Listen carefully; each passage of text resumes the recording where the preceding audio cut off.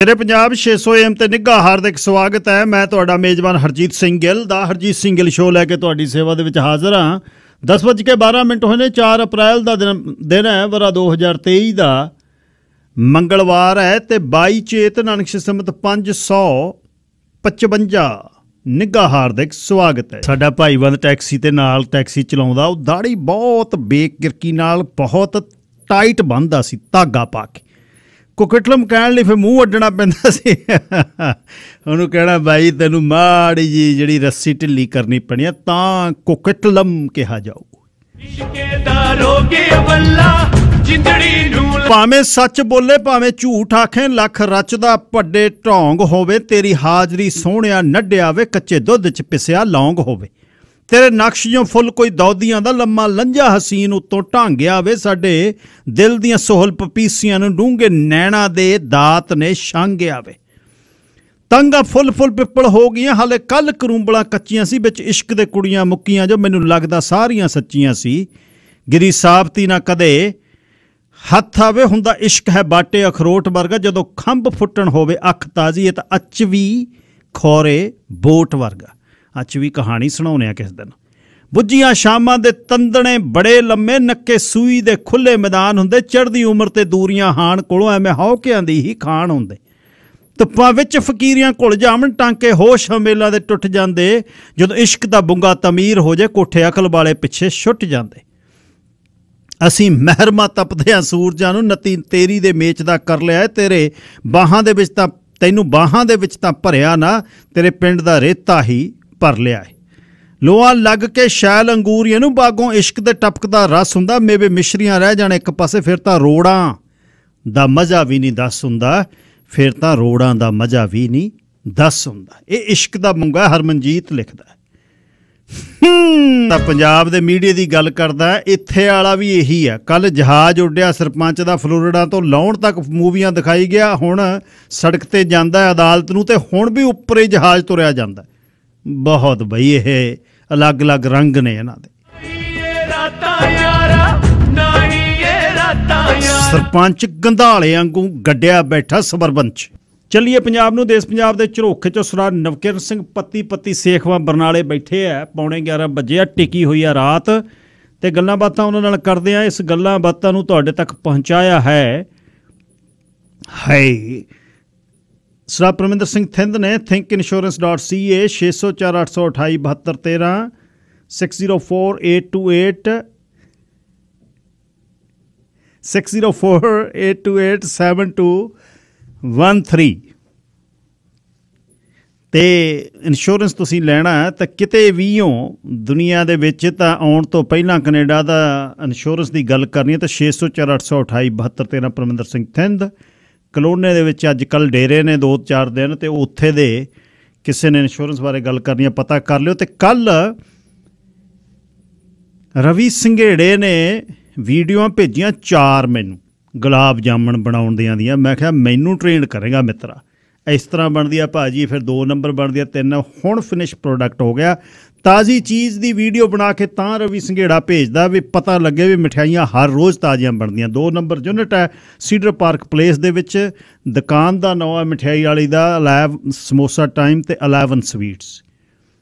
ਜਿਉ ਜੀ ਮਰਜ਼ੀ ਤੁਸੀਂ ਮਠਿਆਈ ਉੱਥੋਂ ਲੈ ਲਿਓ, ਵਿਆਹਾਂ ਸ਼ਾਦੀਆਂ ਲਈ ਬੁੱਕ ਕਰਨਾ ਤਾਂ 604 504 43 43 ਨੰਬਰ ਹੈ।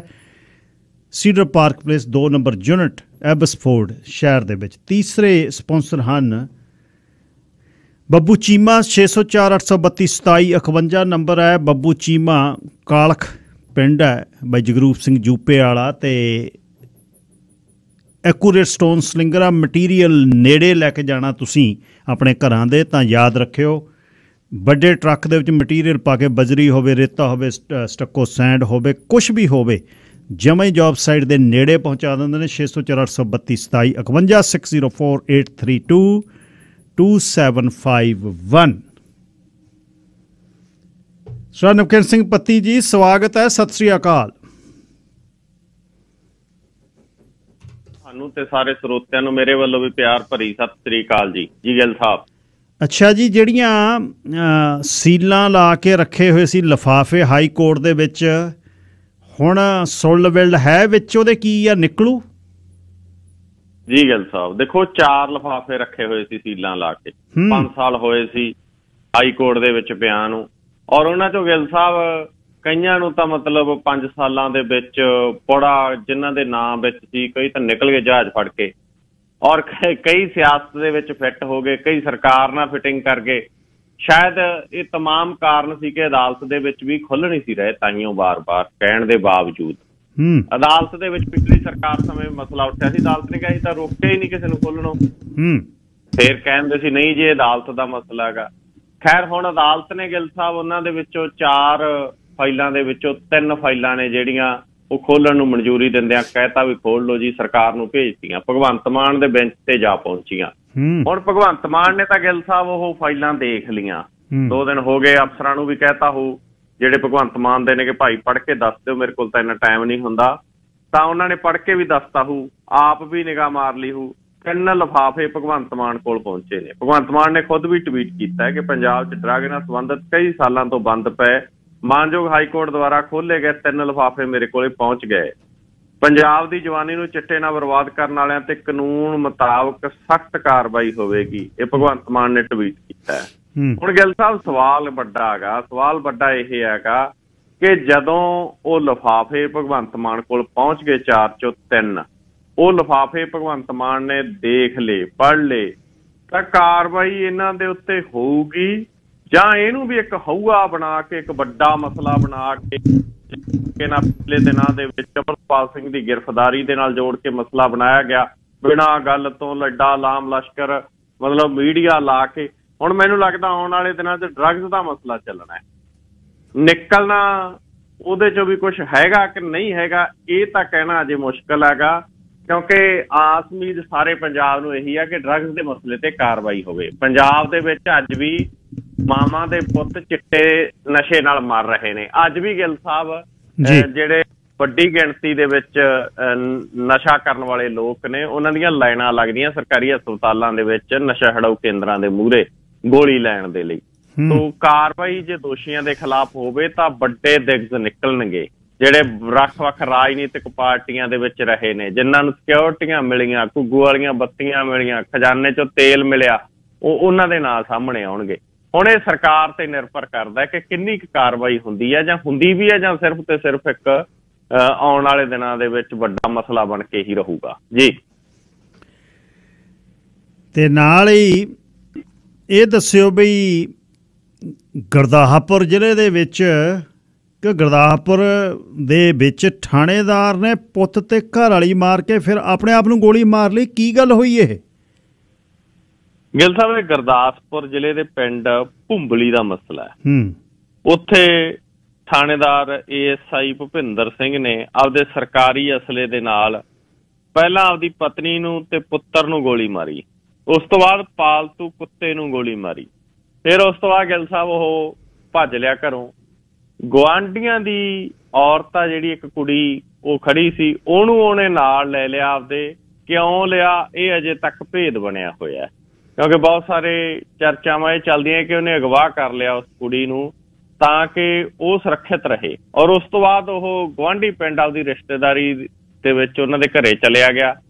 ਇੰਨੇ ਚ ਪਿੰਡ ਵਾਲਿਆਂ ਨੇ ਗਿੱਲ ਸਾਹਿਬ ਗਿਲਾ ਇਹ ਕੀਤਾ ਕਿ ਜਦੋਂ ਗੋਲੀ ਚੱਲਣ ਦੀ ਆਵਾਜ਼ ਆਈ, ਆਂਢ ਗੁਆਂਢ ਆ ਗਿਆ ਔਰ ਉਹਨਾਂ ਨੇ ਪਿੰਡ ਦੀ ਪੰਚਾਇਤ ਸੱਦ ਲਈ। ਪੰਚਾਇਤ ਵਾਲਿਆਂ ਨੇ ਦੋਨੇ ਲਾਸ਼ਾਂ ਨੇ ਜਿਹੜੀਆਂ ਮਾਂ ਪੁੱਤਾਂ ਦੀਆਂ, ਉਹ ਪਈਆਂ ਤੋਂ ਫੋਨ ਕੀਤਾ ਪੁਲਿਸ ਨੂੰ ਕਿ ਭਾਈ ਤੁਹਾਡਾ ਛੋਟਾ ਥਾਣੇਦਾਰ ਆ ਜਿਹੜਾ, ਉਹ ਆਪਦੀ ਪਤਨੀ, ਮੁੰਡੇ ਤੇ ਪਾਲਤੂ ਕੁੱਤੇ ਨੂੰ ਗੋਲੀ ਮਾਰ ਕੇ ਸਾਡੇ ਪਿੰਡੋਂ ਮਤਲਬ ਇੱਕ ਔਰਤ ਨੂੰ ਢਾਲ ਬਣਾ ਕੇ ਲੈ ਗਿਆ ਤੇ ਉਹਦੇ ਖਿਲਾਫ ਕਾਰਵਾਈ ਕਰੋ। ਉਹ ਕਹਿੰਦੇ ਪਿੰਡ ਵਾਲੇ ਦੱਸਦੇ ਨੇ 1 ਘੰਟਾ ਪੁਲਿਸ ਹੀ ਨਹੀਂ ਆਈ। ਹੂੰ। ਲਾਸ਼ਾਂ ਬੈੱਡ ਤੇ ਪਈਆਂ ਰਹੀਆਂ ਘਰ 'ਚ 1 ਘੰਟਾ ਪੁਲਿਸ ਨੇ 1 ਘੰਟੇ ਬਾਅਦ ਪੁਲਿਸ ਆਈ। ਫਿਰ ਉਸ ਤੋਂ ਬਾਅਦ ਹੋਰ ਵੱਡੀ ਗਿਣਤੀ 'ਚ ਪੁਲਿਸ ਨੇ ਉਹਦਾ ਪਿੱਛਾ ਕੀਤਾ ਜਿਸ ਘਰੇ ਉਹ ਸੀ ਉਸ ਘਰ ਨੂੰ ਘੇਰਾਬੰਦੀ ਕੀਤੀ ਗਈ। 4-5 ਘੰਟੇ ਗਿੱਲ ਸਾਹਿਬ ਉਹਨੂੰ ਮਨਾਉਣ ਦਾ ਯਤਨ ਕੀਤਾ ਦੂਰ ਖੜ ਕੇ। ਅਖੀਰ ਐਂਡ ਦੇ ਉੱਤੇ ਉਹਨੇ ਖੁਦ ਨੂੰ ਵੀ ਗੋਲੀ ਮਾਰ ਕੇ ਖੁਦਕੁਸ਼ੀ ਕਰ ਲਈ। ਉਸ ਔਰਤ ਨੂੰ ਜਿਹਨੂੰ ਉਹ ਢਾਲ ਬੁਲਾ ਕੇ ਲੈ ਕੇ ਗਿਆ ਸੀ ਉਹਨੂੰ ਬਚਾ ਲਿਆ ਗਿਆ। ਹੁਣ ਇਹ ਪੂਰੇ ਮਸਲੇ 'ਚ ਅਜੇ ਤੱਕ ਤੱਥ ਸਾਹਮਣੇ ਨਹੀਂ ਆਏ ਕਿ ਮਸਲਾ ਕੀ ਗੱਲ ਕੀ ਸੀ? ਇਹ ਜ਼ਰੂਰ ਹੋ ਸਕਦਾਗਾ ਕਿ ਘਰੇਲੂ ਲੜਾਈ ਜਿਹੜੀ ਵਧੀ ਹੈ ਉਹ ਘਰ ਦੇ ਵਿੱਚ ਕੋਈ ਪਹਿਲਾਂ ਤੋਂ ਵੀ ਮਸਲਾ ਰਹਿੰਦਾ ਹੋਊਗਾ ਰਿਸ਼ਤੇਦਾਰ ਵਗੈਰਾ ਦੱਸ ਸਕਦੇ ਨੇ। ਲੇਕਿਨ ਇੱਕ ਅਹ, ਥਾਣੇਦਾਰ ਦੇ ਵੱਲੋਂ ਆਪਣਾ ਪੂਰਾ ਪਰਿਵਾਰ ਤੇ ਖੁਦ ਨੂੰ ਖਤਮ ਕਰ ਲਿਆ ਗਿਆ ਹੈਗਾ। ਪਾਲਤੂ ਕੁੱਤੇ ਨੂੰ ਵੀ ਗੋਲੀ ਮਾਰ ਦਿੱਤੀ ਗਈ ਹੈ। ਇਹ ਸਾਰਾ ਕੁਝ ਸਰਕਾਰੀ ਅਸਲੇ ਦੇ ਨਾਲ ਹੋਇਆ। ਸੋ ਇੱਕ ਹੱਸਦਾ ਬਸਦਾ ਘਰ ਅੱਜ ਉੱਜੜ ਗਿਆ। ਜੀ ਗੱਲ ਸਾਹਿਬ ਬਹੁਤ ਔਖਾ। ਬਹੁਤ ਦਬਾਅ ਦੇ ਵਿੱਚ ਨੇ ਪੰਜਾਬ ਪੁਲਿਸ ਦੇ ਵਿੱਚ ਜਿਹੜੇ ਖਾਸ ਤੌਰ ਤੇ ਥਲੜਾ ਕੀਡਰ ਆ ਨਾ ਜੀ, ਉਹਨਾਂ ਦਾ ਹੌਲਦਾਰ ਤੋਂ ਥੱਲੜੇ ਮੁੰਡੇ ਜਿਹੜੇ ਖਾਸ ਤੌਰ ਤੇ ਸਿਕਿਉਰਿਟੀ ਨਾਲ ਚੱਲਦੇ ਨੇ। ਬਹੁਤ ਔਖਾ ਦਿਨ, ਰਾਤ ਜਿਪਸੀਆਂ ਲੱਕ ਭੰਨ ਦਿੰਦੀਆਂ ਨੇ ਖਾਣਾ ਨਾ, ਪੀਣਾ ਨਾ। ਬਹੁਤ ਔਖਾ। ਹੈ। ਤਾਂ ਅੰਦਰ ਜਾ ਵੜਦੇ ਨੇ ਤੇ ਬਾਹਰ ਬੈਠਿਆਂ ਨੂੰ, ਜਿਹੜੇ ਘਰ ਦੇ ਵਿੱਚ 30 20 ਬੰਦੇ 15 ਚੱਲ ਗਏ, ਸਾਰਿਆਂ ਨੂੰ ਪ੍ਰਸ਼ਾਦਾ ਕਿਹੜਾ ਛਕਾਵੇ, ਜਿਹੜਾ ਵਧੀਆ ਅਫਸਰ ਹੈ, ਵਧੀਆ ਲੀਡਰ ਆ, ਉਹ ਪਹਿਲਾਂ ਕਹਿੰਦਾ, ਮੇਰੇ ਗਨਮੈਨ ਨੂੰ ਰੋਟੀ ਦਿਓ, ਮੈਂ ਬਾਅਦ ਚ ਖਾਉਂ ਇਹ ਵੀ ਕਹਾਣੀ ਹੈ।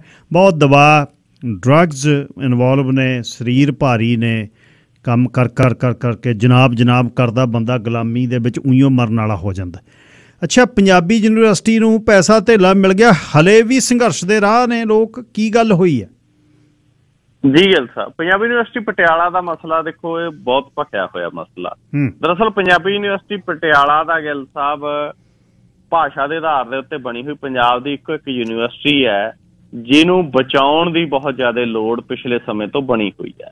ਗਿੱਲ ਸਾਹਿਬ ਯੂਨੀਵਰਸਿਟੀ ਤੇ 150 ਕਰੋੜ ਦੇ ਲਗਭਗ ਤਾਂ ਪੁਰਾਣਾ ਜਿਹੜਾ ਹੈਗਾ ਉਹ ਵਿੱਤੀ ਬੋਝ ਉਹ ਚੱਲਿਆ ਆ ਰਿਹਾ ਹੁਣ ਯੂਨੀਵਰਸਿਟੀ ਨੂੰ ਚਲਾਉਣ ਦੇ ਲਈ ਵਾਈਸ ਚਾਂਸਲਰ ਨੇ ਕਿਹਾ ਸੀ ਕਿ 360 ਕਰੋੜ ਰੁਪਏ ਸਾਲਾਨਾ ਚਾਹੀਦੇ ਨੇ ਇਸ ਯੂਨੀਵਰਸਿਟੀ ਨੂੰ ਚਲਾਉਣ ਚਲਾਉਣ ਦੇ ਲਈ। ਲੇਕਿਨ ਪੰਜਾਬ ਸਰਕਾਰ ਦੇ ਵੱਲੋਂ ਜਿਹੜਾ ਇਹ ਬਜਟ ਪੇਸ਼ ਕੀਤਾ ਗਿਆ ਉਹ ਬਜਟ ਦੇ ਵਿੱਚ 164 ਕਰੋੜ ਰੁਪਏ ਦੀ ਵਿਵਸਥਾ ਕਰ ਦਿੱਤੀ ਗਈ ਕਿ 164 ਕਰੋੜ ਦੇਵਾਂਗੇ। ਜੀ। ਉਦੋਂ ਬਾਅਦ ਵਾਈਸ ਚਾਂਸਲਰ ਨੇ ਉਸੇ ਦਿਨ ਸਟੇਟਮੈਂਟ ਦਿੱਤੀ ਸੀ ਕਿ ਇਹ ਤਾਂ ਯੂਨੀਵਰਸਿਟੀ ਦਾ ਸ਼ਟਰ ਛੱਟਣ ਵਾਲੀ ਗੱਲ ਹੈ ਯੂਨੀਵਰਸਿਟੀ ਬੰਦ ਕਰਨ ਵਾਲੀ ਗੱਲ ਹੈ 164 ਕਰੋੜ ਨਾਲ ਤਾਂ ਅਸੀਂ ਕੀ ਕਰ ਲਾਂਗੇ? 360 ਕਰੋੜ ਸਾਨੂੰ ਮਿਨੀਮਮ ਚਾਹੀਦਾ। ਉਸ ਤੋਂ ਬਾਅਦ ਗਿੱਲ ਸਾਹਿਬ ਯੂਨੀਵਰਸਿਟੀ ਦੇ ਗੇਟ ਦੇ ਉੱਤੇ ਚੰਡੀਗੜ੍ਹ ਪਟਿਆਲਾ ਰੋਡ ਦੇ ਉੱਤੇ ਯੂਨੀਵਰਸਿਟੀ ਦੇ ਮੇਨ ਗੇਟ ਤੇ ਵਿਦਿਆਰਥੀਆਂ ਵੱਲੋਂ ਪ੍ਰੋਫੈਸਰਾਂ ਵੱਲੋਂ ਨਾਨ ਟੀਚਿੰਗ ਸਟਾਫ ਵੱਲੋਂ ਇੱਕ ਪ੍ਰੋਟੈਸਟ ਆ ਜਿਹੜਾ ਪੱਕਾ ਮੋਰਚਾ ਦਿਨ ਰਾਤ ਦਾ ਉਹ ਲਗਾਤਾਰ ਚੱਲ ਰਿਹਾ। ਔਰ ਉਸ ਧਰਨੇ ਦੀ ਅਗਵਾਈ ਆ ਜਿਹੜੀ ਉਹ ਵਿਦਿਆਰਥੀ ਜਥੇਬੰਦੀਆਂ, ਅਧਿਆਪਕ ਜਥੇਬੰਦੀਆਂ ਨਾਨ ਟੀਚਿੰਗ ਸਟਾਫ ਦੀਆਂ ਜਥੇਬੰਦੀਆਂ ਕਰ ਰਹੀਆਂ ਨੇ। ਯੂਨੀਵਰਸਿਟੀ ਦੇ ਵਾਈਸ ਚਾਂਸਲਰ ਤੇ ਐਡਮਿਨਿਸਟ੍ਰੇਸ਼ਨ ਦਾ ਉਹਨਾਂ ਨੂੰ ਸਹਿਯੋਗ ਮਿਲ ਰਿਹਾ ਹੈ। ਹੁਣ ਹੋਇਆ ਕੀ ਕਿ ਪਿਛਲੇ ਦਿਨਾਂ ਦੇ ਵਿੱਚ ਪੰਜਾਬ ਦੇ ਵਿੱਤ ਮੰਤਰੀ ਨੇ ਮੀਟਿੰਗ ਕੀਤੀ ਵਾਈਸ ਚਾਂਸਲਰ ਦੇ ਨਾਲ।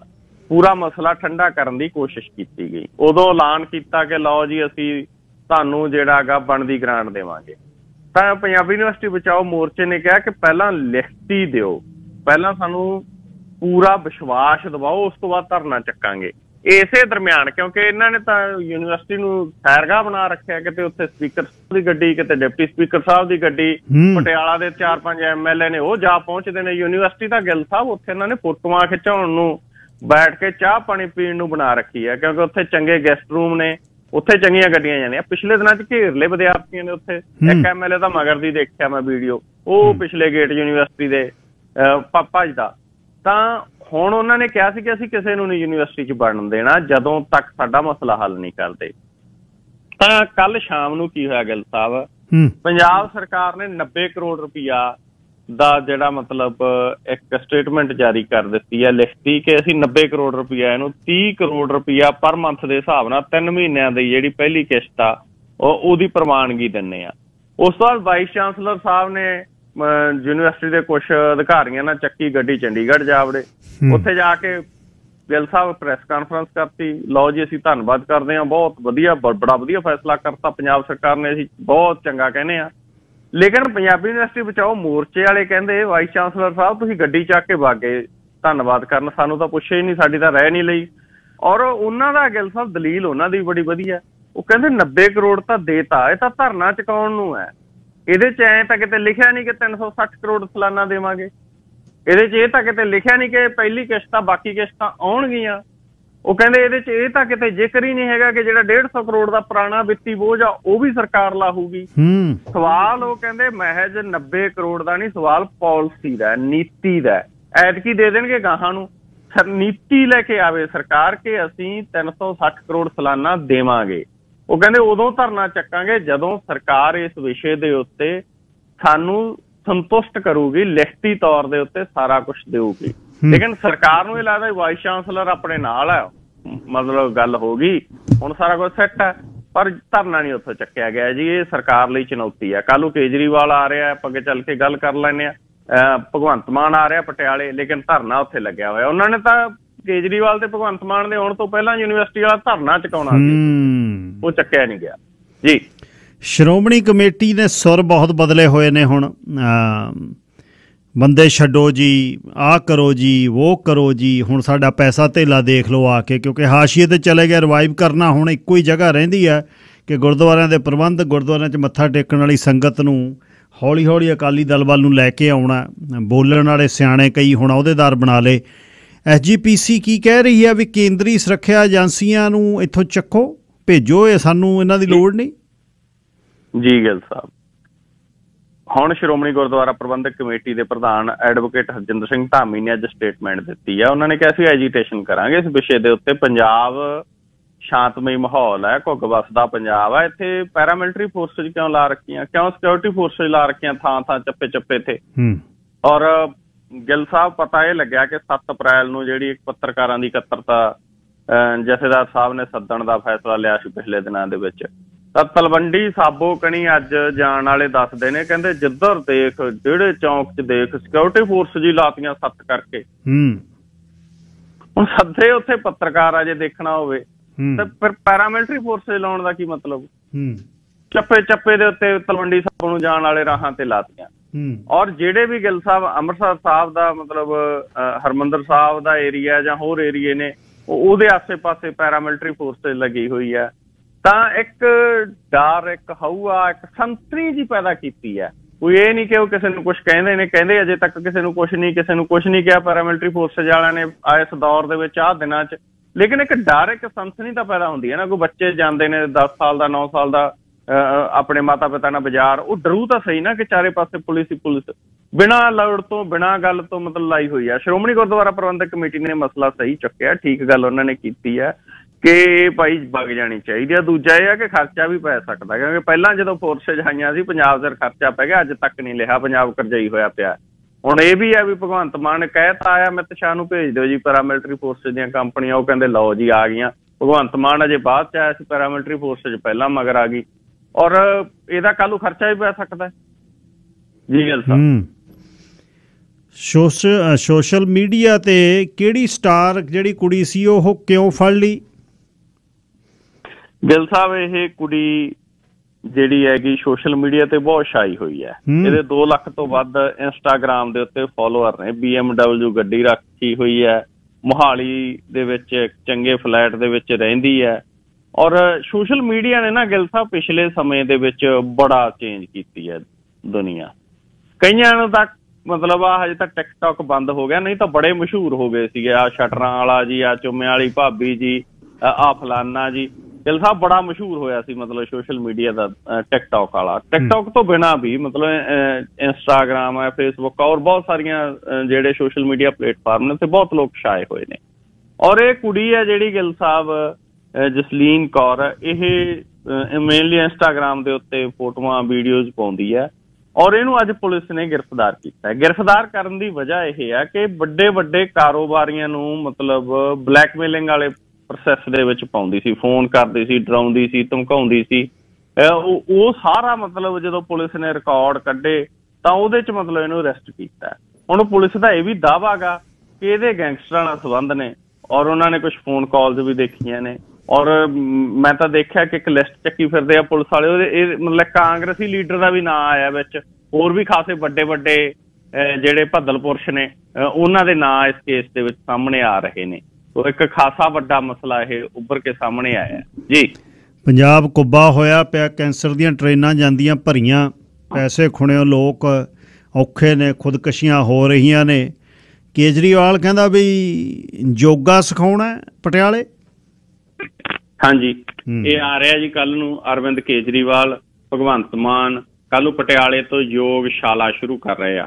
ਇਹ ਤਾਂ ਦਿੱਲੀ ਮਾਡਲ ਲਾਗੂ ਕਰਨ ਜਾ ਰਹੇ ਆ ਅਸਲ ਦੇ ਵਿੱਚ ਦਿੱਲੀ 'ਚ ਸਿਖਾਉਂਦੇ ਆ ਨਾ। ਤੇ ਹੁਣ ਇੱਥੇ ਯੋਗਸ਼ਾਲਾ ਸ਼ੁਰੂ ਕਰ ਰਹੇ ਨੇ। ਫਿਲਹਾਲ ਚਾਰ ਸ਼ਹਿਰ ਇਹਨਾਂ ਨੇ ਮਿੱਥੇ ਨੇ ਕਿ ਚਾਰ ਸ਼ਹਿਰਾਂ ਦੇ ਵਿੱਚ ਕੱਲ ਨੂੰ ਸ਼ੁਰੂ ਕਰਾਂਗੇ।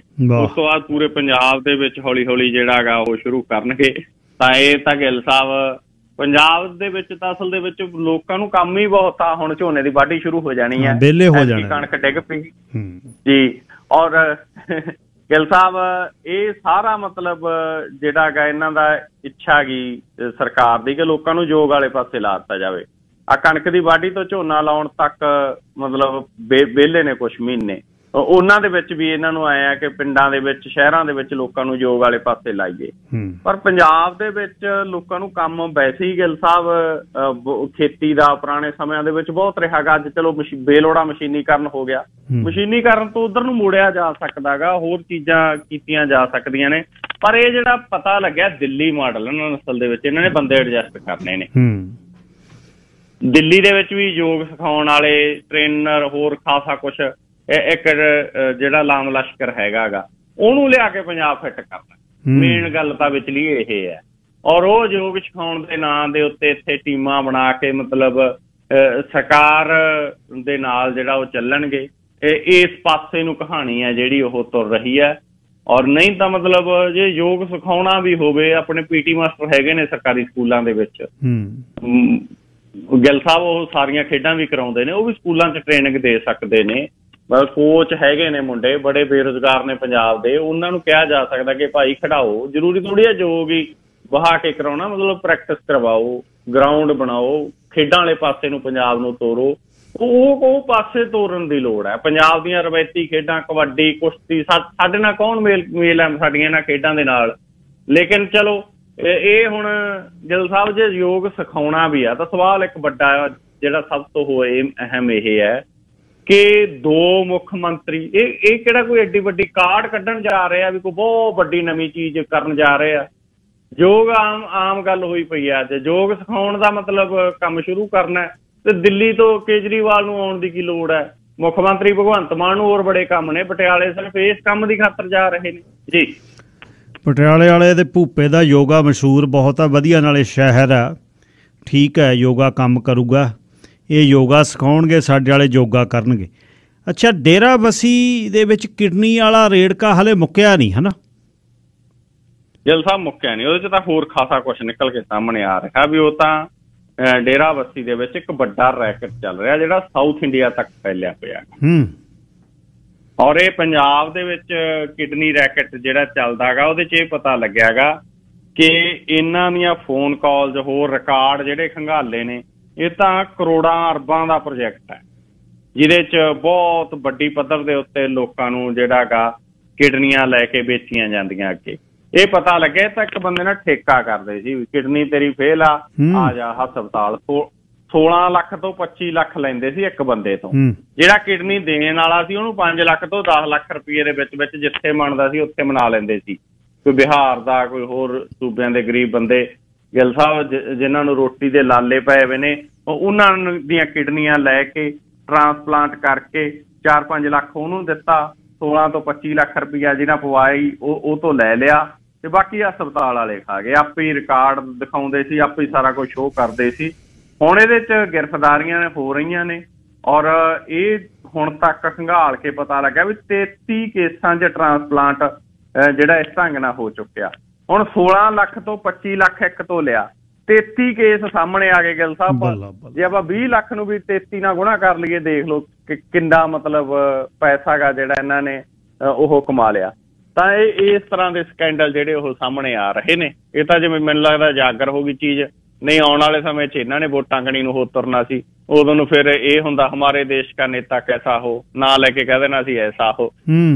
ਪੈਸਾ ਕਿੱਥੋਂ ਆਇਆ ਨੇਤਾ ਜੀ ਕੋਲੇ ਕਿਸੇ ਨੇ ਨਹੀਂ ਸੀ ਪੁੱਛਣਾ। ਜੀ। ਕਿਹੜਾ ਗੈਂਗਸਟਰ ਮੈਕਸੀਕੋ 'ਚ ਫੜਿਆ ਜੀ? ਗਿੱਲ ਸਾਹਿਬ ਇਹ ਦਿੱਲੀ ਪੁਲਿਸ ਨੂੰ ਚਾਹੀਦਾ ਸੀਗਾ। ਔਰ ਦਿੱਲੀ ਪੁਲਿਸ ਦੇ ਸਪੈਸ਼ਲ ਸੈੱਲ ਨੇ ਜਾ ਕੇ ਮੈਕਸੀਕੋ 'ਚ ਫੜ ਲਿਆ। ਹੁਣ ਸਵਾਲ ਇਹ ਖੜਾ ਇੱਕ ਹੋਰ ਵੀ ਹੋ ਗਿਆ। ਵੀ ਜਿਹੜਾ ਦਿੱਲੀ ਵਾਲਿਆਂ ਨੂੰ ਚਾਹੀਦਾ ਉਹਨਾਂ ਨੇ ਤਾਂ ਜਾ ਕੇ ਮੈਕਸੀਕੋ ਦੇ ਵਿੱਚ ਟਰੇਸ ਕਰਾ ਲਿਆ। ਹੁਣ ਜਿਹੜੇ ਪੰਜਾਬ ਵਾਲਿਆਂ ਨੂੰ ਚਾਹੀਦੇ ਨੇ ਉਹ ਟਰੇਸ ਕਿਉਂ ਨਹੀਂ ਹੋ ਰਹੇ ਫਿਰ? ਵੱਡੀ ਗੱਲ ਹੈ। ਦੂਜਾ ਇਹ ਕਿ ਗੈਂਗਸਟਰ ਤਾਂ ਜਾ ਕੇ ਟਰੇਸ ਕਰਾ ਲਿਆ। ਉਧਰੋਂ ਰਾਹੁਲ ਗਾਂਧੀ ਦੇ ਉੱਤੇ ਜਿਹੜਾ ਮਾਨਹਾਨੀ ਦਾ ਕੇਸ ਜਿਹਦੇ ਕਰਕੇ ਪਾਇਆ ਹੈ ਲਲਿਤ ਮੋਦੀ ਨੀਰਵ ਮੋਦੀ ਵਿਜੇ ਮਾਲਿਆ ਮੇਲ ਚੋਕਸੀ ਉਹ ਉਹ ਤਾਂ ਬੈਂਕਾਂ ਦਾ ਭਾਰਤ ਦੀਆਂ ਦਾ ਕਰੋੜਾਂ ਅਰਬਾਂ ਲੈ ਕੇ ਫਰਾਰ ਹੋਏ ਹੋਏ ਨੇ। ਉਹ ਗੁਜਰਾਤ ਤੋਂ ਨੇ ਨਾ ਜੀ ਉਹ ਫਿਰ। ਜੀ ਜੀ। ਔਰ ਇਹ ਇਹ ਜਿਹੜਾ ਗਿੱਲ ਸਾਹਿਬ ਗੈਂਗਸਟਰ ਅੱਜ ਫੜਿਆਗਾ ਇਹ ਮੋਸਟ ਵਾਂਟਡ ਦਿੱਲੀ ਦਾ ਗੈਂਗਸਟਰ ਦੀਪਕ ਬਾਕਸਰ ਹੈ ਇਹਦਾ ਨਾਂ। ਦੀਪਕ ਬਾਕਸਰ ਨੂੰ ਜਿਹੜਾ ਮੈਕਸੀਕੋ ਦੇ ਵਿੱਚ ਗ੍ਰਿਫਤਾਰ ਕੀਤਾ ਗਿਆ ਹੈਗਾ। ਔਰ ਇਹ ਪਤਾ ਲੱਗਿਆ ਇਹਨੂੰ FBI ਦੀ ਮਦਦ ਦੇ ਨਾਲ ਦਿੱਲੀ ਪੁਲਿਸ ਦੇ ਸਪੈਸ਼ਲ ਸੈੱਲ ਨੇ ਫੜਿਆਗਾ ਉਹਨੂੰ ਭਾਰਤ ਲਿਆਂਦਾ ਜਾਊ ਆਉਣ ਵਾਲੇ ਦਿਨਾਂ ਦੇ ਵਿੱਚ। ਇਹ ਦੀਪਕ ਬਾਕਸਰ ਆ ਜਿਹੜਾ ਇਹ ਰੋਹਣੀ ਕੋਟ ਕੰਪਲੈਕਸ ਦੇ ਵਿੱਚ ਗੈਂਗਸਟਰ ਜਤਿੰਦਰ ਗੋਗੀ ਦੇ ਕਤਲ ਤੋਂ ਬਾਅਦ ਗੋਗੀ ਗੈਂਗ ਚਲਾ ਰਿਹਾ ਸੀਗਾ। ਉਹ ਬਿਲਡਰ ਮਿਤ ਗੁਪਤਾ ਦੇ ਕਤਲ ਦੇ ਮਾਮਲੇ 'ਚ ਲੋੜੀਂਦਾ ਸੀਗਾ। ਔਰ ਪਿਛਲੇ ਸਾਲ 23 ਅਗਸਤ ਨੂੰ ਉੱਤਰੀ ਦਿੱਲੀ ਦੇ ਬਰਾੜੀ ਇਲਾਕੇ ਦੇ ਵਿੱਚ ਗੋਲੀ ਮਾਰ ਕੇ ਹੱਤਿਆ ਕਰ ਦਿੱਤੀ ਗਈ ਸੀ ਇਹਦੇ ਵੱਲੋਂ। ਔਰ ਹੁਣ ਇਹਨੂੰ ਜਿਹੜਾਗਾ ਉਹ ਗ੍ਰਿਫਤਾਰ ਮੈਕਸੀਕੋ ਦੇ ਵਿੱਚ ਦੀਪ ਬਾਕਸਰ ਨੂੰ ਕੀਤਾ ਗਿਆਗਾ ਜੀ। ਧੰਨਵਾਦ ਜੀ ਬਹੁਤ ਬਹੁਤ। ਕੱਲ ਨੂੰ ਫੇਰ ਸਵੇਰੇ ਗੱਲਬਾਤ ਹੋਏਗੀ। ਆਪਣਾ ਖਿਆਲ ਰੱਖਿਓ। ਗੁਰੂ ਕਿਰਪਾ ਰੱਖਣ ਚੜ੍ਹਦੀ ਕਲਾ। ਸ਼ੁਕਰੀਆ ਜੀ ਗਿੱਲ ਸਾਹਿਬ। ਤੁਹਾਡਾ ਤੇ ਸਾਰੇ ਸਰੋਤਿਆਂ ਦਾ ਵੀ ਧੰਨਵਾਦ ਨਵਕਿਨ ਸਿੰਘ ਪੱਤੀ ਪੱਤੀ ਸੇਖਵਾਂ ਬਰਨਾਲਿਓਂ ਗੱਲਬਾਤ ਕਰ ਦਿਖਾ ਰਹੇ ਨੇ ਕੋਰਟ ਕੰਪਲੈਕਸ ਦੇ ਬਾਹਰ ਸਰਪੰਚ ਨੂੰ 500 ਬੰਦਾ ਘੱਟੋ ਘੱਟ ਸਿਕਿਉਰਿਟੀ ਦਾ ਹੈ ਤੇ ਸੀਕ੍ਰੀਟ ਸਰਵਿਸ ਵਾਲੇ ਘੱਟੋ ਘੱਟ 30 40 ਨੇ ਕੋਟ ਪਾਈ ਫਿਰਦੇ ਨੇ ਤੇ ਭੱਜੇ ਫਿਰਦੇ ਨੇ, ਅਸਮਾਨ ਵੱਲ ਝਾਕਦੇ ਨੇ। ਸਰਪੰਚ ਉਤਰਿਆ, ਸੁਬਰਬਨ ਦੇ ਵਿੱਚੋਂ ਥੋੜਾ ਜਿਹਾ ਨਿਰਾਸ਼ ਹੈ, ਗੁੱਸੇ ਹੈ ਤੇ ਬਾਕੀ ਤਾਂ ਠੀਕ ਹੈ ਕਿਤੇ ਘਰ ਵਾਲੀ ਨਾਲ ਲੜ ਪਏ ਜਾ ਕੇ। ਮਾੜੀ ਜੀ ਜਾਣਕਾਰੀ ਟਰੰਪ ਦੇ ਕੇਸ ਬਾਰੇ ਦੇ ਦਿਆਂ, ਫਿਰ ਵਿਸ਼ਾ ਸ਼ੁਰੂ ਕਰਦਾ। ਇਹ ਸੀ ਵੀ ਜਦ ਇਲੈਕਸ਼ਨ ਲੜ ਰਿਹਾ ਸੀ ਉਹ ਇਲੈਕਸ਼ਨ ਦੇ ਦੌਰਾਨ ਇਹ ਸਟਾਰਮੀ ਡੈਨੀਅਲ ਬਾਹਰ ਆ ਗਈ ਵੀ ਮੇਰੇ ਇਹਦੇ ਨਾਲ ਸੰਬੰਧ ਰਹੇ ਨੇ। ਉਹਦਾ ਮੂੰਹ ਬੰਦ ਕਰਨ ਲਈ ਸਵਾ ਲੱਖ ਡਾਲਰ ਦਿੱਤਾ, ਸਵਾ ਲੱਖ ਡਾਲਰ ਜਿਹੜਾ ਦਿੱਤਾ ਵਕੀਲ ਨੇ, ਕੋਹਨ ਨੇ ਦਿੱਤਾ। ਤੇ ਇਲੈਕਸ਼ਨ ਲਾਅ ਦੇ ਮੁਤਾਬਕ ਇਲੈਕਸ਼ਨ ਦੇ ਖਰਚਿਆਂ ਚੋਂ ਪਾਉਣਾ ਪੈਣਾ ਸੀ ਟਰੰਪ ਨੇ ਪਾਇਆ ਨਾ। ਸਭ ਮਤਲਬ ਫਸੇ ਦੀ ਕਹਾਣੀ ਹੈ। ਇੱਥੇ ਹੁਣ ਕਿਹੜਾ ਇਲੈਕਸ਼ਨ ਕ- ਦੇ ਖਰਚਿਆਂ 'ਚ ਪਾਉਂਦਾ ਦਿਨ, ਰਾਤ ਨੂੰ ਹਰ ਰੋਜ਼ 100 ਬੰਦਾ ਸ਼ਰਾਬ ਪੀ ਕੇ ਨਿਕਲਦਾ ਤੇ 100 ਬੰਦਾ ਰੋਟੀ ਖਾ ਕੇ ਨਿਕਲਦਾ। ਪਾਉਂਦਾ ਕੋਈ ਖਾਤਾ? ਕੋਈ ਨਹੀਂ ਪਾਉਂਦਾ। ਇਹਦਾ ਮਤਲਬ ਇਸ ਤਰ੍ਹਾਂ ਹੀ ਹੈ। ਹੁਣ ਉਹ ਜਦ ਕੋਹਨ ਵਾਦਾ ਮਾਫ ਗਵਾਹ ਬਣ ਗਿਆ, ਕੋਹਨ ਨੇ ਦੱਸਤਾ ਵੀ ਮੈਂ 130000 ਡਾਲਰ ਦਿੱਤਾ। ਇੱਕ ਤਾਂ ਉਹ ਕੇਸ ਆ ਦੂਜੀ ਇੰਡਾਈਟਮੈਂਟ ਜਿਹੜੀ ਚੱਲ ਰਹੀ ਆ ਜਾਰਜੀਆ ਜਿੱਥੇ ਕਿਹਾ 11000 ਵੋਟ ਚਾਹੀਦੀ ਆ ਮੈਨੂੰ, ਉਹ ਸੈਕਟਰੀ ਆਫ ਸਟੇਟ ਜਿਹੜਾ ਜਾਰਜੀਆ ਦਾ ਉਹਨੇ ਜਿਹੜਾ ਕੇਸ ਕੀਤਾ ਹੋਵੇ, ਇਹਨੇ ਮੈਨੂੰ ਧੱਕਾ ਕੀਤਾ ਵੀ ਮੈਨੂੰ ਵੋਟਾਂ ਦੇ, ਮੈਂ ਬਣ, ਤਾਂ ਮੈਂ ਰਾਸ਼ਟਰਪਤੀ ਬਣਨਾ। ਦੋ, ਤੀਜਾ ਜਿਹੜੇ ਖਾਸ ਪੇਪਰ ਜਿਹੜੇ ਨੇ ਕਲਾਸੀਫਾਈਡ ਡਾਕੂਮੈਂਟਸ ਨੇ ਜਿਹੜੇ, ਉਹ ਇਹਦੇ ਫਲੋਰਿਡਾ ਵਾਲੀ ਸਟੇਟ ਤੋਂ ਫੜ ਗਿਆ ਤਿੰਨ ਕੇਸ ਨੇ। ਪਰ ਕੇਸ ਉਸ ਨੂੰ ਨਾ ਪ੍ਰਾਇਮਰੀ ਜਿੱਤਣ ਤੋਂ ਰੋਕ ਸਕਦੇ ਨੇ, ਨਾ ਰਾਸ਼ਟਰਪਤੀ ਦੀ ਚੋਣ ਲੜਨ ਤੋਂ ਰੋਕ ਸਕਦੇ ਨੇ। ਹਾਂ, ਸਜ਼ਾ ਬੋਲ ਗਈ, ਫਿਰ ਉਹ ਜੇ ਰਾਸ਼ਟਰਪਤੀ ਹੋਵੇ ਰਿਜ਼ਾਈਨ ਕਰਨਾ ਪਊ। ਉਦੋਂ ਪਹਿਲਾਂ ਬੋਲ ਗਈ ਤਾਂ ਰਾਸ਼ਟਰਪਤੀ ਚੋਣ ਨਹੀਂ ਲੜ ਸਕਦਾ। ਸਜ਼ਾ ਬੋਲਣ ਦੇ ਚਾਂਸ ਘੱਟ ਨੇ ਲੰਬਾ ਕਰ ਦੂਗਾ 50 ਬੰਦਿਆਂ ਦੀ ਵਕੀਲਾਂ ਦੀ ਟੀਮ ਨਾਲ ਲਈ ਫਿਰਦਾ ਹੈ। ਤੇ ਹੋ ਸਕਦਾ ਹੈ ਪ੍ਰਾਇਮਰੀ ਵੀ ਜਿੱਤ ਲਵੇ ਜਿੱਤ ਲਵੇ ਤੇ ਹੋ ਸਕਦਾ 24 ਦੀ ਇਲੈਕਸ਼ਨ ਵੀ ਜਿੱਤ ਜਾਵੇ। ਕੁਝ ਨਹੀਂ ਪਤਾ ਕਿਉਂਕਿ ਲੋਕ ਬਹੁਤ ਨਾਲ ਨੇ ਉਹਦੇ। ਤੇ ਆ ਅਪਡੇਟ ਹੈ ਅ, ਹਲੇ ਅੰਦਰ ਹੀ ਹੈ। ਫੋਟੋਆਂ ਫੋਟੋਆਂ ਖਿੱਚਣਗੇ ਫਿੰਗਰਪ੍ਰਿੰਟ ਲੈਣਗੇ। ਬਹੁਤ ਡਿਸਗ੍ਰੇਸ ਹੈ। ਅੱਜ ਜਿਹੜੇ ਨਾਲ ਜਿਨ੍ਹਾਂ ਨੇ ਲੜਾ ਕੇ ਜਿਤਾਇਆ, ਰੋ ਰਹੇ ਨੇ ਕੁਝ ਖਾਸ ਬੰਦੇ ਜਿਹੜੇ ਉੱਪਰਲੇ ਲੈਵਲ ਦੇ ਸਾਡੇ ਪਰਮ ਮਿੱਤਰ ਨੇ, ਇੱਕ ਭਾਈ ਸਾਹਿਬ ਰਿਪਬਲਿਕਨ ਦੇ ਵਿੱਚ। ਉਹਨਾਂ ਨੇ ਦੱਸਿਆ ਵੀ ਜਿਹੜੇ ਮੇਨ ਇਹਦੇ ਏਡ ਸੀ, ਉਹਨਾਂ ਦੇ ਕੁਝ ਫੋਨ ਉਹਨਾਂ ਨੂੰ ਆਏ, ਕਹਿੰਦੇ, ਯਾਰ ਅਸੀਂ ਰੋ ਰਹੇ ਹਾਂ ਵੀ ਇਹੋ ਜਿਹਾ ਬੰਦਾ ਅਸੀਂ ਜਿਤਾਇਆ ਸੀ। ਅੱਜ ਗੱਲ ਕਿੱਥੇ? ਕਿਉਂਕਿ ਸ਼ਰਮ ਹੈ ਬਹੁਤ। ਸਾਬਕਾ ਰਾਸ਼ਟਰਪਤੀ ਦੇ ਰਾਸ਼ਟਰਪਤੀ। ਤੁਸੀਂ ਸਾਬਕਾ ਸੂਬਾ ਕੀ ਉਹਨਾਂ ਦੇ ਲੈਵਲ ਤਾਂ ਦੇਖੋ। ਮਿਊਜ਼ੀਅਮ ਬਣਦੇ ਨੇ ਉਹਨਾਂ ਦੇ ਉਹਨਾਂ ਦੇ ਦਸਤਖਤ ਕੀਤੇ ਪੇਪਰਾਂ ਦੀਆਂ ਫੋਟੋਆਂ, ਉਹਦੀ ਲਿਮੋਜ਼ੀਨ ਤੇ ਬਹੁਤ ਅਲੱਗ ਹੈ, ਆਮ ਚੀਜ਼ਾਂ ਨਹੀਂ ਹੈ। ਸੋ ਇਹ ਹੋ ਰਿਹਾ। ਦੂਸਰੀ ਗੱਲ ਦੂਸਰੀ ਗੱਲ ਮੈਂ ਜਿਹੜੀ ਕਰਨੀ ਆ ਤੁਹਾਡੇ ਨਾਲ, ਉਹ ਇਹ ਕਰਨੀ ਆ ਬਈ ਅਮਰਤਪਾਲ ਸਿੰਘ ਵਾਲੇ ਕੇਸ, ਅਮਰਤਪਾਲ ਸਿੰਘ ਦਾ ਵਿਸ਼ਾ ਛੱਡੋ। ਅਮਰਤਪਾਲ ਵਾਲੇ ਕੇਸ ਤੋਂ ਬਾਅਦ ਉਹਨੂੰ ਫੜਨ ਤੋਂ ਬਚਾ ਕੇ ਤੇ ਜਦ ਉਹਨੂੰ ਭਜਾਇਆ, ਭਜਾਉਣ ਤੋਂ ਬਾਅਦ ਜਿਹੜਾ ਕੁਝ ਚੱਲਿਆ ਦੇਸ਼ ਤੇ ਵਿਦੇਸ਼ ਦੇ ਵਿੱਚ, ਉਹਦੇ ਬਾਰੇ ਮੈਂ ਗੱਲ ਕਰਨੀ ਹੈ ਜਿਹਦੀ ਬੇਸ ਕੋਈ ਨਹੀਂ ਸੀ। ਜਿਹੜਾ ਉੱਥੇ ਮੀਡੀਆ ਨੇ ਅੱਜ ਇੱਥੇ ਦੇਖਿਆ, ਹਲੇ ਵੀ ਉਹਦੀਆਂ ਫੋਟੋਆਂ ਦਿਖਾਈ ਜਾਂਦੇ ਨੇ ਕਿ ਆਹ ਦੇਖੋ ਤੁਰਿਆ ਜਾਂਦਾ ਛਤਰੀ ਲਈ। ਇੱਕ ਉੱਥੇ ਮੇਜਰ ਹੈ, ਯਾਦਵ ਯਾਦਵ। ਉਹ ਪਤਾ ਨਹੀਂ ਕਿਹੜੇ ਚੈਨਲ ਤੇ ਬੋਲਦਾ, ਜੇ ਉਹਦੀਆਂ ਤੁਸੀਂ ਸੁਣੋ ਉਹ ਐਡੀਆਂ ਭਾਰੀ ਛੱਡਦਾ ਹੈ। ਮਤਲਬ ਉਹਦੀਆਂ ਤਾਂ ਗੱਲਾਂ ਹੀ ਬੈਠਾ ਤਾਂ ਕਿਤੇ ਯੂਪੀ, ਜਾਪੀ, ਬਿਹਾਰ ਚ ਬੋਲੀ ਦੱਸਦੀ ਹੈ। ਗੱਲਾਂ ਕਰਦਾ ਪੰਜਾਬ ਦੀਆਂ। ਪੰਜਾਬ ਨੂੰ ਐ ਠੋਕ ਦੋ ਜੇ ਇਸ ਕੋ ਨਿਕਾਲੋ ਥੋੜਾ ਅੰਦਰ ਸੇ ਬਿਸ਼ਨੋਈ ਕੋ। ਲਾਰੈਂਸ ਸੇ ਡਰਤੇ ਹੈ ਇਹ ਸਭੀ ਲੋਕ। ਕਹਿੰਦਾ ਉਹ ਖਾਲਿਸਤਾਨੀਆਂ ਨੂੰ ਹੈ। ਤੇ ਉਹ ਕਹਿੰਦਾ ਲਾਰੈਂਸ ਨੂੰ ਛੱਡੋ ਮਾੜੇ ਜਿਹਾ। ਇਹਨਾਂ ਦਾ ਪਤਾ ਵੀ ਨਹੀਂ ਲੱਗਣਾ ਕਿੱਥੇ ਆ। ਇਹਨਾਂ ਕੋ ਡਾਲੋ, ਉਠਾਓ, ਇਹਨਾਂ ਨੂੰ ਈਸਟ ਚ ਡਾਓ, ਇਹਨਾਂ ਨੂੰ ਕੇਰਲਾ ਦੀ ਜੇਲ੍ਹ ਚ ਮਤਲਬ ਬਹੁਤ ਜ਼ਿਆਦਾ ਨਫ਼ਰਤ ਹੈ ਉਹਦੇ ਚ। ਸੇਮ ਟੋਕਨ ਤੇ ਸਾਰੇ ਭਾਰਤ ਦੇ ਵਿੱਚ ਹਿੰਦੂ ਰਾਸ਼ਟਰ ਦੇ ਸਲੋਗਨ ਜਿਹੜੇ ਨੇ, ਆਹ ਰਮਾਦਾਨ ਦੇ ਦਿਨਾਂ ਚ ਰਾਮਨੌਮੀ ਦੇ ਵਿੱਚ ਅੱਗ ਵਾਂਗੂ ਲਾਏ ਨੇ, ਉਹਨਾਂ ਤੇ ਐਨਐਸਏ ਨਹੀਂ ਲੱਗਦਾ। ਉਹ ਸੈਕੂਲਰ ਦੇਸ਼ ਆ ਉਹ। ਤੇ ਇਹਨੂੰ ਵੀ ਨਾਲ ਮੈਂ ਸਹੀ ਕਰ ਦਵਾਂ, ਜੇ ਕਹੀਏ ਵੀ ਹਿੰਦੂ ਮੈਜੋਰਿਟੀ ਇਸ ਗੱਲ ਦੇ ਨਾਲ ਆ, ਇਹ ਵੀ ਨਹੀਂ ਗੱਲ ਹੈ। ਉਹ ਕੁਝ ਲੋਕ ਨੇ ਜਿਹੜੇ ਕਰਦੇ ਆ, ਚਲੋ ਉਹ ਕਰਨ। ਪਰ ਜਿਹੜੀਆਂ ਖਬਰਾਂ ਇਹਦੇ ਤੇ ਚੱਲੀਆਂ। ਇੱਕ ਜਿਹੜੀ ਖਬਰ ਸਭ ਤੋਂ ਵੱਡੀ ਜਿਹੜੀ ਇੱਥੇ ਇੰਪੈਕਟ ਕਰਦੀ ਹੈ, ਜਿਹੜੀ ਅਮਰੀਕਾ ਦੇ ਵਿੱਚ ਗੁਰਦੁਆਰਾ ਸਾਹਿਬਾਨ ਦੇ ਪ੍ਰਬੰਧਕ ਸੁਣਦੇ ਨੇ। ਉਹ ਇਹ ਗੱਲ ਦੀ ਪੁਸ਼ਟੀ ਕਰੋ ਵੀ ਜਿਹੜੀ ਗੱਲ ਇੱਥੇ ਕਹਿੰਦੇ ਵੀ ਤੁਹਾਡੇ ਗੁਰੂ ਘਰਾਂ 'ਚ ਮਤੇ ਪਏ ਨੇ ਵੀ ਭਗਵੰਤ ਮਾਨ ਦਾ ਜਿਹੜਾ ਪਰਿਵਾਰ ਹੈ, ਇੱਥੇ ਰਹਿੰਦਾ ਉਹਦੇ ਬਾ, ਬੇਟਾ, ਬੇਟੀ, ਉਹਦੀ ਪਹਿਲੀ ਘਰ ਵਾਲੀ ਜਿਹੜੀ ਸਿਆਟਲ 'ਚ ਰਹਿੰਦੀ ਹੈ ਉਹਨਾਂ ਦੇ ਬਾਰੇ ਮਤੇ ਪਏ ਨੇ ਵੀ ਇਹਨਾਂ ਤੇ ਕੇਸ ਕਰੋ, ਇਹਨਾਂ ਤੇ ਆਹ ਕਰੋ। ਇਹ ਖਬਰ ਇੰਨੀ ਫੈਲੀ ਆ, ਉੱਥੇ ਇੱਕ ਪਟਿਆਲੇ ਵਕੀਲਣੀ ਆ ਬੀਬੀ, ਜਿਹੜੀ ਆਮ ਆਦਮੀ ਪਾਰਟੀ ਦੀ ਮੈਂਬਰ ਰਹੀ, ਉਹ ਇਹ ਖਬਰਾਂ ਦੇ ਰਹੀ ਹੈ ਸਿਰਫ ਤੇ ਸਿਰਫ ਇਸ ਕਰ ਕਰਕੇ ਵੀ ਮੈਨੂੰ ਪਤਾ ਲੱਗਿਆ, ਫਿਰ ਮੈਨੂੰ ਫੋਨ ਕੀਤਾ ਤੇ ਮੈਨੂੰ ਇਹ ਹੋਇਆ ਉੱਥੇ ਮਤੇ ਪੈ ਗਏ, ਉੱਥੇ ਗੁਰਦੁਆਰਿਆਂ 'ਚ ਮਤੇ ਪਏ ਕਿਸੇ ਨੇ ਸੁਣਿਆ ਮਤਾ, ਮਤਲਬ ਕੈਲੀਫੋਰਨੀਆ ਤੱਕ ਵਾਸ਼ਿੰਗਟਨ ਦੇ ਵਿੱਚ ਤੇ ਪੋਰਟਲੈਂਡ ਦੇ ਏਰੀਏ ਦੇ ਵਿੱਚ ਜਾਂ ਕਿਤੇ ਵੀ ਵੀ ਕਿਸੇ ਗੁਰੂ ਘਰ ਦੇ ਵਿੱਚ ਮਤੇ ਪਏ ਨੇ ਭਗਵੰਤ ਮਾਨ ਦੇ ਪਰਿਵਾਰ ਦੇ ਬਾਰੇ ਸਿਆਟਲ ਦੇ ਵਿੱਚ? ਕੋਈ ਕਿਸੇ ਨੇ ਉਹ ਮਤਿਆਂ ਦੇ ਵਿੱਚ ਕੋਈ ਸ਼ਾਮਲ ਹੋਵੇ, ਕਿਸੇ ਨੇ ਮਤਾ ਵੇਖਿਆ ਹੋਵੇ, ਕੋਈ ਫੋਨ ਕਰਕੇ ਦੱਸ ਦਿੰਦਾ ਜਾਂ ਗੁਰਦੁਆਰਿਆਂ ਦੇ ਪ੍ਰਬੰਧਕ ਜਿਹੜੇ ਨੇ, ਜਿਹੜੇ ਮਿਲੀਅਨਸ ਆਫ ਡਾਲਰ ਅਦਾਲਤਾਂ 'ਚ ਲਾਉਂਦੇ ਨੇ ਪ੍ਰਬੰਧਕੀ ਲਈ, ਕੀ ਕੋਈ ਕੇਸ ਕਰ ਸਕਦੇ ਨੇ ਉਹਨਾਂ ਤੇ ਜਿਹੜੇ ਖਬਰਾਂ ਥੋੜੀਆਂ ਪਹੁੰਚਾਉਂਦੇ ਨੇ? ਕੀ ਕੋਈ ਸੂ ਕਰ ਸਕਦਾ ਹੈ ਉਹਨਾਂ ਨੂੰ? ਕੀ ਪੰਜਾਬ ਦੇ ਵਿੱਚ ਕੋਈ ਮਾਣਹਾਨੀ ਦਾ ਕੋਈ ਮੁਕਾਮ ਮੁਕੱਦਮਾ ਹੋ ਸਕਦਾ ਕਿ ਹਾਈ ਕੋਰਟ ਦੇ ਵਕੀਲ ਨੂੰ ਲੈ ਕੇ ਵੀ ਆ ਬੀਬੀ, ਦੱਸ ਤੈਨੂੰ ਤੂੰ ਕਿ- ਕਿੱਥੇ ਦੇਖਿਆ? ਕਿਹੜਾ ਮਤਾ ਦੇਖਿਆ? ਇੱਕ ਨਹੀਂ ਗੱਲ, ਪੰਜਾਬ ਦੇ ਵਿੱਚ ਜਿੰਨੇ ਆਹ ਡੱਬੀ ਵਾਲੇ ਪੱਤਰਕਾਰ ਨੇ, ਇਹਨਾਂ ਨੇ ਜਿਹੜੀ ਨੇਰੀ ਪੱਟੀ ਉੱਥੇ ਆ ਭੱਜ ਗਈ ਕਾਰ, ਇਹ ਭੱਜ ਗਈ, ਸਾਡੇ ਕੋਲੇ ਖਬਰ ਆਈ ਹੈ, ਹੁਣੇ ਖਬਰ ਆਈ ਹੈ ਤੇ ਐਕਸਕਲੂਸਿਵ ਖਬਰ ਆਈ ਹੈ। ਇਹ ਸਾਡੇ ਚਾਚਾ ਸ- ਜਿਹੜਾ ਅਮਰਤਪਾਲ ਦਾ, ਉਹ ਸਾਡੇ ਨਾਲ ਹੀ ਹੁਣ ਗੱਲ ਕਰ ਰਿਹਾ ਹੈ। ਉਹ ਹੋਰ ਕਿਸੇ ਨਾਲ ਨਹੀਂ ਗੱਲ ਕਰ ਰਿਹਾ। ਮਤਲਬ ਉਹ ਕੁਛ ਕਰਦੇ ਨੇ। ਔਰ ਸਾਰਿਆਂ ਦੀਆਂ ਪੈੜਾਂ ਜਿਹੜੀਆਂ ਨੇ, ਸਾਰਿਆਂ ਦੀਆਂ ਉੱਥੇ, ਜਿਹੜੇ ਤੁਰੇ ਫਿਰਦੇ ਨੇ, ਸਾਰਿਆਂ ਦੀਆਂ ਪੈੜਾਂ ਜਿਹੜੀਆਂ ਨੇ, ਸੁਖਨਾ ਲੇਕ ਵਾਲੀਆਂ ਕੋਠੀਆਂ ਸੀਐਮ ਨਿਵਾਸ ਵੱਲ ਨੂੰ ਜਾਂਦੀਆਂ ਨੇ। ਉਹਨਾਂ ਨੂੰ ਪਤਾ ਕਿਉਂਕਿ ਉਹਨਾਂ ਨੇ ਪ੍ਰਬੰਧਕ ਉਹ ਲਾਇਆ ਜਿਹੜਾ ਕੇਸਾਂ ਦੇ ਨਿਪਟਾਰੇ ਕਰਦਾ ਗਿਆ, ਜਿਹਨੂੰ ਪਤਾ ਹੈ ਬਈ ਕਹਾਣੀ ਕੀ ਹੈ, ਬੈਗ ਚੱਕ ਕੇ ਤੁਰਨਾ ਕਿਵੇਂ।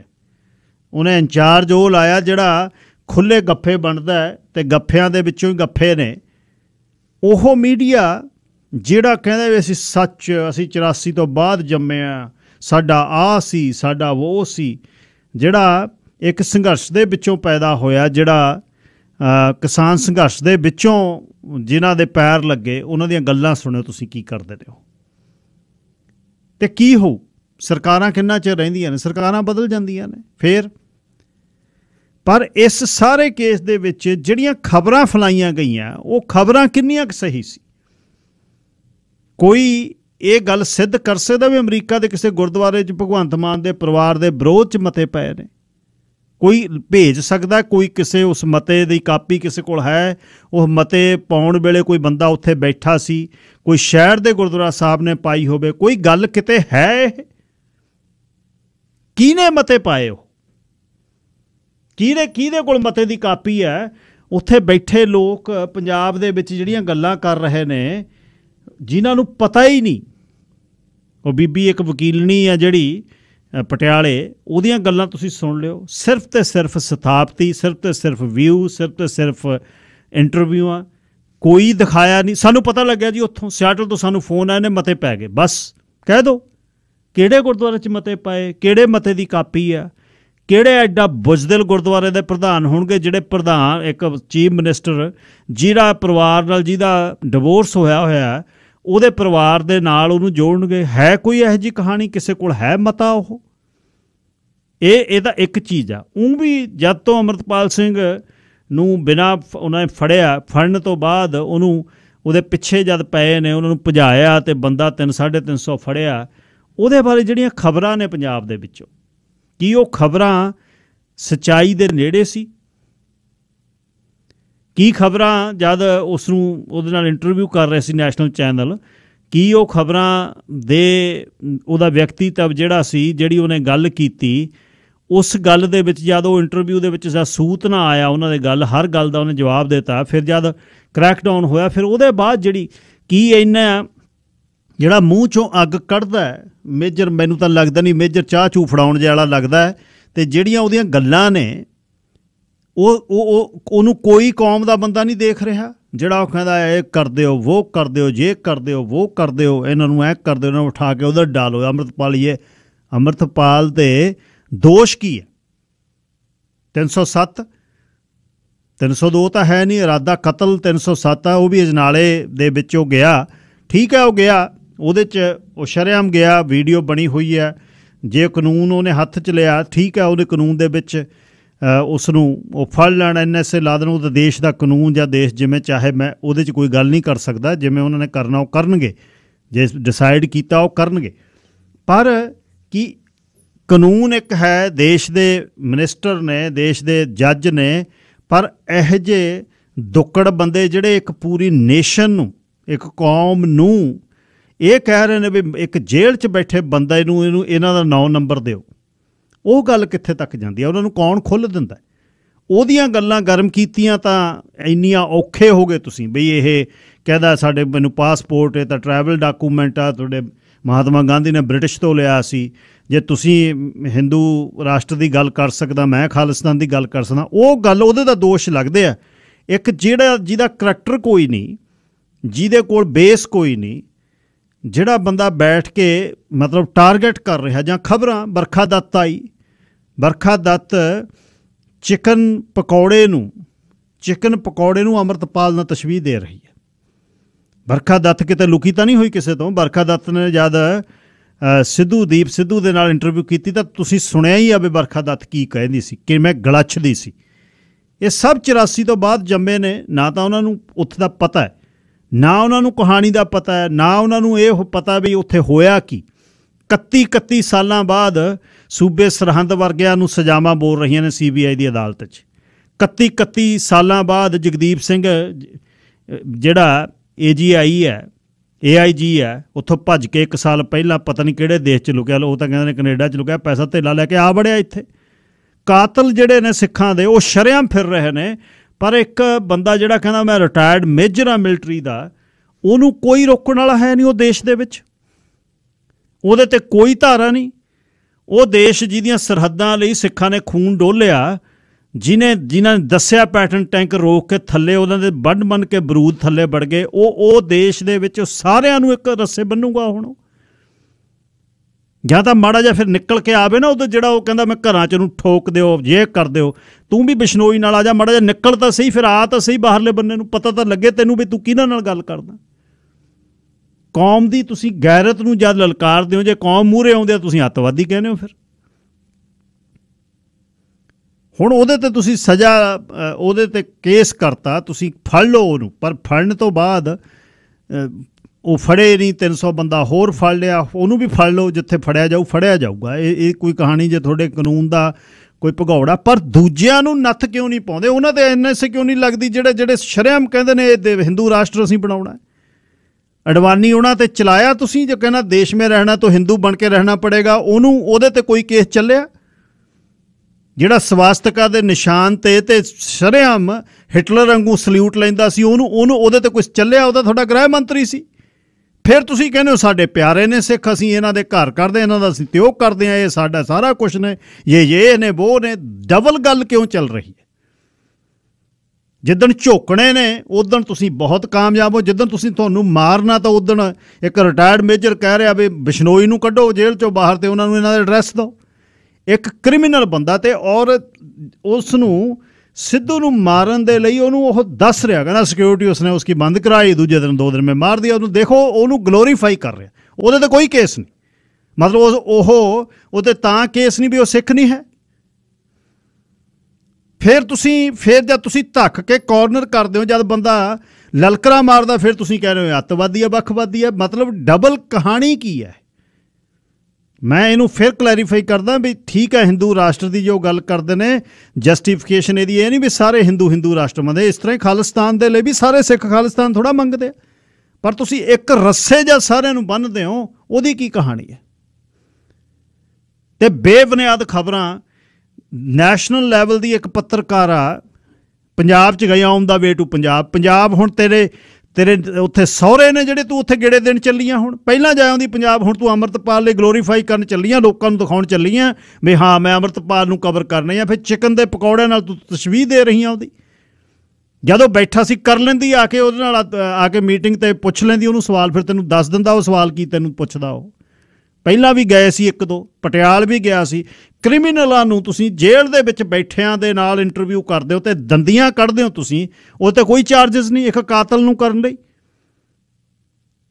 ਤੇ ਉਹਨੂੰ ਉਹ ਅ, ਅੰਮ੍ਰਿਤਪਾਲ ਨੂੰ ਇਉਂ ਮਹਿਸੂਸ ਕਰਾ ਵੀ ਤੂੰ ਤਾਂ ਬੱਚਾ ਹੈ ਅਸੀਂ ਤਾਂ ਤੋਂ ਪਹਿਲਾਂ ਜੰਮੇ ਹੋਇਆ ਮਤਲਬ ਕਹਿਣ ਦੀ ਕਹਾਣੀ ਇਹ ਹੈ ਬਈ ਇੱਕ ਜੇ ਦੇਸ਼ ਹੈ ਉਹਦੇ ਕਾਨੂੰਨ ਸਾਰਿਆਂ ਲਈ ਬਰਾਬਰ ਚਾਹੀਦੇ ਕੋਈ ਉਹਨਾਂ ਦੇ ਲਈ ਵਿਰੋ- ਜੇ ਹੁਣ ਅਮਰਤਪਾਲ ਬੋਲਦਾ ਤਾਂ ਸਾਰਾ ਭਾਰਤ ਇੱਕ ਪਾਸੇ ਖੜ ਕੇ ਤੇ ਲੀਡਰ ਇੱਕ ਪਾਸੇ ਠੋਕ ਦਾਂਗੇ, ਕਰ ਦਿਆਂਗੇ।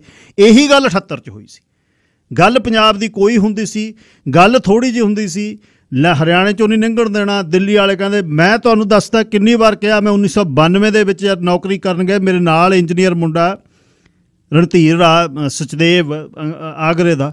1992 ਚੋਂ ਕਹੀ ਚੱਲੇ, ਕਹਿੰਦਾ ਪੰਜਾਬ 'ਚ ਤਾਂ ਹਿੰਦੂਆਂ ਨੂੰ ਮਾਰ ਦਿੰਦੇ ਨੇ, ਮੈਂ ਤਾਂ ਤੇਰੇ ਨਾਲ ਜਾਣਾ ਨਹੀਂ ਪੰਜਾਬ 'ਚ। ਦੱਸੋ ਤੁਸੀਂ, ਮਤਲਬ ਪੜਿਆ ਲਿਖਿਆ ਬੰਦਾ, ਇਹ ਕਹਾਣੀ, ਉਹ ਮੈਂ ਕਿਹਾ ਸਾਡੇ ਨਾਲ ਸਾਡੇ ਭਾਈ ਵੱਸਦੇ ਆ, ਸਾਡੇ ਪਿੰਡਾਂ 'ਚ ਵੱਸਦੇ ਆ, ਯਾਰ ਤੈਨੂੰ ਕਿਹਨੇ ਕਹਿਤਾ?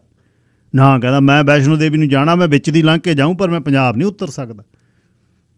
ਤੁਸੀਂ, ਮਤਲਬ ਹੁਣ ਇਹ ਜਿਹੜੀ ਗੱਲ ਅਮਰੀਕਾ 'ਚ ਚੱਲੀ ਹੈ ਅਮਰੀਕਾ ਦੀ ਗੱਲ ਕੋਈ ਦੱਸ ਸਕਦਾ, ਕੋਈ ਕੋਈ ਸੁਣ ਸਕਿਆ, ਕਿਤੇ ਕਿਤੇ ਮਤਾ ਪਾਇਆ, ਕੋਈ ਦੱਸੋ ਤਾਂ ਸਹੀ ਆ ਕੇ ਕਿੱਥੇ ਮਤਾ ਪਾਇਆ ਭਗਵੰਤ ਮਾਨ ਦੇ ਪਰਿਵਾਰ ਦੇ ਖਿਲਾਫ।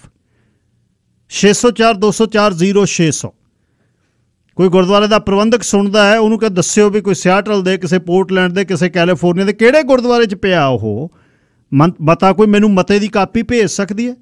ਜਾਂ ਉਹਨੂੰ ਫ- ਕਰੋ ਜਿਹੜੀ ਬੀਬੀ ਉੱਥੇ ਬਿਆਨ ਦਿੰਦੀ ਆ ਪਟਿਆਲੇ ਦੇ ਵਿੱਚ। ਪਟਿਆਲੇ ਦੇ ਪੱਤਰਕਾਰ ਬਹੁਤ ਗੱਲ ਘਮਾਉਂਦੇ ਨੇ। ਇਹਨਾਂ ਇਹਨਾਂ ਨੂੰ ਵਾਸ਼, ਮੈਂ ਪਹਿਲਾਂ ਵੀ ਕਹਿ ਗਿਆ ਭੂਪੇ ਦਾ ਸ਼ਹਿਰ। ਹੈ ਸੋ ਇਹ ਰਾਇਲ ਬੰਦੇ ਨੇ ਸਾਰੇ। ਸੋ ਰਾਇਲ ਇਹ ਗੱਲ ਕਰਦੇ ਆ। ਮਤਲਬ ਮੈਂ ਉਹ ਸੁਣ ਕੇ ਹੈਰਾਨ ਹੋ ਗਿਆ ਬੀਬੀ ਦੀਆਂ ਗੱਲਾਂ। ਆਮ ਆਦਮੀ ਪਾਰਟੀ ਦੀ ਉਹ ਮੈਂਬਰ ਰਹੀ ਆ। ਹੁਣ ਅਗਲੀ ਰਾਜਨੀਤੀ ਕਿਸੇ ਪਾਸੇ ਹੋਊ ਕਹਾਣੀ। ਉਹ ਉੱਥੇ ਜੀ ਦੇਖੋ ਬੱਚਿਆਂ ਤੇ ਜੀ ਕੇਸ ਕਰਤੇ, ਬੱਚਿਆਂ ਦੇ ਲਈ ਗੁਰਦੁਆਰਿਆਂ ਦੇ ਵਿੱਚ ਸਰਬ ਸਾਂਝੀ ਵਾਲਤਾ ਦੀ ਕਹਾਣੀ ਹੈ। ਉੱਥੇ ਮਤੇ ਪਾਤੇ, ਦੱਸ, ਬੈਠੀ ਪਟਿਆਲਿਆਂ ਤੂੰ ਗੱਲਾਂ ਸਿਆਟਲ ਦੀਆਂ ਕਰਦੇ ਆ, ਤੈਨੂੰ ਕਿੱਥੇ ਤੂੰ ਸੁਣਿਆ ਵੀ ਕਿਹੜੇ ਗੁਰਦੁਆਰੇ 'ਚ ਮਤੇ ਪਏ ਨੇ?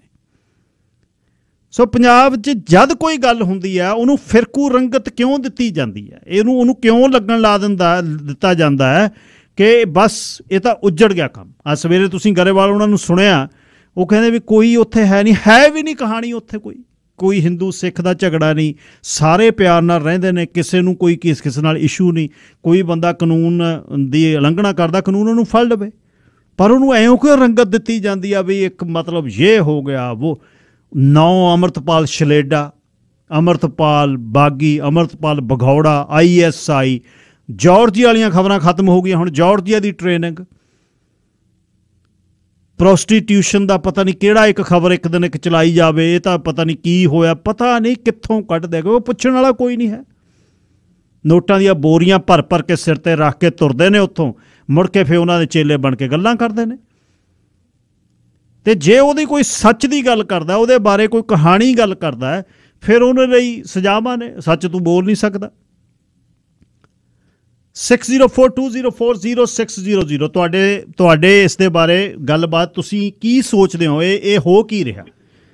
ਹਰਪ੍ਰੀਤ ਸਿੰਘ ਜੀ ਲਾਈਨ ਨੰਬਰ 1 ਸਤਿ ਸ਼੍ਰੀ ਅਕਾਲ ਭਾਜੀ ਜੀ ਸਤਿ ਸ੍ਰੀ ਅਕਾਲ।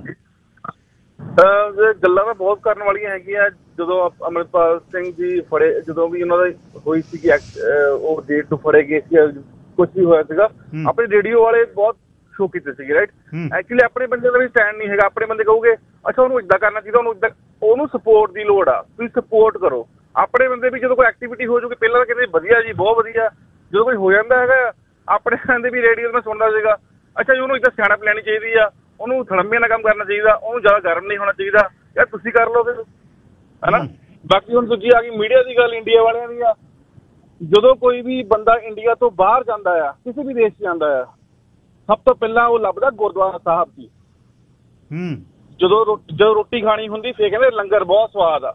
ਦੋ ਚਾਰ ਮਹੀਨੇ ਛੱਡ ਕੇ ਫੇਰ ਕਹਿੰਦੇ ਅਸੀਂ ਤਾਂ ਹਿੰਦੂ ਰਾਸ਼ਟਰ ਕੇ ਭਗਤ ਹਾਂ ਦਿਸ ਐਂਡ ਦੈਟ ਹੂੰ। ਉਦੋਂ ਫਿਰ ਭੁੱਲ ਜਾਂਦਾ ਹੈਗਾ। ਥੈਂਕ ਯੂ ਸਰ ਚਲੋ ਲੰਗਰ ਦੇ ਨਾਲ ਉਹਦਾ ਨਹੀਂ ਮਤਲਬ ਜੀ ਇਹਨੂੰ ਆਪਾਂ ਰਲ ਗੜ ਨਾ ਕਰਿਆ ਕਰੀਏ। ਗੁਰੂ ਦਾ ਲੰਗਰ ਸਾਰਿਆਂ ਲਈ ਹੈ। ਰਾਸ਼ਟਰ ਦੀ ਗੱਲ ਜਿਹੜਾ ਕਹਿੰਦਾ ਉਹ ਕਰੇ ਉਹ ਨਹੀਂ ਗੱਲ ਕਹਿ ਸਕਦੇ ਵੀ ਗੁਰੂ ਦਾ ਲੰਗਰ ਛਕ ਕੇ ਕੋਈ ਆਪਣੇ ਹੱਕ ਦੀ ਨਹੀਂ ਗੱਲ ਕਰ ਸਕਦਾ, ਉਹ ਤਾਂ ਸਭੇ ਸਾਂਝੇ ਵਾਲਸਦਾਨ ਕੋਈ ਨਾ ਦੱਸੇ ਬਾਹਰਾ ਜੀਓ, ਉਸ ਧਰਤੀ ਤੇ ਤਾਂ ਕੋਈ ਆ ਜਾਵੇ, ਸਭ ਦਾ ਹੀ ਪਿਆਰ ਹੈ। ਪਰ ਗੱਲ ਸਹੀ ਨੂੰ ਕਿਉਂ ਨਹੀਂ ਕਰਦਾ? ਹੁਣ ਜੇ ਤੁਸੀਂ ਉਹਨੂੰ ਗੌਰਵ ਕੀ ਨਾਮ ਉਹਦਾ, ਯਾਦਵ ਮੇਜਰ, ਉਹਦੀਆਂ ਸੁਣਿਓ ਤਾਂ ਸਹੀ, ਉਹਦਾ, ਉਹ ਕਿੱਡੀ ਅੱਗ ਗਲੱਛਦਾ, ਕੀ ਕੁਛ ਉਹ ਕਹਿੰਦਾ? ਤੇ ਆਹ ਜਿਹੜੇ ਮਤੇ ਕਿਹੜੇ ਸ਼ਹਿਰ 'ਚ, ਕਿਹੜੇ ਗੁਰਦੁਆਰੇ ਪਏ ਨੇ ਅਮਰੀਕਾ 'ਚ, ਕਿਸੇ ਨੂੰ ਪਤਾ ਦੱਸੋ ਮੈਨੂੰ। ਸੀਤਲ ਜੀ, ਲਾਈਨ ਨੰਬਰ 2 ਭਾਜੀ ਅਹ ਮੈਂ ਪਹਿਲੀ ਵਾਰੀ ਕਾਲ ਕੀਤੀ ਆ। ਧੰਨਵਾਦ ਜੀ। ਮੈਂ 3 ਸਾਲ ਤੋਂ ਤੁਹਾਡਾ ਪ੍ਰੋਗਰਾਮ ਸੁਣਦਾ ਹਾਂ ਐਵਰੀਡੇ ਥੈਂਕ ਯੂ ਮੈਂ ਦੱਸਣਾ ਵੀ ਸਿਆੜਾ ਜਿਹੜਾ ਰੈਂਟਨ ਗੁਰੂ ਘਰ ਆ ਉੱਥੇ ਬੰਦੇ ਇਕੱਠੇ ਹੋਏ ਸੀ। ਹੂੰ। ਉਹਨਾਂ ਨੇ ਇਹ ਗੱਲ ਇਹਨਾਂ ਇਹਨਾਂ ਬੱਚਿਆਂ ਦੀ ਕੋਈ ਗੱਲ ਨਹੀਂ ਹੋਈ। ਉਹਨਾਂ ਨੇ ਇਹ ਗੱਲ ਕਹੀ ਸੀ ਵੀ ਜਿਹੜੇ ਲੋਕੀ ਆਪਣੇ ਬੁਲਾਰੇ ਆਉਂਦੇ ਆ ਜਾਂ ਕੋਈ ਵੀ ਜਿਹੜਾ ਵੀ ਆਉਂਦਾ ਆ ਉਹਨਾਂ ਦੇ ਅਗੇਂਸਟ ਬੋਲੇ ਵੀ ਜੇ ਉਹ ਅੱਜ ਨਹੀਂ ਕੋਈ ਆਪਣੇ ਭਾਈਚਾਰੇ ਨਾਲ ਖੜਦੇ ਤੇ ਉਹਨਾਂ ਦੇ ਅਗੇਂਸਟ ਜਾਓ। ਸਾਰੇ ਗੁਰਦੁਆਰੇ ਉਹਨੇ ਕਿਹਾ ਸੀ। ਥੋੜੇ ਜਿਹੇ ਬੰਦੇ ਇਕੱਠੇ ਹੋਏ ਸੀ। ਲੰਗਰ ਹਾਲ ਦੇ ਵਿੱਚ। ਹੂੰ। ਛੋਟੀ ਉਹ ਸਪੀਚ ਹੈਗੀ ਆ ਕਿਤੇ ਹੈਗੀ ਆ YouTube ਦੇ ਉੱਤੇ ਭਾਜੀ। ਹਾਂ ਪਰ ਉਹਨਾਂ ਬੱਚਿਆਂ ਲਈ ਤਾਂ ਨਹੀਂ ਕਿਹਾ ਕੁਛ? ਨੇ ਬੱਚਿਆਂ ਲਈ ਕੁਝ ਨਹੀਂ ਕਿਹਾ ਬੱਚੇ ਸਾਡੇ ਘਰ ਦੇ ਲਾਗੇ ਹੀ ਰਹਿੰਦੇ ਸੀ ਕਦੀ ਨਹੀਂ ਉਹਨਾਂ ਨੂੰ ਕੁਝ ਕੁਝ ਕਿਹਾ। ਮਤਲਬ ਨਹੀਂ ਹੈ। ਗਲਤ ਆ ਭਾਜੀ। ਹੂੰ। ਹਾਂਜੀ ਮਤਲਬ ਨਹੀਂ ਕੋਈ ਕਿਸੇ ਨੇ ਕਾਲ ਨਹੀਂ ਕੀਤੀ ਉਹਨਾਂ ਨੂੰ। ਸਿਆਟ 'ਚ ਬੜੇ ਸਿਆਣੇ ਲੋਕੀ ਰਹਿੰਦੇ ਆ ਇਦਾਂ ਦਾ ਕੋਈ ਸਾਡੇ ਮਾਹੌਲ ਨਹੀਂ ਹੈਗਾ। ਇੱਥੇ ਆਵਰਨ ਦੇ ਵਿੱਚ ਹੀ ਰਹਿੰਦੇ ਸੀ ਉਹਦੇ ਬੱਚੇ। ਹੁਣ ਪਤਾ ਨਹੀਂ ਉੱਥੇ ਰਹਿ ਰਹੇ ਜਾਂ ਨਹੀਂ ਰਹਿ ਰਹੇ। ਕੋਈ ਨਾ ਵੀਰ ਜੀ thank you Parminder Singh Bajwa ji line number 3 Bajwa ਜੀ। ਹੈਲੋ ਜੀ। ਹਾਂਜੀ। ਜੀ ਸਤਿ ਸ੍ਰੀ ਅਕਾਲ। ਆਲਾ ਗੱਲ ਕਰੋ ਜੀ ਭਾਜੀ ਹਾਂਜੀ ਸਤਿ ਸ੍ਰੀ ਅਕਾਲ ਤੋਂ ਸਿਆਸਤ ਤੋਂ ਬੋਲਦਾ ਹਰਦਿਆਲ ਸਿੰਘ। ਜੀ ਬਾਈ ਜੀ। ਕਿ ਜਿਹੜਾ ਅੱਜ ਦਾ ਮੁੱਦਾ ਚੱਲਦਾ ਤੁਹਾਡਾ ਅਸੀਂ ਮਤਲਬ ਬੜੇ ਗੌਰ ਦੇ ਨਾਲ ਸੁਣ ਰਹੇ ਹਾਂ ਪਰ ਜਿਹੜਾ ਇਹ ਪ੍ਰਾਪੇਗੰਡਾ ਕੀਤਾ ਜਾ ਰਿਹਾ ਜੀ ਪ੍ਰਬੰਧਕ ਕਮੇਟੀਆਂ ਨੇ ਮਤਾ ਪਾਇਆ ਵੀ ਭਗਵੰਤ ਮਾਨ ਦੇ ਟੱਬਰ ਨੂੰ ਮਤਲਬ ਉਹਦਾ ਘਰਾਓ ਕੀਤਾ ਜਾਵੇ। ਦੱਸੋ ਹੂੰ। ਇਹ ਕੀਤੀ ਬਿਲਕੁਲ ਸਰਾਸਰ ਸ਼ਰਾਰਤ ਆ ਕਿਸੇ ਬੰਦੇ ਦੀ। ਗਲਤ ਗੱਲ ਆ। ਹੂੰ। ਸੀ ਪਤਾ ਇਹ ਕੋਈ ਨਹੀਂ ਪਾਇਆ ਗੁਰਦੁਆਰੇ ਪ੍ਰਬੰਧਕ ਕਮੇਟੀਆਂ ਨੇ ਇਹ ਮਤਾ ਪਾਇਆ ਵੀ ਸਰਕਾਰ ਦਾ ਕੋਈ ਵੀ ਜਿਹੜਾ ਹੈਗਾ ਲੀਡਰ ਜਦੋਂ ਵੀ ਕੋਈ ਆਵੇ ਉਹਨੂੰ ਕਿਸੇ ਸਟੇਜ ਤੇ ਜਾਣ ਕੇ ਬੋਲਣ ਨਹੀਂ ਦਿੱਤਾ ਜਾਊਗਾ। ਹੂੰ। ਤੇ ਤੁਸੀਂ ਤੁਸੀਂ ਪ੍ਰਬੰਧਕ ਹੋ ਜੀ? ਕਿਹੜੇ ਗੁਰਦੁਆਰਾ ਸਾਹਿਬ ਭਾਈ ਸਾਹਿਬ? ਅਸੀਂ ਇੱਥੇ ਜਿੰਨੇ ਸਿਆਟਲ ਦੇ ਸਾਰੇ ਗੁਰਦੁਆਰਿਆਂ ਸਾਹਿਬ ਨੇ ਜਿਹੜਾ ਮਤਾ ਪਾਇਆ ਸੀ ਸਿਰਫ ਇਹ ਮਤਾ ਪਾਇਆ ਸੀ। ਠੀਕ ਠੀਕ ਹੂੰ। ਇਹੀ ਪਾਇਆ ਸੀ ਭਗਵੰਤ ਮਾਨ ਸਰਕਾਰ ਦਾ ਕੋਈ ਵੀ ਜੇ ਕੋਈ ਬੰਦਾ ਇੱਥੇ ਆਵੇ ਉਹਨੂੰ ਕਿਸੇ ਨੂੰ ਸਟੇਜ ਤੇ ਬੋਲਣ ਨਹੀਂ ਦਿੱਤਾ ਜਾਊਗਾ। ਜਿਹੜਾ ਉਹਦੇ ਬੱਚਿਆਂ ਬਾਰੇ ਪ੍ਰਾਪੇਗੰਡਾ ਕੀਤਾ ਜਾ ਰਿਹਾ ਬਿਲਕੁਲ ਗਲਤ ਕੀਤਾ ਜਾ ਰਿਹਾ ਇਹਨਾਂ। ਗੱਲਾਂ ਤੋਂ ਜਿਹੜੇ ਸ਼ਰਾਰਤੀ ਅਨਸਰ ਹੈ ਉਹਨਾਂ ਨੂੰ ਬਾਜ ਆਉਣਾ ਚਾਹੀਦਾ। ਬਿਲਕੁਲ। ਅਸੀਂ ਸਾਰੇ ਬੱਚਿਆਂ ਵਾਲੇ ਆ ਸਾਨੂੰ ਸਾਰਿਆਂ ਨੂੰ ਪਤਾ ਨਾ ਇਹ ਸਿੱਖ ਪੰਥ ਦਾ ਜਿਹੜਾ ਮਤਲਬ ਜਿਹੜੀਆਂ ਸਾਡੀ ਮਰਿਆਦਾ ਹੈਗੀ ਉਹ ਕਿਸੇ ਨੂੰ ਇਹ ਨਹੀਂ ਦਿੰਦੀ ਹੈਗੀ ਇਜਾਜ਼ਤ ਵੀ ਕਿਸੇ ਬੱਚੇ ਜੋ ਸਾਡੇ ਬੱਚਿਆਂ ਨੂੰ ਉੱਥੇ ਭਰਾਵਾਂ ਨੂੰ ਖਾਮ ਖਾ ਤੰਗ ਕਰਦੇ ਸਾਡਾ ਇਹ ਸਿੱਖੀ ਦਾ ਅਸੂਲ ਨਹੀਂ ਹੈਗਾ ਵੀ ਅਸੀਂ ਕਿਸੇ ਦੇ ਪਰਿਵਾਰ ਨੂੰ ਤੰਗ ਕਰੀਏ। ਹੂੰ। ਧੰਨਵਾਦ ਵੀਰ ਜੀ। ਕਰਕੇ ਅਸੀਂ ਇਸ ਗੱਲ ਨੂੰ ਕੰਡੈਮ ਕਰਦੇ ਹਾਂ। ਸਾਰੀਆਂ ਗੁਰਦੁਆਰਾ ਪ੍ਰਬੰਧਕ ਕਮੇਟੀਆਂ ਅਸੀਂ ਇਹੋ ਜਿਹਾ ਕੋਈ ਮਤਾ ਨਹੀਂ ਪਾਇਆ। ਨਾ ਅਸੀਂ ਆਉਣ ਵਾਲੇ ਸਮੇਂ 'ਚ ਕੋਈ ਪਾਵਾਂਗੇ। ਸਰਕਾਰ ਨੂੰ ਜ਼ਰੂਰ ਚੇਤਾਵਨੀ ਦਿੰਦੇ ਆ ਵੀ ਉਹ ਇਹਨਾਂ ਗੱਲਾਂ ਤੋਂ ਬਾਜ ਆਵੇ। ਸਾਡਾ ਉਹਨਾਂ ਦੇ ਪਰਿਵਾਰਾਂ ਦੇ ਕਿਸੇ ਦੇ ਨਾਲ ਸਾਡਾ ਕੋਈ ਬੈਰ ਵਿਰੋਧ ਨਹੀਂ ਜਿੱਦਾਂ ਦੇ ਸਾਡੇ ਬੱਚੇ ਉਦਾਂ ਦੇ ਉਹਨਾਂ ਦੇ ਬੱਚੇ ਆ। ਧੰਨਵਾਦ ਜੀ ਬਹੁਤ ਬਹੁਤ ਆਕਾਸ਼ਦੀਪ ਸਿੰਘ ਲਾਈਨ ਨੰਬਰ 4 ਹਾਂਜੀ ਭਾਈ ਸਤਿ ਸ਼੍ਰੀ ਅਕਾਲ। ਜੀ ਸਤਿ ਸ੍ਰੀ ਅਕਾਲ। ਹਾਂਜੀ ਭਾਈ ਜਿਹੜੀ ਤੁਸੀਂ ਉਹ ਬੰਦੇ ਦਾ ਨਾਮ ਲਿਆ ਇਹ ਤਾਂ ਮੈਂ ਵੀ ਅੱਜ ਤੋਂ 5-7 ਦਿਨ ਪਹਿਲਾਂ ਦੀ ਵਧੀਆ ਦੇਖੀਆਂ ਇਹ ਚ ਕੋਈ ਸ਼ੱਕ ਨਹੀਂ। ਕਿੱਡਾ ਐਕਸਟ੍ਰੀਮ ਤੇ ਬੋਲਦਾ ਉਹ ਦੇਖੋ ਤੁਸੀਂ ਉਹਨੂੰ। ਸੁਣਨ ਵਾਲੀਆਂ ਉਹਦੀ ਗੱਲਾਂ। ਉਹ ਉਹ ਤੇ ਛੱਡੋ ਵੀ ਇੱਕ ਨੈਸ਼ਨਲ ਚੈਨਲ ਜਿੰਨੇ ਵੀ ਆਪਾਂ ਨੂੰ ਪਤਾ ਇਹਨਾਂ ਦੇ ਤੇ ਜਾਂ ਜਿਹੜੇ ਯੂਟਿਊਬਰ ਇੰਡੀਵਿਜੂਅਲ ਵੀ ਇਹਨਾਂ ਬੰਦੇ ਖੜੇ ਕੀਤੇ ਹੁੰਦੇ ਇਹਨਾਂ ਦੇ। ਆ ਮੈਂ ਉਦੋਂ ਵੀ ਕਹਿੰਦਾ ਹਾਂ ਤੁਸੀਂ ਵੀ ਕਹਦਾ ਕਿ ਖਾਲਿਸਤਾਨ ਦੇ ਹੱਕ ਇਹ ਨਹੀਂ ਵੀ ਸਾਰੇ ਸਿੱਖ ਆ ਜਾਂ। ਸਾਰੇ ਹਿੰਦੂ ਰਾਸ਼ਟਰ ਦਾ ਵੀ ਸੇਮ ਆ। ਬਿਲਕੁਲ। As a Sikh as a ਸੱਚਾ ਸਿੱਖ ਸਾਡਾ ਕਿ ਹਿੰਦੂ ਮੁਸਲਮ ਉੱਚੇ ਨੀਵੇਂ ਤੋਂ ਉੱਚੇ ਕਿਸੇ ਨਾਲ ਮਤਲਬ ਬਿਲਕੁਲ ਸਾਰੇ। ਬਰਾਬਰ ਨੇ ਪਰ ਸਾਰੇ ਜੇ ਕੋਈ ਸਾਡੇ ਸਾਹਮਣੇ ਸਾਡਾ ਹੁਣ ਪੂਲਾ ਕੌਣ ਹੀ ਉਹਨੇ ਅੰਗ ਸਿੰਘਾਂ ਦਾ ਬਿਲਕੁਲ ਠੀਕ ਹੈ, ਬਿਲਕੁਲ ਤੋਂ। ਦੂਰ ਆ।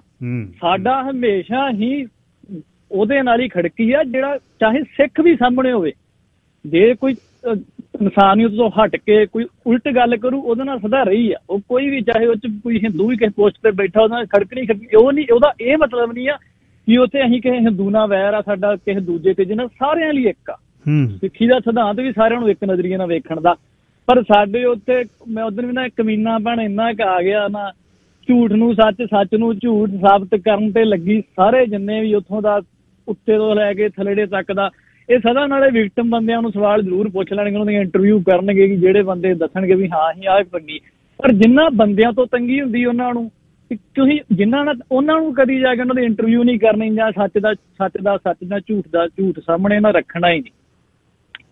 ਤੇ ਜਿਹੜੀ ਸਾਡੇ ਵਾਲੇ ਸਾਡੇ ਬਹੁਤੇ ਬੰਦੇ ਇੱਥੇ ਹੀ ਉਲਝੇ ਪਏ ਅਜੇ ਤੱਕ। Akali versus Aam Aam versus. Congress. ਇਹਦੋਂ ਉੱਤੇ ਉੱਠ ਕੇ ਸਾਡੇ 10 ਬੰਦੇ ਵੀ ਸਿਰ ਜੋੜ ਕੇ ਉਹਦੇ ਪਿੱਛੇ ਕੀ ਕਹਾਣੀ ਚੱਲ ਰਹੀ ਆ? ਜਾਂ ਸਾਡਾ ਕੀ ਸਾਨੂੰ ਪੇਸ਼ ਕੀਤਾ ਜਾ ਰਿਹਾ? ਉਹ ਅਜੇ ਵੀ ਇੱਥੇ ਹੀ ਫਸੇ ਹੋਣਗੇ ਵੀ ਨਹੀਂ ਨਹੀਂ। ਅਸੀਂ ਆਪ ਵਾਲੇ ਧੜਿਆਂ 'ਚ। ਜਿਹੜੇ ਧੜਿਆਂ ਧੜਿਆਂ 'ਚ। ਇਹਦੋਂ ਉੱਤੇ ਉੱਠ ਕੇ ਇਹਨਾਂ ਦਾ ਜਿਹੜੀ ਇੰਟੈਲੈਕਚੁਅਲ ਮੱਤ ਹੈ ਹੀ ਨਹੀਂ। ਮੈਂ ਨਾ ਮੈਂ ਵੀ ਨਹੀਂ ਸਿਆਣਾ ਮੇਰੇ ਕੋਲ ਵੀ ਹੈ ਨਹੀਂ। ਪਰ ਇਹਦੋਂ ਉੱਤੇ ਉੱਠ ਕੇ ਕਦੀ ਅਸੀਂ 10 ਬੰਦੇ ਸਿਰ ਹੁਣ ਕਿੰਨੀਆਂ ਆਪਣਾ ਲਾ ਲਓ ਵੀ ਮੁਸਲਮਾਨਾਂ ਦੀਆਂ ਕਿੰਨਾ ਵੱਡਾ ਲਾਮ ਮਤਲਬ ਉਹਨਾਂ ਦੀ ਜਨਸੰਖਿਆ ਜਾਂ ਸਾਡੀ। ਕਿੰਨੀ ਕਾ ਵਰਲਡ ਦੇ ਮੁਕਾਬਲੇ। ਪਰ ਸਾਰੀ ਸਿਆਣਪ ਕੀ ਗੱਲ ਸਾਡੇ ਕੋਲ ਹੀ ਆ ਗਈ ਜਦ 10 ਬੰਦੇ ਬੈਠੇ ਉਹ ਦਸੇ ਹੀ ਆਪਸ ਵਿੱਚ ਗੁੱਥ ਨੂੰ ਗੁੱਥਾ ਹੋਣਗੇ ਨਾ ਨਾ ਨਾ। ਇਹ ਗੱਲ ਇਦਾਂ ਉਦੋਂ ਉੱਤੇ ਉੱਠ ਕੇ ਵੀ ਅਸੀਂ ਕਦੀ ਸਿਰ ਜੋੜ ਕੇ ਕੋਈ ਸੱਚ ਝੂਠ ਨਾਲ ਉੱਥੇ ਤੱਕ ਪਹੁੰਚਣਾ ਨਹੀਂ। ਉਹ ਬੰਦੇ ਦੀ ਤਾਂ ਉਹਦਾ ਤਾਂ ਛੱਡ ਹੀ ਦਿਓ ਨਾ। ਉਹ ਇੱਥੋਂ ਤੱਕ ਮੈਂ ਸੁਣਿਆ ਤਾਂ ਲਿਸਟਾਂ ਬਣਾਓ ਬੰਦੇ ਹਾਇਰ ਕਰੋ ਬਾਹਰ। ਤੇ ਉੱਥੇ ਬੰਦਿਆਂ ਨੂੰ ਜੋ ਵੀ ਬੰਦੇ, ਮਤਲਬ ਇਹ ਘਰੋਂ ਬਾਹਰ ਹੀ ਨਾ ਨਿਕਲ ਸਕਣ। ਜਿਹੜੇ ਜਿਹੜੇ, ਚਲੋ, ਜਿਹੜੇ ਸਮਰਥਨ ਚ ਬੰਦੇ, ਪਰ ਇੱਥੋਂ ਤੱਕ ਉਹ ਬੰਦਾ ਬੋਲੀ ਜਾਂਦਾ, ਉਹਨੂੰ ਪੁੱਛਣ ਵਾਲਾ ਵੀ ਤੂੰ ਕਿਹੜੇ ਕਾਲਜ ਦੀ ਜਿੰਨਾ ਬਿਆਨ ਹੈ ਸ਼ਵੇਤਾ ਨਾਲ ਬੈਠੀ, ਜਦ ਉਹਨੇ ਬਿਸ਼ਨੋਈ ਦਾ ਨਾਮ ਲਿਆ, ਉਹ ਕਹਿੰਦਾ ਇਹ ਨਾਲ ਉਹਦੇ ਜਰਨਲਿਸਟ ਬੈਠੀ, ਕਹਿੰਦੀ ਉਹ ਇਹਨਾਂ ਦਾ ਬਾਪ ਹੈ। ਲਾਰੈਂਸ ਬਿਸ਼ਨੋਈ ਨੂੰ ਸਿੱਖਾਂ ਦਾ ਬਾਪ ਕਹਿ ਰਹੀ। ਉਹ ਕਹਿੰਦਾ ਬਾਪ ਨਹੀਂ, ਦੱਦੂ ਹੈ। ਯਾਰ ਕਹਿਰ ਹੋ ਗਿਆ, ਕੋਈ ਉਹਦੇ ਮੂੰਹ ਦੇ ਵਿੱਚ ਲੱਕੜ ਫਸਾਉਣ ਵਾਲਾ ਹੈ ਨਹੀਂ। ਉਹਨੂੰ ਕਹਿਣ ਵਾਲਾ ਨਹੀਂ ਕੋਈ, ਉਹਦੇ ਤੇ ਕੋਈ ਅਥਾਰਟੀ ਨਹੀਂ, ਉਹਦੇ ਤੇ ਕੋਈ ਐਨਐਸਏ ਨਹੀਂ, ਉਹ ਉਹ ਇੱਕ ਕੌਮ ਨੂੰ ਟਾਰਗੇਟ ਕਰ ਰਿਹਾ। ਜਾਂ ਆ ਜਾ ਮਾੜਾ ਜਾ ਫਿਰ ਨਿਕਲ ਕੇ ਆਪਣੇ ਘੁਰਨੇ ਚੋਂ ਆ ਪੰਜਾਬ 'ਚ ਬੈਠ ਕੇ ਗੱਲ ਕਰ ਲੈ, ਸਾਡੇ ਪੱਤਰਕਾਰ ਵੀ ਬਹਿ ਜਾਣਗੇ ਤੇਰੇ ਨਾਲ, ਆ ਜਾ ਬਹਿ ਜਾ ਫਿਰ। ਨਾ ਤੇਰਾ ਪਤਾ, ਨਾ ਕੋਈ ਸਤਾ। ਤੇ ਫਿਰ ਤੁਸੀਂ ਕੌਮ ਨੂੰ ਟਾਰਗੇਟ ਕਰੋ, ਉਹਨੂੰ ਕੋਈ ਨਹੀਂ ਰੋਕਦਾ, ਉਹਦੇ ਥੱਲੇ ਕੋਈ ਨਹੀਂ। ਇੱਕ ਸਿਰਫ ਇੱਥੋਂ ਟਵੀਟ ਕੀਤਾ ਸੀ ਟਿਮ ਉਪਲ ਜਸਰਾਜ ਸਿੰਘ ਹੱਲਣ ਉਹਨਾਂ ਨੇ, ਸਿਰਫ ਤੇ ਸਿਰਫ ਪੰਜਾਬ 'ਚ ਇੰਟਰਨੈਟ ਬੰਦ ਹੋਣਾ, ਅਮਰਤਪਾਲ ਦਾ ਨਾਂ ਨਹੀਂ ਸੀ ਉਹਦੇ ਤੇ। ਹਜ਼ਾਰ ਬੰਦਿਆਂ ਨੇ ਗਾਲ ਕੱਢੀ ਆ, ਉਹਦੇ ਥੱਲੇ ਜਾ ਕੇ ਦੇਖ ਲਿਓ, ਹਲੇ ਵੀ ਟਵੀਟ ਪਿਆ। ਤੇ ਆਈਡੀਆਂ ਕਿੱਥੇ ਦੀਆਂ ਨੇ ਉਹ? ਕਿੱਥੇ ਦੇ ਬੰਦੇ ਨੇ? ਪੰਜ- 12 ਘੰਟੇ ਦੇ ਫ਼ਰਕ 'ਚ ਕੈਨੇਡਾ ਦੇ ਟਵੀਟ ਨੂੰ ਕੌਣ ਦੇਖਦਾ? ਪੰਜਾਬ ਦੇ ਵਿੱਚ ਪੰਜਾਬ ਭਾਰਤ ਦੇ ਵਿੱਚ ਕੋਈ ਨਹੀਂ ਦੇਖਦਾ। ਉਹ ਬੰਦੇ ਕਿੱਥੇ ਦੇ ਨੇ? ਇੱਥੇ ਦੇ ਨੇ। ਦੇਖਿਓ ਕੀ ਲਿਖਿਆ ਹੋਇਆ। ਉਹਦੇ ਥੱਲੇ ਪੜ੍ਹ ਕੇ ਦੇਖਿਓ ਲੈਂਗੁਏਜ ਦੇਖਿਓ। ਤੇ ਸਿੱਖ ਮਾੜੀ ਜੀ ਗੱਲ ਕਰ ਦਵੇ ਖੂੰਜੇ ਲਾ ਕੇ ਜੇ ਅੱਤਵਾਦੀ ਹੈ, ਵੱਖਵਾਦੀ ਹੈ, ਆਪਣੇ ਧਰਮ ਦੀ ਗੱਲ ਕਰਦਾ ਹੈ, ਦੇਸ਼ ਤੋੜਨ ਦੀ ਗੱਲ ਕਰਦਾ ਦੇਸ਼ ਤੋੜਨ ਦੀ ਤਾਂ ਸ਼ਰੇਆਮ ਤੁਸੀਂ ਇੱਕ ਭਗਵਾਨ ਦਾ ਦਿਨ ਮਨਾ ਰਹੇ ਹੋ ਤੇ ਮਦਰਸਿਆਂ ਦੇ ਸਾਹਮਣੇ ਜਾ ਕੇ ਸਣੇ ਮਦਰਸੇ ਕਿਤਾਬਾਂ ਨੂੰ ਤੁਸੀਂ ਅੱਗ ਲਾ ਰਹੇ ਹੋ ਤੇ ਤੁਸੀਂ ਦੇਸ਼ ਸੈਕੂਲਰ ਕਹਿੰਦੇ ਹੋ ਹਲੇ। ਮਤਲਬ ਉਹਨਾਂ ਨੂੰ ਵੀ ਰੋਕਿਆ ਜਾਣਾ ਚਾਹੀਦਾ ਫਿਰ। ਜੇ ਕੋਈ ਉੱਥੇ ਦੇਸ਼ ਤੋੜਨ ਦੀ ਗੱਲ ਸਿੱਖ ਕਰਦਾ, ਸਿੱਖ ਦੇ ਖਿਲਾਫ ਹੁੰਦਾ, ਫਿਰ ਜੇ ਹਿੰਦੂ ਕਹਿੰਦਾ ਵੀ ਅਸੀਂ ਰਾਸ਼ਟਰ ਸਾਡਾ ਬਣਾਉਣਾ ਹੈ ਤਾਂ ਫਿਰ ਉਹਨਾਂ ਦੇ ਖਿਲਾਫ ਕੋਈ ਕੇਸ ਨਹੀਂ ਹੁੰਦਾ। ਸੋ ਮਤਲਬ ਇੱਕ ਪਾਸੇ ਨੂੰ ਜਾਂ ਤੁਸੀਂ ਬਹਿ- ਬਹਿਣ ਨੂੰ ਰੋਕੋਗੇ ਨਹੀਂ ਵਰਖਾ ਦਸ ਦਾ ਕਿੱਡਾ ਲੈਵਲ ਹੈ ਉਹ ਕਰਕੇ ਇੱਕ ਬੰਦਾ ਤੁਹਾਡੇ ਲਈ ਭਗੌੜਾ ਇੱਕ ਬੰਦੇ ਦੇ ਕੇਸ ਨੇ, ਪਰ ਕੀ ਉਹ ਬੰਦੇ ਨੂੰ, ਅਮਰਤਪਾਲ ਸਿੰਘ ਨੂੰ ਲਿਖ ਕੇ ਤੂੰ ਚਿਕਨ ਦੇ ਇੱਕ ਪਕੌੜੇ ਦੇ ਬਰਾਬਰ ਤਸ਼ਵੀਹ ਦੇ ਰਹੀ ਹੈ? ਕਾਰਨ ਪੈਸਾ ਮਿਲਦਾ। 70 80 ਕਰੋੜ ਚੋਂ ਬੰਦਾ 2% ਵੀ ਆ ਗਿਆ 2.5 3 ਕਰੋੜ ਨੇ ਨਜ਼ਾਰਾ ਲਿਆ ਦੇਣਾ 2.5 3 ਕਰੋੜ ਵਿਊ ਨੇ ਬੱਲੇ ਬੱਲੇ ਕਰਾ ਦੇਣੀ ਹੈ ਜਨਸੰਖਿਆ ਬਹੁਤ ਹੈ। ਇੰਦਰਜੀਤ ਸਿੰਘ ਦਿਓ ਲਾਈਨ ਨੰਬਰ 5 ਸਤਿ ਸ਼੍ਰੀ ਅਕਾਲ ਗਿੱਲ ਸਾਹਿਬ ਜੀ ਸਤਿ ਸ਼੍ਰੀ ਅਕਾਲ। ਸਰ ਪਹਿਲਾਂ ਤਾਂ ਇਹ ਚਾਹੀਦਾ ਨਾ ਵੀ ਜਿਹੜੇ ਗੁਰਦੁਆਰਾ ਸਾਹਿਬਾਨ ਆਪਣੇ ਉਹ ਕੋਈ ਪ੍ਰੈਸ ਨੋਟ ਰਿਲੀਜ਼ ਕਰਨ ਹੂੰ। ਹਨਾ ਜੀ? ਹੂੰ। ਵੀ ਇਹੋ ਜਿਹਾ ਕੋਈ ਮਤਾ ਨਹੀਂ ਪਿਆ ਹੂੰ। ਹਨਾ ਜੀ? ਵੀ ਆਪਾਂ ਨੂੰ ਇੰਟੈਲੈਕਚੁਅਲ ਪੱਖ ਤੋਂ ਤਕੜੇ ਹੋਣ ਦੀ ਲੋੜ ਆ ਜੀ ਠੀਕ ਆ ਜੀ? ਹੂੰ। ਬਾਕੀ ਜੇ ਆਪਾਂ ਇਹਨੂੰ ਟੋਟੈਲਿਟੀ 'ਚ ਸਮਝੀਏ ਤਾਂ ਹੁਣ ਜੇ ਆਪਾਂ ਪਿੰਡਾਂ 'ਚ ਦੇਖਦੇ ਆ ਜੀ ਹੁਣ ਆਪਾਂ ਜਾਂਦੇ ਆ ਸੌਦਾ ਪੱਤਾ ਲੈਣ ਲਾਲਾ ਜੀ ਹੁੰਦੇ ਆ ਸਾਰੇ ਬੜੇ ਪਿਆਰ ਨਾਲ ਰਹਿੰਦੇ। ਮਤਲਬ ਹੀ ਨਹੀਂ ਕਦੇ ਵੀ ਨਹੀਂ ਸਦਭਾਵਨਾ ਟੁੱਟੀ ਕਦੇ ਵੀ ਨਹੀਂ ਯਾ। ਇਹ ਇਹ ਤਾਂ ਜੀ ਬਸ ਇੱਕ ਮਤਲਬ ਸਿੱਖਾਂ ਦੀ ਛਵੀ ਖਰਾਬ ਕਰਨਾ ਵਾ ਹਨਾ? ਜੇ ਆਪਾਂ ਇਹਨੂੰ ਟੋਟੈਲਿਟੀ 'ਚ ਸਮਝੀਏ ਗੱਲ ਤਾਂ ਜੀ ਉਹ ਸਾਰੀ ਜ਼ੋਰ ਤਾਂ ਉਹਨਾਂ ਦਾ ਹਿੰਦੂ ਰਾਸ਼ਟਰ ਬਣਾਉਣ ਦਾ ਖਤਰ ਲੱਗਿਆ ਹੋਇਆ। ਹੂੰ। ਕੋਈ ਇਹ ਗੱਲ ਮੰਨੇ ਨਾ ਮੰਨੇ ਜੇ ਕਿਸੇ ਦਾ ਉੱਥੇ ਡੈਮੋਕ੍ਰੇਸੀ 'ਚ ਆਪਣਾ ਕੋਈ ਗੱਲ ਕਰਨ ਦਾ ਡੈਮੋਕ੍ਰੈਟਿਕ ਰਾਈਟ ਆ ਜੇ ਕੋਈ ਖਾਲਿਸਤਾਨ ਦੀ ਗੱਲ ਕਰਦਾ ਤਾਂ ਉਹ ਟੈਰਰਿਸਟ ਬਣ ਜਾਂਦਾ। ਠੀਕ ਹੈ ਜੀ? ਜਿਹੜਾ ਹਿੰਦੂ ਰਾਸ਼ਟਰ ਦੀ ਗੱਲ ਕਰਦਾ ਦੇਸ਼ ਭਗਤ ਬਣ ਜਾਂਦਾ। ਚਲੋ ਆਪਾਂ ਉਹ 'ਚ ਨਾ ਜਾਈਏ। ਪਰ ਇਹਦੀਆਂ ਤਾਰਾਂ ਬਹੁਤ ਡੂੰਘੀਆਂ ਨੇ ਜਿੰਨੀ ਕਿ ਮੇਰੀ ਸਮਝ ਆ। ਇਹ ਦੇਖੋ ਜੀ ਮਤਲਬ ਮੋਦੀ ਨੂੰ ਕਿਸੇ ਗੱਲ ਤੇ ਝੁਕਣਾ ਨਹੀਂ ਪਿਆ। ਠੀਕ ਹੈ ਜੀ? ਸੈਂਟਰ ਤੇ ਹੁਣ ਪੰਜਾਬ ਗਵਰਨਮੈਂਟ ਤਾਂ ਘਿਓ ਖੀਰ ਹੋਈ ਹੋਈ ਆ। ਠੀਕ ਹੈ ਜੀ। ਜੇ ਹੁਣ ਬੰਦੇ ਨੂੰ ਜਿਹੜੀ ਇੱਕ ਚੀਜ਼ ਤੇ ਝੁਕਣਾ ਪਿਆ ਉਹ ਕਿਸਾਨੀ ਕਾਨੂੰਨ ਠੀਕ ਹੈ ਜੀ? ਉਹ ਰੜਕ ਤਾਂ ਹੈਗੀ ਆ ਜੀ ਬਸ ਗੱਲ ਤਾਂ ਆਹ ਵਾ ਵੀ ਜਿਹੜੀ ਸਾਰੀ ਬਈ ਇਹ ਐਂਡ ਤੇ ਦੇਖਿਓ ਤੁਸੀਂ ਘੁੰਡੀ ਜਾ ਕੇ ਫੇਰ ਉੱਥੇ ਹੀ ਆਲਣੀ ਹੈ। ਜਿਹੜੀ ਉੱਥੋਂ ਦੀ ਸਿਲਕ ਰੋਡ ਨਿਕਲਦੀ ਆ ਪਾਕਿਸਤਾਨ ਵਾਲੇ ਪੰਜਾਬ ਵਿੱਚ ਦੀ। ਠੀਕ ਹੈ ਨਾ ਜੀ? ਉਦੋਂ ਪਹਿਲਾਂ ਕੀਰਤਪੁਰ ਸਾਹਿਬ ਦਾ ਲਾਂਘਾ ਖੁੱਲਣਾ ਇੱਕਦਮ ਇਹਨਾਂ ਨੂੰ ਸਿੱਖਾਂ ਦਾ ਕਿੱਥੋਂ ਵੇਚ ਜਾਗ ਪਿਆ ਜੀ? ਠੀਕ ਹੈ ਨਾ? ਫਿਰ ਉਦੋਂ ਬਾਅਦ ਕਿਸਾਨੀ ਕਾਨੂੰਨ ਆਉਣੇ ਵੀ ਵੱਡੀਆਂ ਵੱਡੀਆਂ ਨੂੰ ਕੰਟਰੈਕਟ ਦੇ ਦਿਓ ਉੱਥੋਂ ਫਾਰਮਿੰਗ ਹੋਇਆ ਕਰੂ ਵੀ ਟ੍ਰੇਡ ਚਲਾਵਾਂਗੇ ਸਾਰਾ ਯੂਰਪ ਤੱਕ ਜਾਊ ਸਿਲਕ ਰੋਡ ਨਾ।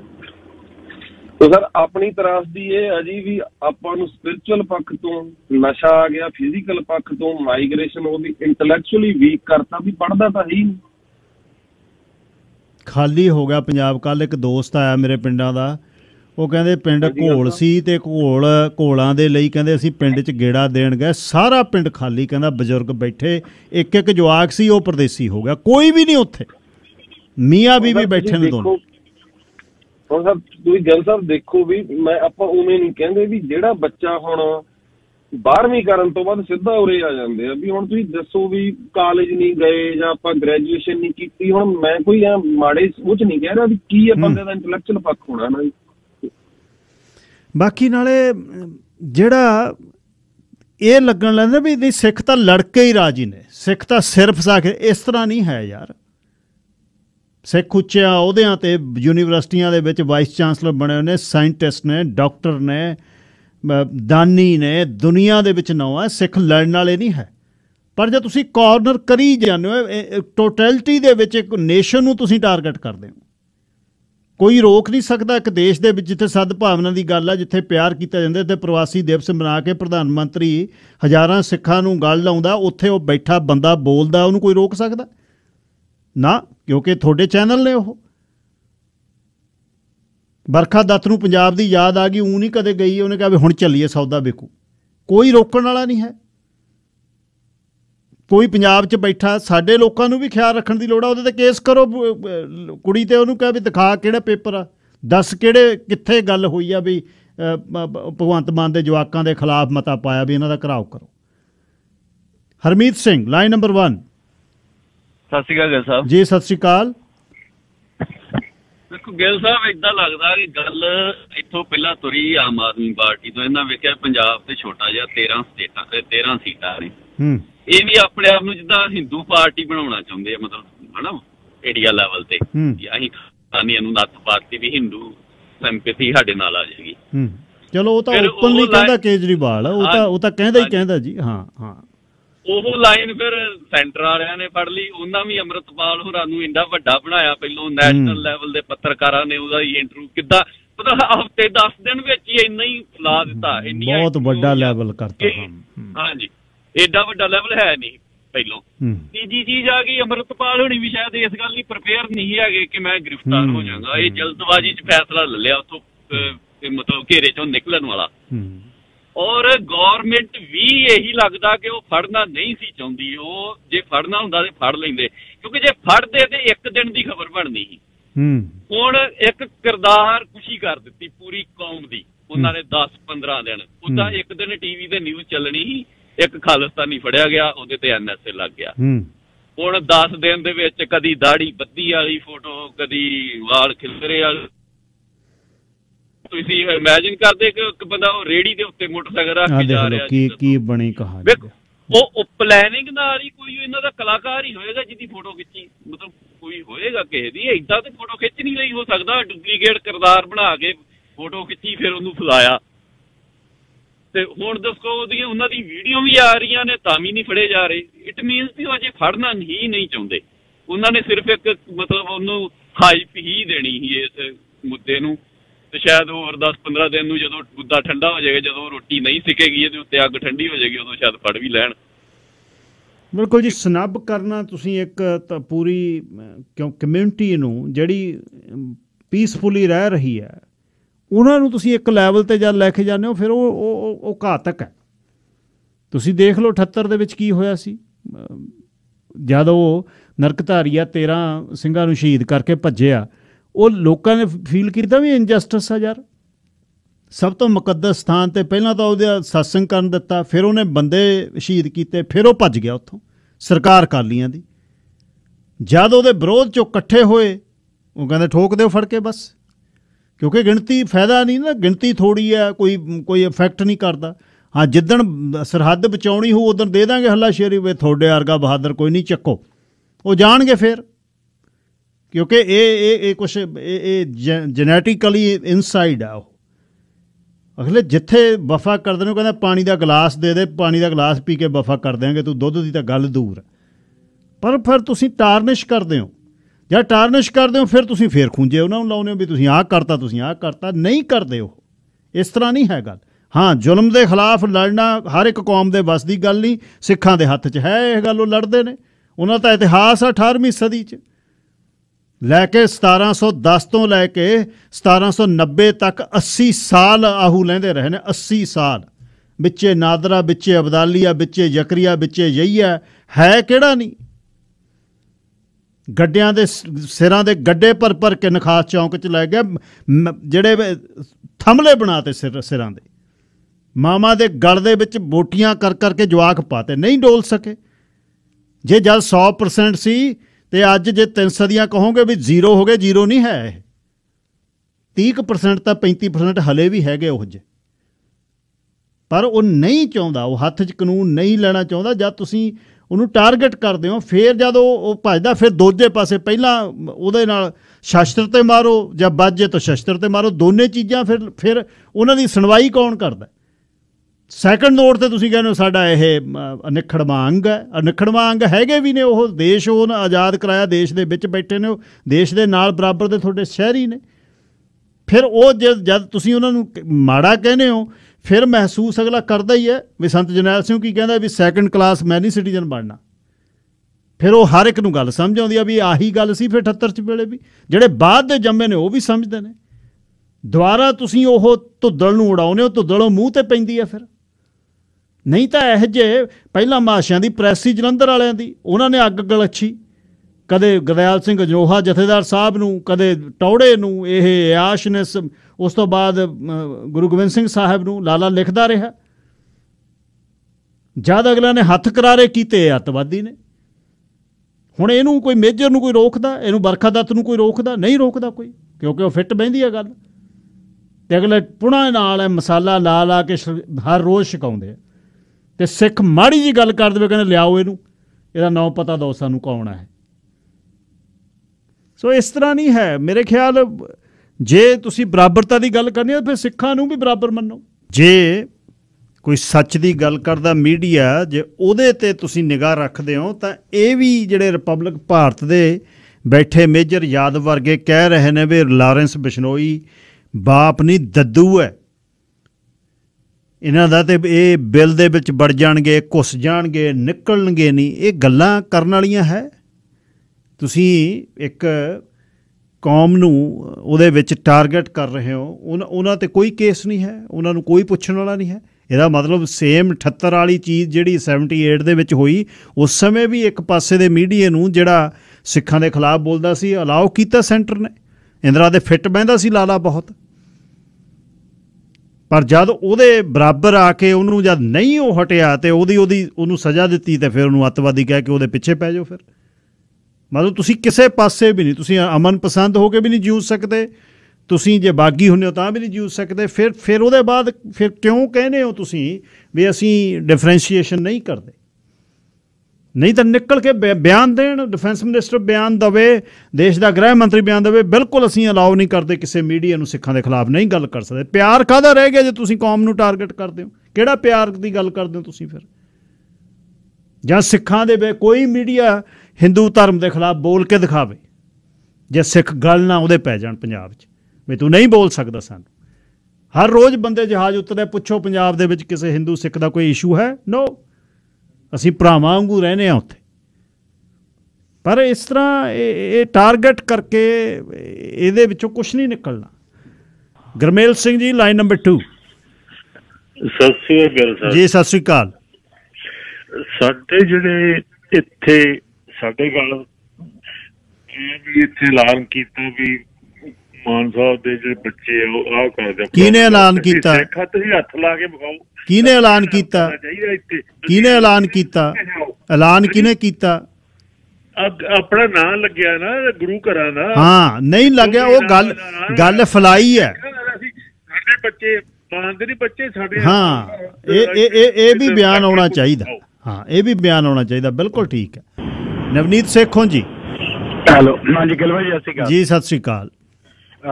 ਗਿਲਵਾ ਜੀ ਜਿਹੜਾ ਸੈਟਲ ਨਾ ਸੈਟਲ ਚ ਇੱਕ ਗੁਰਦੁਆਰਾ ਸੰਗਤੀ ਆ ਜਿਹੜਾ ਮੇਨ ਗੁਰਦੁਆਰਾ ਟੈਲਬਰਟ ਸਟੇਟ ਤੇ ਹੂੰ। ਰੈਂਟਨ ਚ। ਬਾਕੀ ਪੰਜ ਗੁਰਦੁਆਰੇ ਹੈਗੇ ਆ ਉਹ ਜਿਵੇਂ ਆਮ ਕਮੇਟੀਆਂ ਦੇ ਇਕੱਠੇ ਹੋ ਕੇ ਜਿਵੇਂ ਪ੍ਰਾਈਵੇਟ ਜਿਵੇਂ ਆਪਣੇ 72 ਵਾਲਾ ਇੱਕ ਸੰਗਤੀ ਗੁਰਦੁਆਰਾ ਜਿੱਥੇ ਇਲੈਕਸ਼ਨ। ਹੁੰਦੀ ਹੈ ਜਾਂ। ਸਿਲੈਕਸ਼ਨ ਹੁੰਦੀ ਆ ਤੇ ਉਹ ਉਹਦੀ ਉਹ ਮਾਨਤਾ ਅਜੇ ਤੱਕ ਮੰਨੀ ਜਾਂਦੀ ਹੈ ਜੀ ਜੇ ਕੋਈ ਕੌਮੀ ਫੈਸਲਾ ਲੈਣਾ ਹੋਵੇ ਤੇ ਦੋ ਹਫ਼ਤੇ ਪਹਿਲਾਂ ਮੈਂ ਉੱਥੇ ਹੀ ਸੀਗਾ ਜੀ ਕੋਈ ਇਹੋ ਜੀ ਗੱਲ ਨਹੀਂ ਹੋਈ ਜੀ ਉਦੋਂ ਹੈ ਨਹੀਂ ਨਵਨੀਤ ਹੈ ਨਹੀਂ ਗੱਲ ਇਹ ਝੂਠ ਹੈ। ਗੱਲ ਟੋਟਲੀ ਝੂਠ ਹੈ ਹਾਂਜੀ ਕਿਉਂਕਿ ਮੈਂ ਬਿਟਨਸ ਕੀਤਾ ਜੀ ਮੈਂ ਦਰਬਾਰ ਹਾਲ 'ਚ ਹੀ ਸੀਗਾ ਜੀ ਉਦੋਂ। ਇਹ ਇਹਦੇ ਬਾਰੇ ਕੋਈ ਗੱਲਬਾਤ ਐਸੀ ਐਸੀ ਹੋਈ ਨਹੀਂ ਜੀ। ਤੇ ਲੀਡਰਾਂ ਬਾਰੇ ਹੋਈ ਹੈ। ਆ। ਲੀਡਰਾਂ ਬਾਰੇ ਹੋਈ। ਹਾਂਜੀ ਉਹ ਵੀ ਉਦੋਂ ਬਾਅਦ ਹੋਈ ਆ ਜੀ। ਉਹ ਵੀ ਸੰਗਤੀ ਰੂਪ 'ਚ ਲੰਗਰ ਹਾਲਤ ਕਰਕੇ ਉਹਨਾਂ ਨੇ ਇਹ ਗੱਲ ਕਹੀ ਆ ਵੀ ਜਿਹੜੇ ਆਪ ਪਾਰਟੀ ਦੇ ਲੀਡਰ ਨੇ ਉਹਨਾਂ ਨੂੰ ਨਹੀਂ ਬੋਲਣ ਦਿੱਤਾ ਜਾਊਗਾ ਸਟੇਜ ਤੇ। ਜਦੋਂ ਤੱਕ ਇਹ ਚੀਜ਼ ਦੇ ਮਾਫੀ ਨਹੀਂ ਮੰਗਦੇ ਉਹ। ਤੇ ਬਾਕੀ ਜਿਹੜੀ ਰਹਿ ਗਈ ਮੀਡੀਆ ਦੀ ਗੱਲ ਜੀ ਦੇਖੋ ਆਪਾਂ ਨਾ ਇੱਕ ਸਾਈਕੋਲੋਜੀਕਲੀ ਵਾਰ 'ਚ ਹੀ ਆ ਜੀ ਇੱਕ ਯੁੱਧ 'ਚ ਮੰਗ ਹੋਈ ਆ ਹੂੰ। ਜਿਵੇਂ ਇਹਨੂੰ ਕੋਲਡ ਵਾਰ ਕਹਿ ਲਓ ਚਾਹੇ। ਹੂੰ ਹੂੰ ਹੂੰ। ਤੇ ਇਹਦੇ ਇਹਦੇ ਲਈ ਆ ਚੀਜ਼ਾਂ ਤਾਂ ਹੋਣੀਆਂ ਹੀ ਨੇ। ਗਿੱਲ ਸਾਹਿਬ ਦੁਸ਼ਮਣ ਆ ਉਹਨੇ ਕਰਨੀਆਂ ਹੀ ਨੇ। ਆ ਬਹੁਤ ਸੁਭਾਵਿਕ ਚੀਜ਼ਾਂ ਨੇ ਤੇ ਬੜੀਆਂ ਆਮ ਨੇ। ਦੇਖੋ ਆਪਾਂ ਨੂੰ ਉਹਨਾਂ ਦਾ ਮੈਚੁਰਿਟੀ ਲੈਵਲ ਪਤਾ ਕਿੰਨਾ ਕਾ ਹੂੰ। ਠੀਕ ਹੈ ਨਹੀਂ? ਇਹ 'ਚ ਕੋਈ ਸ਼ੱਕ ਨਹੀਂ ਵੀ ਜਿਹੜਾ ਨੈਸ਼ਨਲ ਮੀਡੀਆ ਵੀ ਆ ਜਾਂ ਜਿਹੜੇ ਉਹਨਾਂ ਦੇ ਐਂਕਰ ਨੇ ਉਹਨਾਂ ਦਾ ਜਿ- ਜਿਵੇਂ ਜਿਹੜੀਆਂ ਗੱਲਾਂ ਬਾਤਾਂ ਲਿਆਉਂਦੇ ਆ ਜਿੱਥੋਂ ਲਿਆਉਂਦੇ ਆ ਹਨਾ ਜੀ? ਉਹ ਪਸੰਦ ਨੇ। ਮੈਚੁਰਿਟੀ ਲੈਵਲ ਆ ਬਾਈ ਜੀ ਬਹੁਤ ਛੋਟਾ ਉਹ। ਹੂੰ ਕਿ ਕਈ ਤਾਂ ਜਾਣ ਕੇ ਕਿਤੇ ਵੀ ਕਰਦੇ ਆ ਤੇ ਕਈ ਉਹ ਸਹਿਜ ਸੁਭਾਈ ਕਰਦੇ ਕੋਲ ਉਹਨਾਂ ਨੂੰ ਪਤਾ ਹੀ ਇੰਨਾ ਕਾ ਜੀ। ਤੁਸੀਂ ਤੁਸੀਂ ਕੋਈ ਖਬਰ ਉਹਨਾਂ ਦੇ ਪੰਜਾਬ ਬਾਰੇ ਸੁਣ ਲਓ ਫੇਸ ਕਿਸੇ ਦਾ ਦਿਖਾਈ ਜਾਣਗੇ ਤੇ ਨਾਂ ਕਿਸੇ ਦਾ ਲਿਖਿਆ ਹੋਊਗਾ ਗੱਲ ਕਿਸੇ ਹੋਰ ਦੀ ਕਰ ਰਹੇ ਹੋਣਗੇ। ਕਿਉਂਕਿ ਉਹਨਾਂ ਦਾ ਹੋਮਵਰਕ ਜਮਾ ਹੀ ਨਹੀਂ ਹੁੰਦਾ ਬਾਈ ਜੀ। ਅਜੇ ਆਪਾਂ ਸੰਗਦੇ ਆ ਚੀਜ਼ ਤੋਂ ਯਾਰ ਮੁੜ ਕੇ ਆਪਾਂ ਜਵਾਬ ਦੇ ਆ। ਹੁਣ ਤੁਸੀਂ 100 ਵਾਰ ਗੱਲ ਗੱਲ ਕਰਨ ਤੋਂ ਨਾ ਸੋਚੋਗੇ ਵੀ ਯਾਰ ਕੋਈ- ਮੈਂ ਜਵਾਬ ਦੇ ਵੀ ਆ ਲੋਕਾਂ ਨੂੰ। ਚਾਰ ਬੰਦੇ ਖੜ ਕੇ ਫਿਰ ਗੱਲ ਵੀ ਕਰਨੀ ਆ ਪੁੱਛਣਾ ਅਗਲੇ ਪਰ ਹਾਂ ਅਗਲੇ ਨੇ ਪੁੱਛਣਾ ਬਾਈ ਜੀ ਆਹ ਗੱਲ ਸੀਗੀ ਆ ਤਾਂ ਗੱਲ ਦਾ ਕੋਈ ਤੱਥ ਤਾਂ ਹੈ ਨਹੀਂ। ਪਰ ਉਹਨਾਂ ਨੂੰ ਬਾਈ ਜੀ ਕੋਈ ਸੰਗ ਸ਼ਰਮ ਹੈ ਨਹੀਂ। ਤੇ ਖਾ ਜਦੋਂ ਸਿੱਖਾਂ ਦੀ ਗੱਲ ਆਉਂਦੀ ਹੈ ਜੀ ਉਹ ਤਾਂ ਉਹਨਾਂ ਨੇ ਆਹ ਗੱਲ ਕਰਨੀ ਹੋਈ ਆ ਬਾਈ ਜੀ ਗਾਹਾਂ ਨੂੰ ਵੀ ਕਰਨੀ ਆ। ਉਹ ਤਾਂ ਉਹ ਤਾਂ ਹੁਣ ਆਪਾਂ ਨੂੰ ਜਿਹੜੇ ਬਾਹਰ ਬੈਠੇ ਆ ਸਿੱਖ, ਉਹਨਾਂ ਦਾ ਵੀ ਫਰਜ਼ ਬਣਦਾ ਨਾ ਵੀ ਬਾਰ-ਬਾਰ ਉਹੀ ਗੱਲਾਂ ਰਿਪੀਟ ਨਾ ਕਰਨ ਉਹ ਸਿੱਖ। ਜਦੋਂ ਆਪਾਂ ਰਿਐਕਟੀ ਆਪਾਂ ਰਿਐਕਸ਼ਨਰੀ ਨਾ ਹੋਈਏ ਵੀ ਜਦੋਂ ਪਤਾ ਵੀ ਉਹਨਾਂ ਨੇ ਆਹ ਗੱਲ ਕਰਨੀ ਹੈ ਵੀ ਉਹਦੇ ਆਨਸਰ ਪਹਿਲਾਂ ਹੀ ਲੱਭੇ ਹੋਣ। ਹੁਣ ਕਿੱਡੀ ਕੁ ਗੱਲ ਸੀ ਜੀ ਜੇ ਵਾਸ਼ਿੰਗਟਨ ਦੀ ਕਮੇਟੀ ਉਹ ਆਹ ਗੱਲ ਕਹਿ ਦਿੰਦੀ ਵੀ ਬਾਈ ਜੀ ਇਹੋ ਜਿਹਾ ਕੋਈ ਬਿਆਨ ਨਹੀਂ ਸੀਗਾ। ਆਇਆ ਵੀ ਅਸੀਂ ਇਹਨੂੰ ਇਹਦੀ ਪੁਰਜੋ ਸ਼ਬਦਾਂ ਦੀ ਨਿੰਦਿਆ ਕਰਦੇ ਆ। ਜਿਹੜਾ ਉਹਨਾਂ ਨੇ ਬਿਆਨ ਦਿੱਤਾ ਕਿ ਸ਼ਰਾਰਤ ਦੇ ਅਧੀਨ ਦਿੱਤਾ ਗਿਆ। ਦੋ ਦੋ ਲਾਈਨਾਂ ਸੀਗੀਆਂ ਹਨ ਜੀ? ਬਿਲਕੁਲ ਚਾਹੀਦੀਆਂ। ਹੋ ਜਾਂਦੇ ਆ ਜੀ। ਆ ਲੇਟ ਹੋ ਜਾਂਦੇ ਆਪਾਂ। ਤੇ ਉਹ ਕਹਿੰਦੇ ਵੇਲੇ ਦੇ ਕੰਮ ਕਬਲੇ ਦੇ ਟੱਕਰਾਂ। ਉਹ ਤੇ ਉਹ ਆ ਚੀਜ਼ ਵੀ ਪਤਾ ਜੀ ਉਹਨਾਂ ਨੂੰ। ਉਹ ਚੀਜ਼ ਦਾ ਮਿਸਯੂਜ਼ ਕਰਦੇ ਆ।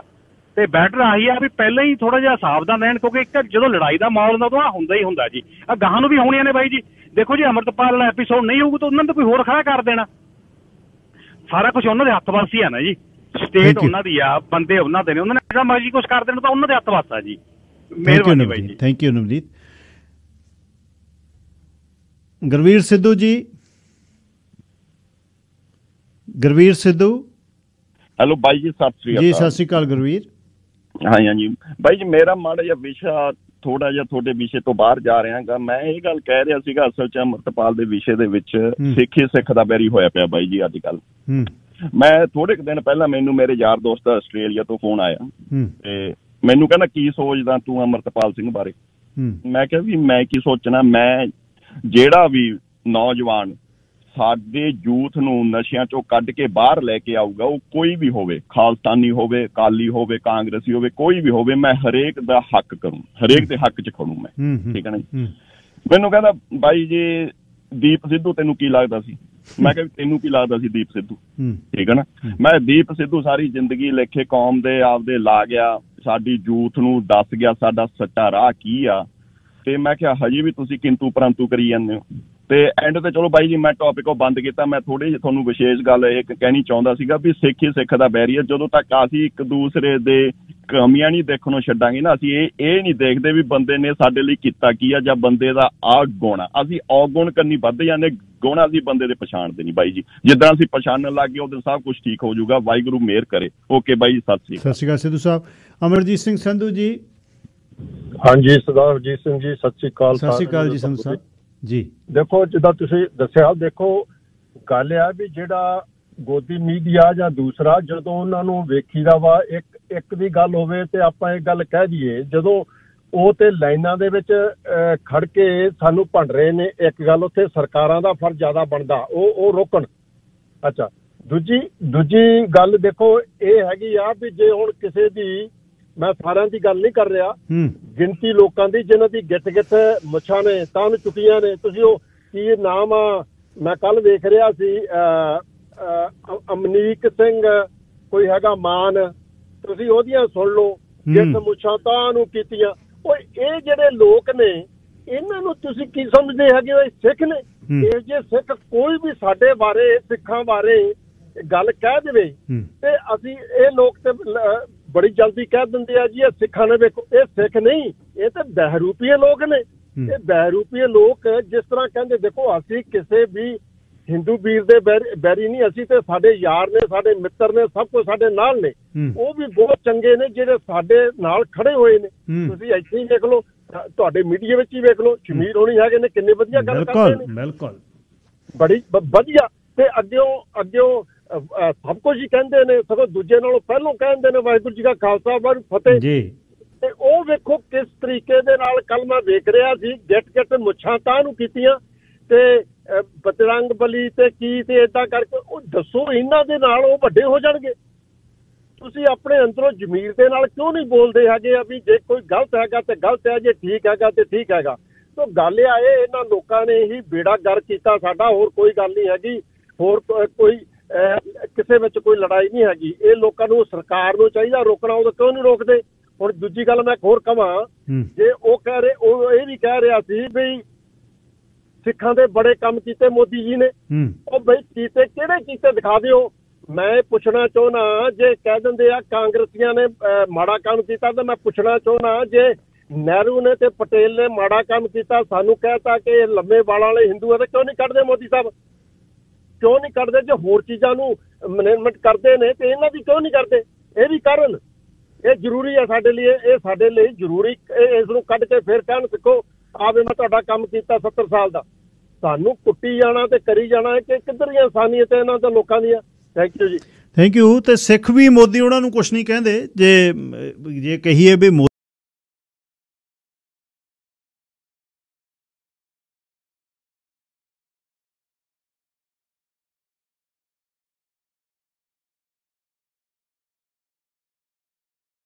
ਵੀ ਮੋਦੀ ਉਹਨਾਂ ਨੂੰ ਕੁਝ ਨਹੀਂ ਕਹਿੰਦੇ ਜੇ ਜੇ ਕਹੀਏ ਵੀ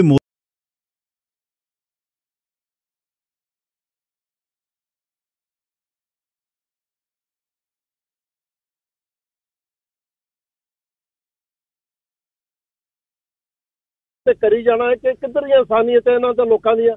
ਥੈਂਕ ਯੂ ਜੀ।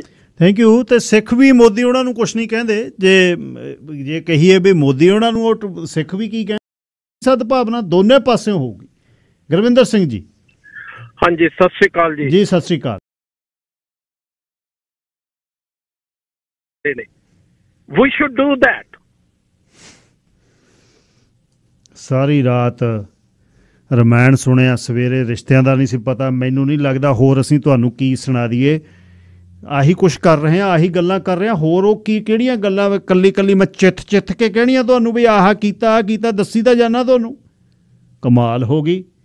ਚਾਹ ਦਾ ਸਮਾਂ ਹੋਇਆ ਹੋਇਆ ਤੁਹਾਡਾ। ਸੋ ਪਹਿਲੇ ਵਿਸ਼ੇ ਨੂੰ ਮੈਂ ਸਮ ਅਪ ਕਰਦਾ, ਉਹ ਇਹੀ ਗੱਲ ਹੈ ਕਿ ਜਦ ਕੋਈ ਕਨਫਲਿਕਟ ਹੁੰਦਾ ਹੈ ਕਨਫਲਿਕਟ ਕੋਈ ਵੀ ਵਿਚਾਰਕ ਮਤਭੇਦ ਨੇ ਤਾਂ ਉਹਨੂੰ ਨਿਪਟਾਉਣ ਦਾ ਇਹੀ ਹੈ ਕਿ ਦੋਨੇ ਧਿਰਾਂ ਆਪਣਾ ਆਪਣਾ ਖਿਆਲ ਰੱਖਣ। ਮੇਰੇ ਖਿਆਲ 'ਚ ਇਹੀ ਹੈ। ਇਹ ਠੀਕ ਹੈ, ਜਦ ਇੱਕ ਭਾਈਚਾਰੇ ਦੀ ਗਿਣਤੀ ਵੱਧ ਹੈ ਤੇ ਉਸ ਗਿਣਤੀ ਦੇ ਪੱਤਰਕਾਰਾਂ ਨੂੰ ਆਪਣਾ ਆਪਣੇ ਵਿਊਆਂ ਦਾ ਪਿਆ ਤਾਂ ਉਹ ਗਰਮ ਗੱਲ ਕਰਨਗੇ, ਪਰ ਉਸ ਨੂੰ ਰੋਕਣ ਦੀ ਲੋੜ ਹੈ। ਜੇ ਬਾਕੀ ਮੀਡੀਏ ਦੀ ਨਿਗਾਹ ਤੇ ਤੁਸੀਂ ਤੇ ਰੱਖਦੇ ਹੋ, ਤਾਂ ਉੱਥੇ ਵੀ ਨਿਗਾਹ ਰੱਖਣ ਦੀ ਲੋੜ ਆ ਚਲੋ, ਇਹ ਬਾਹਰ ਤਾਂ ਸਾਡਾ ਆਪਣਾ ਹੈ ਨਹੀਂ, ਸਾਰੇ ਆਪਾਂ ਬਹੁਤ ਵਧੀਆ ਤਰੀਕੇ ਨਾਲ ਸੇਵਾਵਾਂ ਦਿੰਦੇ ਆ ਪਰ ਉੱਥੇ ਇਹ ਫ਼ਰਕ ਪੈਂਦਾ, ਬਹੁਤ ਵੱਡਾ। ਇਹ ਇਹ ਹਵਾ ਆਪਾਂ ਵੇਖੀ ਆ 78ਵਿਆਂ ਦੇ ਵਿੱਚ ਕਿ ਇੱਕ ਭਾਈਚਾਰੇ ਦੀ ਪ੍ਰਤੀਨਿਧਤਾ ਕਰਨ ਵਾਲਾ ਅਖਬਾਰਾਂ ਦਾ ਇੱਕ ਸਮੂਹ, ਉਹ ਕਿਵੇਂ ਗੱਲਾਂ ਲਾਉਂਦਾ ਰਿਹਾ? ਕਿਵੇਂ ਤੁਸੀਂ ਇੱਕ ਕਿਤਾਬ ਪੜ੍ਹੇ, ਪੜ੍ਹਿਓ, ਸਿੱਖਾਂ ਦੀ ਸਿਧਾਂਤਕ ਘੇਰਾਬੰਦੀ ਅਜਮੇਰ ਸਿੰਘ ਉਹਨਾਂ ਦੀ, ਦੇਖਿਓ ਸਿਸਟਮ ਵਰਕਆਊਟ ਕਿਵੇਂ ਕੀਤਾ? ਕ੍ਰੈਡਨਾਮਾ ਕੀ ਸੀ ਕ੍ਰੈਡ ਕੀ ਸੀ? ਤੇ ਕਿਵੇਂ ਕਿਵੇਂ ਉੱਥੇ ਕਹਾਣੀਆਂ ਨੂੰ ਮੋੜ ਦਿੱਤਾ ਗਿਆ। ਡੈਮੇਜ ਜਦ ਹੁੰਦਾ ਹੈ ਤਾਂ ਉਹ ਉਹ ਖਤਰਨਾਕ ਹੈ। ਉਸ ਨੂੰ ਉਸ ਨੂੰ ਰੋਕਣ ਦੀ ਲੋੜ ਹੈ। ਤੇ ਜਿਹੜਾ ਵੀ ਕੋਈ ਗਲਤ ਕਰਦਾ ਉਹਨੂੰ ਡਿਨਾਉਂਸ ਕਰਨ ਦੀ ਲੋੜ ਹੈ। ਉਹਨੂੰ ਵੀ ਨਹੀਂ ਇਹ ਠੀਕ ਨਹੀਂ ਤੂੰ ਕਰ ਰਿਹਾ। ਆਪਣੇ ਆਪਣੇ ਅਕੀਦੇ ਤੇ ਖੜੇ ਕੇ ਰਹਿ ਕੇ ਇੱਕ ਦੂਜੇ ਦਾ ਸਤਿਕਾਰ ਕਰਕੇ ਹੀ ਵਧੀਆ ਇੱਕ ਸਮਾਜ ਤੁਸੀਂ ਨਰੋਆ ਸਮਾਜ ਸਿਰ ਸਕਦੇ ਹੋ। ਇੱਕ ਪਾਸੜ ਨਹੀਂ ਹੈ। ਜਿਹੜੀ ਆਪਣੀ ਗੱਲ ਗੁਰਵੀਰ ਹੋਣੀ ਕਹਿ ਕੇ ਨਾ ਉਹ ਤਾਂ ਹਰ ਇੱਕ ਚ ਹੋਣਾ ਹੀ ਹੋਣਾ ਹੈ, ਕਿਉਂਕਿ ਉੱਥੇ ਵੀ ਇੱਕ ਰੇਸ ਹੈ ਅੱਗੇ ਆਉਣ ਦੀ। ਵੀ ਕਿਸੇ ਨੂੰ ਮ- ਸਿੱਟ ਕੇ ਅੱਗੇ ਆਇਆ ਜਾ ਸਕਦਾ ਹੈ, ਉਹ ਉਹ ਚੱਲਦੀ ਹੈ ਮਨੁੱਖਤਾ ਦਾ ਉਹ ਕਿਸੇ ਧਰਮ ਵਿਅਕਤੀ ਵਿਸ਼ੇਸ਼ ਦੇ ਨਹੀਂ ਉਹ ਸਾਰੇ ਧਰਮਾਂ 'ਚ ਇਸ ਤਰ੍ਹਾਂ ਹੀ ਹੈ ਇੱਕ ਦੂਜੇ ਨੂੰ ਥੱਲੇ ਸਿੱਟ ਕੇ ਅੱਗੇ ਆਉਣ ਦੀ ਇੱਕ ਉਹ ਉਹ ਚੱਲਦੀ ਹੈ ਕਹਾਣੀ। ਪਰ ਫਿਰ ਵੀ ਚੰਗਾ ਕਰਨ ਵਾਲੇ ਇਨਸਾਨ ਜਾਂ ਸਮਾਜ ਦੇ ਵਿੱਚ ਵਿਚਰਨਗੇ ਤਾਂ ਹੀ ਸਮਾਜ ਵਧੀਆ ਹੋਊਗਾ। ਇਹ ਖਿਆਲ ਰੱਖਣ ਦੀ ਲੋੜ ਹੈ ਤੇ ਇਹਨਾਂ ਨੂੰ ਇਹ ਰਿਟਾਇਰਡ ਜਿਹੜੇ ਮੇਜਰ ਮੂਜਰ ਨੇ ਇਹਨਾਂ ਇਹਨਾਂ ਨੂੰ ਰੋਕਣ ਦੀ ਲੋੜ ਹੈ। ਇੱਕ ਕ੍ਰਿਮੀਨਲ ਨੂੰ ਜਿਹੜਾ ਕਾਤਲ ਹੈ, ਜੇਲ੍ਹ 'ਚ ਬੈਠਾ ਹੈ, ਉਹਨੂੰ ਉਹ ਸਿੱਖਾਂ ਦਾ ਦਾਦਾ ਤੇ ਪਿਓ ਨਹੀਂ ਹੋ ਸਕਦਾ ਉਹ। ਇਹਨੂੰ ਇਹਨੂੰ ਰੋਕਣ ਦੀ ਲੋੜ ਹੈ। ਤੇ ਪਟਿਆਲ ਵਰਗੇ ਜਿਹੜੇ ਆਪਣੇ ਆਪ ਨੂੰ ਜਰਨਲਿਸਟ ਕਹਾਉਂਦੇ ਨੇ, ਉਹ ਇਹਨਾਂ ਗੈਂਗਸਟਰਾਂ ਦੀਆਂ ਇੰਟਰਵਿਊਆਂ ਕਰਕੇ ਸਿੱਧ ਕੀ ਕਰ ਰਹੇ ਨੇ, ਉਹਨਾਂ ਨੂੰ ਵੀ ਪੁੱਛਣ ਦੀ ਲੋੜ ਆ ਵੀ ਤੂੰ ਇਹਦੇ ਚੋਂ ਕੀ ਕਰ ਰਿਹਾ ਨਾਲ ਉਹਨੇ ਡੀਜੀਪੀ ਦਾ ਮਜ਼ਾਕ ਉਡਾਇਆ ਤੇ ਹਾਲੇ ਵੀ ਉਹਦੇ ਤੇ ਕੁਝ ਨਹੀਂ ਹੈ। ਕੋਈ ਬਿਆਨ ਨਹੀਂ ਮੁੜ ਕੇ ਆਇਆ ਗੌਰਵ ਯਾਦਵ ਹੋਣਾ ਦਾ। ਉਹ ਕਹਿੰਦਾ, ਨਾ, ਉਹਦਾ ਪੁਰਾਣੀ ਆ। ਕਹਿੰਦਾ, ਨਾ, ਵੀ ਹੁਣ ਤਾਂ ਉਹਦੇ ਵਾਲ ਛੋਟੇ ਲੱਗ ਕਹਿੰਦਾ, ਚੱਕ ਛੋਟੇ ਵਾਲਾਂ ਵਾਲੀ ਰਹਿ ਕੀ ਗਿਆ ਉੱਥੇ? ਹੱਸਣਾ? ਦੇਸ਼ ਦੇ, ਸੂਬੇ ਦਾ, ਪੁਲਿਸ ਦਾ ਹੈੱਡ ਹੱਸ ਰਿਹਾ ਉਸ ਗੱਲ ਤੇ? ਉਹ ਸੁਨੇਹਾ ਕੀ ਜਾਂਦਾ? ਸੋ, ਇਹ, ਇਹੀ ਚੀਜ਼ਾਂ ਕਲੈਕਟਿਵਲੀ ਫਿਰ ਇਕੱਠੀਆਂ ਹੁੰਦੀਆਂ ਨੇ। ਲੋਕ ਜਦ ਇੱਕ ਪਾਸੇ ਨੂੰ ਇੱਕ ਸੋਚ ਤੁਰਦੀ ਆ, ਉਹ ਇਹ, ਇਹ- ਇਸ ਤਰ੍ਹਾਂ ਇਹਨੂੰ ਜੋੜਨ ਲੱਗ ਜਾਂਦੀ ਹੈ ਫਿਰ। ਵੀ ਆ ਵੀ ਹੋਇਆ ਆ ਵੀ ਹੋਇਆ ਆ ਵੀ ਹੋਇਆ ਆ ਵੀ ਹੋਇਆ, ਕਿਉਂਕਿ ਉਹ ਉਹਦਾ ਧਾਰਨਾ ਬਣ ਜਾਂਦੀ ਆ ਵੀ ਧੱਕਾ ਹੁੰਦਾ। ਕੈਨੇਡੀਅਨ ਬਲੱਡ ਸਰਵਿਸਿਜ਼ ਵਾਲੇ ਬੇਨਤੀ ਕਰ ਰਹੇ ਨੇ ਵੀ ਖੂਨਦਾਨੀਆਂ ਦੀ ਜ਼ਰੂਰਤ ਹੈ। ਸਰੀ ਦਾ ਡੋਨਰ ਸੈਂਟਰ ਆ ਜਿਹੜਾ 152 ਪਿਆ- 85 101 ਐਵਨਿਊ ਤੇ ਆ। 6 ਦਿਨ ਖੁੱਲਾ ਮੰਡੇ ਤੋਂ ਲੈ ਕੇ ਸੈਟਰਡੇ ਤੱਕ। ਤੇ 300 ਦੇ ਕਰੀਬ ਅਪਾਇੰਟਮੈਂਟਸ ਨੇ ਜਿਹੜੀਆਂ ਸਰੀ ਦੇ ਵਿੱਚ ਫਿਲ ਇਨ ਕਰਨੀਆਂ ਨੇ ਅਪ੍ਰੈਲ 10 ਤੱਕ। 650 ਹੋਰ ਅਪਾਇੰਟਮੈਂਟਸ ਨੇ ਸਰੀ ਦੇ ਵਿੱਚ, ਅਪ੍ਰੈਲ ਦੇ ਵਿੱਚ। ਅਪ੍ਰੈਲ ਦੇ ਮਹੀਨੇ ਕਿਉਂਕਿ ਵੱਡਾ ਮਹੀਨਾ ਇਹ ਕੌਮ ਦੇ ਲਈ ਤੇ ਦਾਨੀਆਂ ਨੂੰ ਬੇਨਤੀ ਹੈ ਕਿ ਖੂਨਦਾਨ ਤੁਸੀਂ ਕਰ ਸਕਦੇ ਹੋ। 152 85 101 ਐਵਨਿਊ ਤੇ। ਖੂਨ ਦੀ ਬਹੁਤ ਬਲੱਡ ਦੀ ਜ਼ਰੂਰਤ ਹੈ। ਆਪਣੇ ਇੱਥੇ ਮਹਿੰਗੇ ਹੋਏ ਜਿਹੜੇ ਘਰ ਨੇ, ਇਹਨਾਂ ਨੂੰ ਬੱਤ ਕਰਨ ਦੇ ਲਈ ਕੀ ਕੀਤਾ ਜਾ ਸਕਦਾ ਹੈ? ਕੀ ਤੁਸੀਂ ਸੋਚਦੇ ਹੋ ਕਿ ਕੀ ਹੋ ਸਕਦਾ ਜਿਹਦੇ ਨਾਲ ਇਹ ਚੀਜ਼ਾਂ ਠੀਕ ਹੋਣ? 604 204 0600 ਘਰਾਂ ਦੇ ਵਿੱਚ ਹੋਰ ਰੈਂਟਲ ਯੂਨਿਟ ਬਣਾ ਕੇ ਸਿੰਗਲ ਫੈਮਿਲੀ ਲੋਟ ਦੇ ਵਿੱਚ ਚਾਰ ਯੂਨਿਟ ਕਿਵੇਂ ਬਣਗੇ ਅਮ, ਜਾਂ ਤਾਂ ਡਿਜ਼ਾਈਨ ਇਹ ਹੋਊਗਾ ਵੀ ਅਪਾਰਟਮੈਂਟ ਵਾਂਗੂ ਫੋਰਪਲੈਕਸ ਬਣਨ ਲੱਗਣਗੇ 60 ਬਾਈ 120 ਦੀ ਲਾਟ ਤਾਂ ਬਹੁਤ ਵੱਡੀ ਆ, ਹੁਣ ਉਹਦੀ ਤਾਂ ਲਾਟ ਇਹ ਹੈ ਨਹੀਂ। ਤੇ ਕਿਵੇਂ ਬਣੂਗਾ? ਜਾਂ ਫਿਰ ਯੂਨਿਟ ਹੀ ਚਾਰ ਬਣਨਗੇ ਵੀ ਦੋ ਥੱਲੇ ਦੋ ਉੱਪਰ, ਇਸ ਤਰ੍ਹਾਂ ਅਗਲੀ ਡਿਜ਼ਾਈਨ ਚਾਹੀਦੇ ਨੇ। ਕਿਵੇਂ ਘਰ ਜਿਹੜੇ ਨੇ ਬੇਸਿਕਲੀ ਉਹਨਾਂ ਦਾ ਆਈਡੀਆ ਤਾਂ ਇਹੀ ਆ ਵੀ ਘਰ ਜਿਹੜੇ ਸਸਤੇ ਹੋਣ, ਆਮ ਲੋਕਾਂ ਦੀ ਪਹੁੰਚ 'ਚ ਹੋਣ। ਕਿਵੇਂ ਹੋ ਸਕਦੇ ਨੇ? 6042040600 ਕੀ ਵਿਚਾਰ ਨੇ ਤੁਹਾਡੇ? ਵਾਕਈ ਹੋ ਸਕਦੇ ਨੇ? ਅੱਛਾ ਵੈਨਕੂਵਰ ਦੇ ਵਿੱਚ ਤਾਂ ਇਹ ਗੱਲ ਚੱਲ ਪਈ ਹੈ ਵੈਨਕੂਵਰ ਦੇ ਵਿੱਚ ਹੁਣ ਡਿਊਪਲੈਕਸ ਬਣਦੇ ਨੇ। ਅੱਗੇ ਪਿੱਛੇ ਬਣਦੇ ਨੇ ਤੇ ਉਹਨਾਂ ਦੇ ਸਿਵਿਕ ਐਡਰੈਸ ਦੋ ਨੇ ਪਲੱਸ ਉਹਨਾਂ 'ਚ ਸਵੀਟ ਹੈ ਉਹ ਤਾਂ ਇੱਕ ਯੂ- ਇੱਕ ਲੋਟ ਦੇ ਵਿੱਚ ਚਾਰ ਯੂਨਿਟ ਉਹ ਤਾਂ ਬਣਨ ਲੱਗ ਗਏ। ਦੋ ਮੇਨ ਦੋ ਬੇਸਮੈਂਟ ਚਾਰ ਯੂਨਿਟ ਬਣਨੇ ਸ਼ੁਰੂ ਹੋ ਗਏ ਉਹ ਤਾਂ। ਬਾਕੀ ਸ਼ਹਿਰਾਂ 'ਚ ਵੀ ਇਹ ਠੀਕ ਹੋਏਗਾ ਆਉਣ ਵਾਲੇ ਸਮੇਂ 'ਚ ਪ੍ਰਾਈਵੇਸੀ ਦੇ ਹਿਸਾਬ ਨਾਲ, ਜਾਂ ਇਹ ਹੋਏਗਾ ਵੀ ਕੁਝ ਏਰੀਆ ਜਿਹੜਾ ਪਹਿਲਾ ਉਹ ਸਿੰਗਲ ਫੈਮਿਲੀ ਵਾਲੇ ਜਿਵੇਂ ਰਹਿੰਦੇ ਨੇ, ਉਹ ਰਹਿਣਗੇ। ਨਵਿਆਂ ਦੇ ਲਈ ਜਿਹੜਾ ਆ ਰਹੇ ਨੇ ਉਹ ਟਾਊਨ ਹਾਊਸ ਕੌਂਡੋ ਨਾਲੋਂ ਸਿੰਗਲ ਫੈਮਿਲੀ ਦੇ ਵਿੱਚ ਚਾਰ ਯੂਨਿਟ ਜਿਹੜੇ ਨੇ, ਖੈਰ ਤਿੰਨ ਯੂਨਿਟ ਤਾਂ ਹੈਗੇ, ਕਈਆਂ 'ਚ ਤਿੰਨ ਬੇਸਮੈਂਟਾਂ ਵੀ ਹੈਗੀਆਂ ਨੇ ਜਿਹੜਾ ਜਿਹੜੇ ਜਿਹੜੇ ਲੈਂਡ ਯੂਜ਼ ਵੱਡੇ ਘਰ ਨੇ, ਤਿੰਨ ਕੀ ਚਾਰ ਚਾਰ ਨੇ। ਦੋ ਮੇਨ ਫਲੋਰ ਤੇ, ਦੋ ਗਰਾਊਂਡ ਫਲੋਰ ਤੇ ਰਹਿائش ਉੱਪਰ ਜਿਹੜੇ ਲੈਂਡ ਯੂਜ਼ 3 ਸਟੋਰੀ ਘਰ ਨੇ, ਉਹਨਾਂ 'ਚ ਤਾਂ ਚਾਰ ਯੂਨਿਟ ਕੀ ਪੰਜ ਰਹਿ ਰਹੇ ਨੇ ਬੰਦੇ। ਦੋ ਬੇਸਮੈਂਟਾਂ ਨੇ ਉਹਨਾਂ 'ਚ। ਦੋ ਮੇਨ ਫਲੋਰ ਦੀਆਂ ਬੇਸਮੈਂਟਾਂ ਨੇ। ਬੇਸਮੈਂਟ ਕੀ? ਰੈਂਟਲ ਯੂਨਿਟਸ ਨੇ ਚਾਰ। ਮੇਨ ਫਲੋਰ ਤੇ ਉਹਨਾਂ ਨੇ ਆਪਣਾ, ਇੱਕ ਛੋਟਾ ਜਿਹਾ ਬਾਰ ਤੇ ਨਾਲ ਛੋਟਾ ਜਿਹਾ ਇੱਕ ਜਿਹੜਾ ਥੀਏਟਰ ਸਾਰੀ ਰਹਿائش ਉੱਪਰ ਜਿਹੜੇ ਮਾਲਕ ਨੇ। ਉਹਦੇ ਤਾਂ ਪੰਜ ਯੂਨਿਟ ਹੋ ਗਏ। ਪਰ ਫਿਰ ਵੀ ਤੁਹਾਡੇ ਆਈਡੀਏ ਜਿਹੜੇ ਨੇ ਤੁਸੀਂ ਕਿਵੇਂ ਸੋਚਦੇ ਹੋ ਬਈ ਇਹ ਵਰਕਆਊਟ ਹੋਊ? ਅ, ਡੇਵਿਡ ਈਬੀ ਉਹਨਾਂ ਨੇ ਮੁੱਖ ਮੰਤਰੀ ਸਾਹਿਬ ਨੇ ਇਹ ਗੱਲ ਕਹੀ ਹੈ ਕਿ ਮੈਂ ਰੈਂਟਲ ਦੇ ਰੈਨੋਵੇਸ਼ਨ ਲਈ ਵੀ 40000 ਜਿਹੜਾ ਲੋਨ ਅਸੀਂ ਵਾਪਸ ਨਹੀਂ ਤੁਹਾਤੋਂ ਲੈਣਾ। ਉਹ ਵੀ ਆਉਣ ਵਾਲੇ ਸਮੇਂ ਦੇ ਵਿੱਚ ਉਹ ਕਹਿੰਦੇ ਅਸੀਂ ਪਲਾਨ ਕਰ ਰਹੇ ਹਾਂ।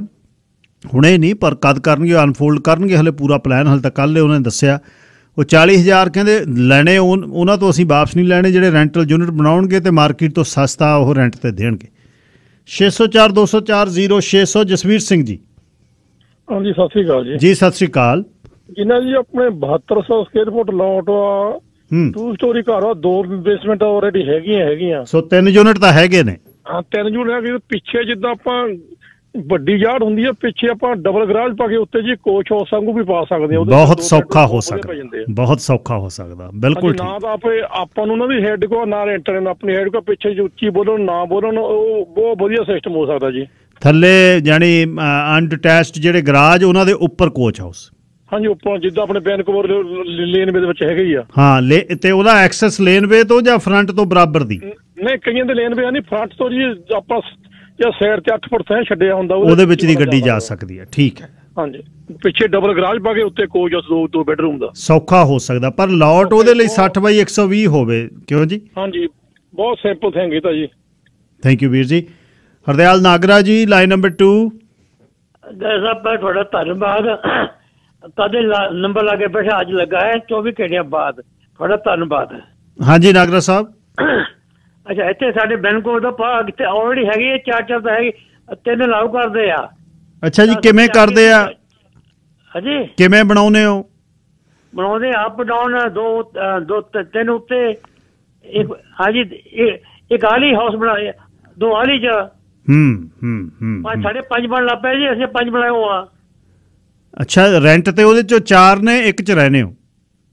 ਨਾ ਰੈਂਟ ਇੱਕੋ ਕੀਤਾ ਤਿੰਨ ਚ ਰਹਿੰਦੇ ਆ ਅਸੀਂ। ਅੱਛਾ ਚਲੋ ਉਹ ਤਾਂ ਤੁਹਾਡੇ ਪਰਿਵਾਰ ਦੀ ਗੱਲ ਹੈ ਪਰ- ਚਾਰ ਚਾਰ ਯੂਨਿਟ ਬਣ ਰਹੇ ਨੇ। ਚਾਰ ਪੰਜ ਬਣ ਸਕਦੇ ਜੀ। ਪੰਜ ਬਣ ਸਕਦੇ ਠੀਕ ਹੈ। ਬਾਕੀ ਜੇ ਨਿਆਣੇ ਨਹੀਂ ਭੇਜ ਰਹਿੰਦੇ ਨਿਆਣੇ ਭੱਜਣ ਦੇ ਸੀ ਜੀ ਕੀ ਕਰੀਏ? ਆ ਫਿਰ ਰੈਂਟ ਕਰੋ। ਆ ਰੈਂਟ ਵੀ ਕੀ ਕਰੀਏ ਇੱਕ ਬਹੁਤ ਹੈ ਰੈਂਟ ਹੋਇਆ ਤਾਂ ਕਰਗੇ ਨਿਆਣੇ ਵੀ ਤਾਂ ਹੀ ਵੀ ਆਏ ਇੱਥੋਂ। ਓਕੇ ਨਾਗਰਾ ਜੀ। ਬਲਵਿੰਦਰ ਸਿੰਘ ਜੀ ਲਾਈਨ ਨੰਬਰ 3 ਸਤਿ ਸ੍ਰੀ ਅਕਾਲ ਜੀ। ਜੀ ਸਤਿ ਸ੍ਰੀ ਅਕਾਲ ਬਲਵਿੰਦਰ ਸਿੰਘ ਜੀ। ਭਾਈ ਜੇ, ਮੇਰੇ ਹਿਸਾਬ ਨਾਲ ਜਿਵੇਂ ਇਹਦੇ ਨਾਲ ਰਾਸ਼ ਹੋਰ ਵਾਜੂ ਕਾਮਾਰੋਲ ਜੀ ਪੈ ਜੂ ਜੇ ਇਹ ਆਪਣੀਆਂ ਉਹੀ 20 25000 ਹਰੇਕ ਟਾਊਨ 'ਚ 10 10000 ਲਾਟਾਂ ਕੱਢ ਦੇਣ ਆਪਣੇ ਕਿੰਨੇ ਥਾਂ ਦਾ ਕਿੱਲੇ ਪਏ ਆਪਣੇ 10 10 15 15 ਏਕੜ ਏਐਲਆਰ ਨੂੰ ਹੱਥ ਨਹੀਂ ਨਾ ਲਾਉਣ ਦਿੰਦੇ। ਏਐਲਆਰ ਇਹਨਾਂ ਬਹੁਤ ਪਿਆਰੀ ਆ ਉਹ ਕਹਿੰਦੇ ਲੈਵਲ ਰੱਖਣਾ ਅਸੀਂ ਨਹੀਂ ਏਐਲਆਰ ਜਿੱਥੇ ਜਿੱਥੇ ਕੋ ਹੁੰਦਾ ਨਹੀਂਗਾ ਉਹਨਾਂ ਦੇ ਨੂੰ ਕਰਨਾ ਚਾਹੀਦਾ ਜਿਵੇਂ ਜਿਹੜਾ ਆਪਣਾ ਸਾਡਾ ਮਿਸ਼ਨ ਏਰੀਆ ਦਾ ਪਹਾੜੀ ਏਰੀਆ ਹੈਗਾ ਇੱਥੇ ਬਹੁਤ ਏਰੀਆ ਪਿਆ ਜੀ। ਉਹਦੇ 'ਚ ਕੁਝ ਨਹੀਂ ਹੁੰਦਾ। ਹਾਂ ਉੱਥੇ ਕਿਹੜਾ ਸਬਜ਼ੀ ਬੀਜਣੀ ਆ? ਬਿਲਕੁਲ ਠੀਕ ਆ। ਉਹ ਹੁਣ ਜਿਵੇਂ ਇੱਕ ਥਾਂ 'ਚ ਚਾਰ ਚਾਰ ਫੈਮਲੀਆਂ ਹੋਰ ਵਾੜਦੀਆਂ ਕੂਣੋ ਕੂਣੀ ਹੋਈ ਜਾ ਕਰਨਗੇ ਇੱਕ ਦੂਜੇ ਨਾਲ। ਹੂੰ। ਪੰਗਾ ਪਊਗਾ। ਹਨਾ ਜੀ ਕਿ ਨਹੀਂ? ਬਿਲਕੁਲ ਠੀਕ ਹੈ। ਕੂਣੋ ਕੁਣੀ ਤਾਂ ਹੁਣ ਵੀ ਹੁੰਨੇ ਆ। ਤੁਸੀਂ ਗਿਣਤੀ ਜੇ ਤੁਸੀਂ ਮੈਂ ਪਿਛਲੇ ਦਿਨੀ ਜਾਂ ਬਰੈਂਪਟਨ ਜਾ ਕੇ ਆਇਆ ਮੈਂ ਦੇਖਿਆ ਬਹੁਤ ਜ਼ਿਆਦਾ ਕੰਜਸਟਡ ਆ ਕੰਮ ਬਹੁਤ। ਔਰ ਇਹ ਵੀ ਹੋਣਾ ਤੁਹਾਡੇ ਇਹਨਾਂ ਸ਼ਹਿਰਾਂ 'ਚ ਵੀ ਹੋਣਾ ਹੋਰ ਤੱਕ ਤਾਂ ਹੋਣਾ ਹੀ ਹੋਣਾ ਹੈ ਤਾਂ। ਗਿਣਤੀ ਆਉਣੀ ਆ ਲੋਕ ਆਉਣਗੇ ਇਮੀਗ੍ਰੇਸ਼ਨ ਤੋਂ ਪੈਸਾ ਬਣਦਾ ਯੂਨੀਵਰਸਿਟੀਆਂ ਕਾਲਜ ਚੱਲਦੇ ਨੇ ਸਰਕਾਰ ਨੂੰ ਕੰਮ ਕਰਨ ਵਾਲੇ ਬੰਦੇ ਚਾਹੀਦੇ ਨੇ। ਉਹ ਤਾਂ ਮ, ਟਰੂਡੋ ਹੋਣੀ ਤਾਂ ਕਹਿੰਦੇ ਮੈਂ ਮਿਲੀਅਨ ਲੈ ਕੇ ਆਉਣਾ ਮੂਰਲੇ 3-4 ਸਾਲਾਂ ਜਾਨੂੰ ਇਲੈਕਸ਼ਨ ਆਉਣੀਆਂ ਆ 25 ਵਾਲੇ ਕਹਿੰਦੇ ਬੰਦੇ ਢੋ ਦੇਣੇ ਨੇ ਲਿਆ ਕੇ ਇੱਥੇ। ਪਰ ਉਹਨਾਂ ਨੂੰ ਹੁਣ ਵੱਡੀ ਪਤਾ ਕਿੱਥੇ ਪ੍ਰੋਬਲਮ ਆ? ਵੱਡੀ ਪ੍ਰੋਬਲਮ ਆ ਮਿਊਨਿਸਪੈਲਿਟੀਆਂ ਦੀ ਸ਼ਹਿਰਾਂ ਦੀ ਸਿਟੀ ਜਿਹੜੀਆਂ ਆਫਿਸਿਸ ਦੀ। ਜਿਹੜੇ ਡਿਵੈਲਪਮੈਂਟ ਨੂੰ ਅਲਾਉ ਨਹੀਂ ਕਰਦੇ, ਬਸ ਕਰਾ ਦਿੰਦੇ ਨੇ 2-2 ਸਾਲ ਡਿਵੈਲਪਮੈਂਟ ਪਰਮਿਟ ਨਹੀਂ ਮਿਲਦਾ 3-3 ਸਾਲ ਡਿਵੈਲਪਮੈਂਟ ਪਰਮਿਟ ਨਹੀਂ ਮਿਲਦਾ। ਬੰਦੇ ਜਾਂ ਬਿਲਡਰ ਦੇ ਪੈਸੇ ਉਹਦੇ ਤੇ ਜਿੰਨਾ ਖਰਚਾ ਪੈਂਦਾ, ਉਹ ਗਾਹਾਂ ਲੋਟਾਂ ਤੇ ਪਾਉਂਦਾ, ਉਹਨੇ ਕ- ਪੱਲਿਓਂ ਥੋੜਾ ਦੇਣਾ 3 ਸਾਲ ਦੀ ਕੈਰਿੰਗ ਕਾਸਟ ਕਿੰਨੀ ਹੈ? ਪਰ 4 ਯੂਨਿਟ ਤਾਂ ਆਲਰੇਡੀ ਹੈਗੇ, ਜਿਵੇਂ ਆਪਾਂ ਵੈਨਕੂਵਰ ਦੇ ਵਿੱਚ ਤਾਂ ਹੁਣ ਦੱਸ ਰਹੇ ਨੇ ਵੀ ਦੋ ਜਿਹੜੇ ਨੇ ਸਿਵਿਕ ਐਡਰੈਸ ਬਣ ਰਹੇ ਨੇ ਸਟੈਂਡਰਡ ਲਾਟ ਦੇ ਵਿੱਚ। ਦੋ ਸਿਵਿਕ ਐਡਰੈਸ ਨੇ, ਦੋਨਾਂ ਦੇ ਵਿੱਚ ਇੱਕ ਇੱਕ ਬੇਸਮੈਂਟ ਆ, ਚਾਰ ਯੂਨਿਟ ਤਾਂ ਬਣ ਰਹੇ ਨੇ। ਪਰ ਹੋਰ ਸ਼ਹਿਰਾਂ ਜਿੱਥੇ ਨਹੀਂ, ਉੱਥੇ ਬਣ ਸਕਦੇ ਆ। ਪੀਲ ਫਾਈਨੈਂਸ਼ੀਅਲ ਤਾਂ ਇਹ ਕੁਲਦੀਪ ਸਿੰਘ ਗਿੱਲ, ਗੁਰਜੋਤ ਸਿੰਘ ਗਿੱਲ, ਰੂਮੀ ਸੁਨੇਹਾ ਦਿੰਦੇ ਨੇ ਕਿ ਤੁਸੀਂ ਟਰੱਕ ਟ੍ਰੇਲਰ ਡੰਪ ਟਰੱਕ ਜੇ ਖਰੀਦ ਰਹੇ ਹੋ, ਲੱਭ ਰਹੇ ਹੋ 5 ਟਨ 1 ਟਨ ਮਸ਼ੀਨਰੀ, ਤਾਂ ਇਹਨਾਂ ਦੇ ਕੋਲ ਟਰੱਕ ਟ੍ਰੇਲਰ ਵੀ ਆਏ ਹੋਏ ਨੇ। 10 ਦੇ ਕਰੀਬ ਟਰੱਕ ਟ੍ਰੇਲਰ ਡੰਪ ਟਰੱਕ ਵੀ ਖੜੇ ਨੇ। ਜੇ ਤੁਸੀਂ ਆਪ ਲੱਭ ਲਿਆ ਤਾਂ ਉਹਦਾ ਵੀ ਫਿਕਰ ਕੋਈ ਨਹੀਂ। ਉਹਦੇ ਲਈ ਵੀ ਇਹ ਤੁਹਾਨੂੰ ਫਾਈਨਾਂਸ ਕਰਾਉਣਗੇ। 604 503 69 69 604 503 6969 ਮਨੂ ਜੀ ਤੁਸੀਂ 에ਅਰ ਤੇ ਹੋ? ਸਤਿ ਸ੍ਰੀ ਅਕਾਲ ਭਾਜੀ। ਜੀ ਸਤਿ ਸ੍ਰੀ ਅਕਾਲ। ਇਹਨਾਂ ਨੇ ਐਕਚੁਅਲੀ ਭਾਜੀ ਤੁਸੀਂ ਵੈਸੇ ਅਰਬ ਦਾ ਐਕਸਪੀਰੀਅੰਸ ਹੈਗਾ ਤੁਹਾਡੇ ਕੋਲ ਵੀ। ਹੂੰ। ਤੇ ਜਿਵੇਂ ਉੱਥੇ ਲੇਬਰ ਕੈਂਪ ਬਣਾਏ ਹੋਏ ਸੀ ਨਾ ਇਹਨਾਂ ਨੇ ਸਰੀ ਦਾ ਉਹ ਹਾਲ ਕਰ ਦੇਣਾ। ਇਹਨਾਂ ਨੇ ਨਾ ਵੈਸਟ ਵੈਨਕੂਵਰ ਚ ਕਰਨੇ ਆ ਨਾ ਪੋਰਟੇਬਲ ਕੈਬਨਸ ਬਣਨੇ ਨੇ ਪੋਰਟੇਬਲ ਸਕੂਲਾਂ 'ਚ ਨੇ ਪੋਰਟੇਬਲ ਲੋਕਾਂ ਲਈ। ਨਾ ਇਹਨਾਂ ਨੇ ਸ਼ਾਨਸ਼ੀ ਚ ਕਰਨੇ ਆ ਨਾ ਵਾਈਟ ਰੌਕ ਚ ਕਰਨੇ ਆ। ਜਿਹੜੇ ਇਹਨਾਂ ਦੀਆਂ ਕਰੀਮਾਂ ਵਾਲੀ ਇਲਾਕਿਆਂ ਉੱਥੇ ਇਹਨਾਂ ਨੇ ਕੁਝ ਨਹੀਂ ਕਰਨਾ। ਇਹ ਉੱਥੇ ਹੋਣ ਹੀ ਨਹੀਂ ਦੇਣਾ ਮਨੂ ਜੀ ਉਹਨਾਂ ਨੇ ਹੋਣ ਨਹੀਂ ਦੇਣਾ ਏਕੜ ਏਕੜ ਦੀ ਤਾਂ ਲੋਟ ਆ ਹੱਥ ਵੀ ਨਹੀਂ ਲਾਉਣ ਦੇਣਾ ਉਹਨਾਂ ਨੇ। ਹਾਂ ਜੀ ਬਸ ਇਹਨਾਂ ਨੇ ਸਿਰਫ ਸਰੀ ਚ ਕਰਨੇ ਆ ਜਿੱਥੇ ਇਹਨਾਂ ਨੂੰ ਪਤਾ ਵੀ ਇਹ ਲੋਕਾਂ ਨੇ ਕੁਝ ਨਹੀਂ ਕਰਨਾ ਤੇ ਇਹਨਾਂ ਦੇ ਪੋਲੀਟੀਸ਼ੀਅਨ ਵੀ ਇਹੋ ਜਿਹੇ ਹੀ ਆ। ਹੂੰ। ਇਹ ਰੀਜ਼ਨ ਹੈ ਜੀ ਉਰੇ ਤਾਂ ਮੈਨੂੰ ਲੱਗਦਾ ਹੈ। ਪੱਕੀ ਗੱਲ ਹੈ ਪੱਕੀ। ਪੋਰਟੇਬਲ ਕੈਬਨਸ ਵੱਲ ਨੂੰ ਵੱਧ ਰਹੇ ਆ ਪੋਰਟੇਬਲ ਸਕੂਲਾਂ 'ਚ ਵੀ ਪੋਰਟੇਬਲ ਹੀ ਨੇ ਲਾਈਨ ਲੱਗੀ ਪਈ ਹੈ। ਦੁਆਰਾ ਹੁਣ ਗਿਣਤੀ ਸ਼ਹਿਰ ਦੀ 6.5 ਲੱਖ ਅਫੀਸ਼ਲੀ ਸਰੀ ਦੀ। ਬੰਦਾ ਰਹਿ ਰਿਹਾ ਉੱਥੇ 10 ਲੱਖ ਔਰ ਮੰਨਦੇ ਨਹੀਂ 3.5 ਲੱਖ, ਲ- ਕਰ ਲੈਣ ਗਿਣਤੀ ਘਰ ਘਰ। ਕਰ ਲਵੇ ਪਾਇਲਟ ਪ੍ਰੋਜੈਕਟ ਸਰਕਾਰ, ਵੀ 1 ਟੂ 1 ਜਾਣਾ, ਹਰ ਇੱਕ ਘਰ 'ਚ ਬੇਸਮੈਂਟਾਂ ਵਾਲੇ ਵਿਜ਼ਿਟ ਵੀਜ਼ਿਆਂ ਵਾਲੇ ਸਟੂਡੈਂਟ ਗਿਣ ਲਓ, ਜੇ 10 ਲੱਖ ਨਾ ਬੰਦਾ ਸਰੀ 'ਚ ਰਹਿੰਦਾ ਹੋਵੇ, ਜਾ ਕੇ ਤਾਂ ਦੇਖੋ ਤੁਸੀਂ, ਕਿਸੇ ਸਟੋਰ 'ਚ ਕੋਸਕੋ 'ਚ, ਕਿਤੇ ਵਾਲਮਾਰਟ 'ਚ, ਕਿਤੇ ਸੁਪਰ ਸਟੋਰ 'ਚ, ਕਿਸੇ ਲੋਕਲ ਸਾਡੇ ਸਟੋਰ ਜਿਹੜੇ ਛੋਟੇ ਨੇ, ਵੜ ਕੇ ਤਾਂ ਦੇਖੋ, ਪਤਾ ਲੱਗਦਾ ਨੇ ਬੰਦੇ ਕਿੱਥੇ ਨੇ। ਜਵਾਕ ਪੋਰਟੇਬਲਾਂ 'ਚ ਬੈਠੇ ਨੇ ਤੇ ਸ਼ਹਿਰ ਦੇ ਵਿੱਚੋਂ ਗੱਡੀ ਕੱਢਣੀ ਹੋਵੇ ਆ ਚੱਲ ਰਿਹਾ ਹੁਣ ਸਕਾਟ ਤੇ ਇੱਕ ਸ- ਆਪਣੇ 88 ਤੇ ਕੰਸਟਰਕਸ਼ਨ, ਦੇਖਿਓ ਆਥਣਵੇ 132 128 ਇੱਧਰ ਇੱਧਰ ਆਪਣੇ ਡੈਲਟਾ ਵਾਲੇ ਪਾਸੇ 116 12 ਸਭ ਜੈਮ ਕਿੰਗ ਜਾਰਜ ਤੱਕ, ਪੂਰਾ, ਟੱਪ ਕੇ ਦੇਖਿਓ ਤੁਸੀਂ। ਈਸਟ ਵੈਸਟ ਚਲੇ ਜਾਓ ਨਾਰਥ ਸਾਊਥ ਜਿੱਧਰ ਮਰਜ਼ੀ ਚਲੇ ਜਾਓ। ਪਰ ਕੌਣ ਪੁੱਛੂ? ਟਾਂਡੀ ਜੀ ਨੂੰ ਪੁੱਛਦੇ ਆ ਟਾਂਡੀ ਜੀ, ਕੀ ਕਹਿੰਦੇ ਹੋ? ਹਾਂਜੀ ਸਤਿ ਸ੍ਰੀ ਅਕਾਲ ਜੀ ਬਹੁਤ ਵਧੀਆ ਵਿਸ਼ਾ ਲਿਆ ਪਹਿਲਾਂ ਵੀ ਵਧੀਆ ਸੀ ਚਲੋ ਉਹ ਤੇ ਕੀ ਗੱਲ ਕਰਨੀ ਆ। ਜੀ ਸਤਿ ਸ੍ਰੀ ਅਕਾਲ। ਤੇ ਦੇਖੋ ਜੀ ਇਹ ਜਿੱਦਾਂ ਹੁਣ ਪਾਰਕਿੰਗ ਦੀ ਪ੍ਰੋਬਲਮ ਦੇਖ ਕਿੰਨੀ ਆਊਗੀ ਆਉਣ ਵਾਲੇ ਸਮੇਂ 'ਚ। ਜਿੱਦਾਂ ਟ੍ਰੈਫਿਕ ਦਾ ਤੁਸੀਂ ਦੱਸ ਹੀ ਦਿੱਤਾ। ਹੂੰ। ਮੈਂ ਕਹਿੰਦਾ ਜਿਹੜਾ ਜਿਹੜਾ ਕਿਰਾਇਆ ਲੈਂਦਾ ਹੈ। ਨਾ ਕੈਸ਼ ਮਨੀ ਉਹ ਕੋਰਟ 'ਚ ਜਮ੍ਹਾਂ ਕਰਾਵੇ ਜਿੱਦਾਂ ਕਹਿ ਲਓ ਵੀ ਉਹ ਕਿਰਾਏਦਾਰ। ਹੂੰ। ਕੋਰਟ ਦੇ ਵਿੱਚੋਂ ਫਿਰ ਉਹ ਬੰਦਿਆਂ ਨੂੰ ਸਾਰਿਆਂ ਨੂੰ ਮਤਲਬ ਉਹ ਦੇਣ ਗਵਰਨਮੈਂਟ ਦਵੇ। ਹੂੰ। ਤਾਂ ਏਡਾ ਪ੍ਰੋਸੀਜਰ ਜਿਹਾ ਬਣਾ ਦੇਣਾ ਤੇ ਉਹ ਫਿਰ ਸ਼ੋਸ਼ਣ ਨਹੀਂ ਹੋਊਗਾ, ਜਿੱਦਾਂ ਕਹ ਲੋ ਜਿੱਦਾਂ ਕੈਸ਼ ਮਨੀ ਜਿਹੜੀ ਬਣੀ ਜਾਂਦੀ ਆ ਨਾ, ਉਹ ਬੈਠੇ ਹੀ ਮਤਲਬ 10000 ਡਾਲਰ ਲਈ ਜਾਂਦੇ ਆ ਤੇ ਉਹ ਗੌ- 10000 ਦਾ ਕੋਈ ਟੈਕਸ ਨਹੀਂ ਦੇ ਰਹੇ। ਤੇ ਗਵਰਨਮੈਂਟ ਬਹੁਤ ਅਮੀਰ ਹੋ ਜਾਣੀ ਸਦੀ ਦੀ ਵੀ ਆਹ ਸਾਰਾ ਹੀ ਜਿੱਦਾਂ ਹੁਣ ਸਿਟੀ ਜਿਹੜੀ ਆ, ਇਹ ਠੀਕ ਹੋ ਜਾਣੀ ਆ। ਜਿੱਦਾਂ ਫਿਰ ਜੇ ਉਹ ਟੈਕਸ ਦੇ ਵਿੱਚ ਬੇਸਮੈਂਟਾਂ ਨੂੰ ਪਾ ਦੇਣ ਤੇ ਉਹ ਕਰ ਦੇਣ ਏਦਾਂ ਦਾ ਕੋਈ ਹਨਾ ਕਰਕੇ ਜਿਹੜੇ ਹੁਣ ਬੜੇ ਢਾਂਗੀ ਹੁੰਦੇ ਆ ਜਿਹੜੇ ਇਹਨਾਂ ਦੇ ਨੁਮਾਇੰਦੇ ਹੁੰਦੇ ਆ। ਕਰ ਦੇਣਾ ਹੀ ਆ ਗੋਰਿਆਂ ਨੇ ਸਾਡੀਆਂ ਗੱਲਾਂ ਸ਼ਾਇਦ ਮੇਰਾ ਹੀ ਆਈਡੀਆ ਆਹ ਲੈ ਲੈਣ। ਜਿੱਦਾਂ ਕੱਲ ਹੁਣ ਜਿਹੜਾ ਬੰਦਾ ਡਿਵੋਰਸ ਹੋ ਜਾਂਦਾ ਨਾ। ਉਹਦਾ ਮੈਨੂੰ ਪਤਾ ਵੀ ਉਹ ਪੈਸੇ ਤੁਸੀਂ ਕੋਰਟ 'ਚ ਜਮ੍ਹਾਂ ਕਰਾਣੇ ਆ। ਉਹ ਚੈੱਕ ਉੱਥੋਂ ਉਹਦੀ ਵਾਈਫ ਜਾਂ ਕੋਈ ਹੋਰ ਬੰਦਾ ਲੈ ਲੈਂਦਾ। ਹੂੰ। ਤੇ ਉਹ ਫਿਰ ਉਹ ਉੱਥੋਂ ਲਈ ਜਾਣੇ ਨਾ ਨਾ ਉਹਨੂੰ ਪਤਾ ਆ ਵੀ ਕ- ਹਿਸਾਬ ਕਿਤਾਬ ਆ ਉਹ ਉਹਦਾ ਵੀ ਮਿਣਿਆ ਜਾਊਗਾ ਜਿਹੜਾ ਰੈਂਟ ਦਿੰਦਾ ਆ ਉਹ ਟੈਕਸ ਦੇ ਵਿੱਚ ਵਸੂਲ ਹੋਊਗਾ। ਤੇ ਉਹ 10000 ਸਾਰੇ ਜਾਣੇ 10000 ਜਿਹੜਾ ਕਿਰਾਇਆ ਟਾਂਡੀ ਜੀ ਗੱਲ ਪੱਕੀ ਆ ਦੋ ਘਰ ਜੇ ਦੋ ਬੇਸਮੈਂਟਾਂ ਵਾਲੇ ਨੇ 10000 ਹੀ ਰੈਂਟ ਆ ਉਹਦਾ ਕੈਸ਼ ਇਹ ਗੱਲ ਠੀਕ ਆ ਤੁਹਾਡੀ? ਹਾਂ ਕੈਸ਼ ਫਿਰ ਉਹਦਾ ਕੋਈ ਕਿਸੇ ਹਿਸਾਬ ਕਿਤਾਬ ਹੀ ਨਹੀਂ ਕਿਸੇ ਲਿਖੇ ਨਹੀਂ। ਜਿੱਦਾਂ ਕੱਲ ਉਹ ਤਾਂ ਬੰਦਾ ਫਿਰ ਅਮੀਰ ਹੋਈ ਜਾਊ ਉਹ ਜਿੱਦਾਂ ਤੁਸੀਂ ਦੱਸਿਆ ਵੀ ਪਿੱਛੇ ਜਿੰਨੇ ਮਰਜ਼ੀ ਬਣਾਊ ਉੱਤੇ ਜਿਹੜੇ ਹੁਣ ਜਿਨ੍ਹਾਂ ਨੇ ਘਰ ਲੈਣੇ ਉਹਨਾਂ ਤੋਂ ਘਰ ਲੈ ਨਹੀਂ ਹੋਣਾ।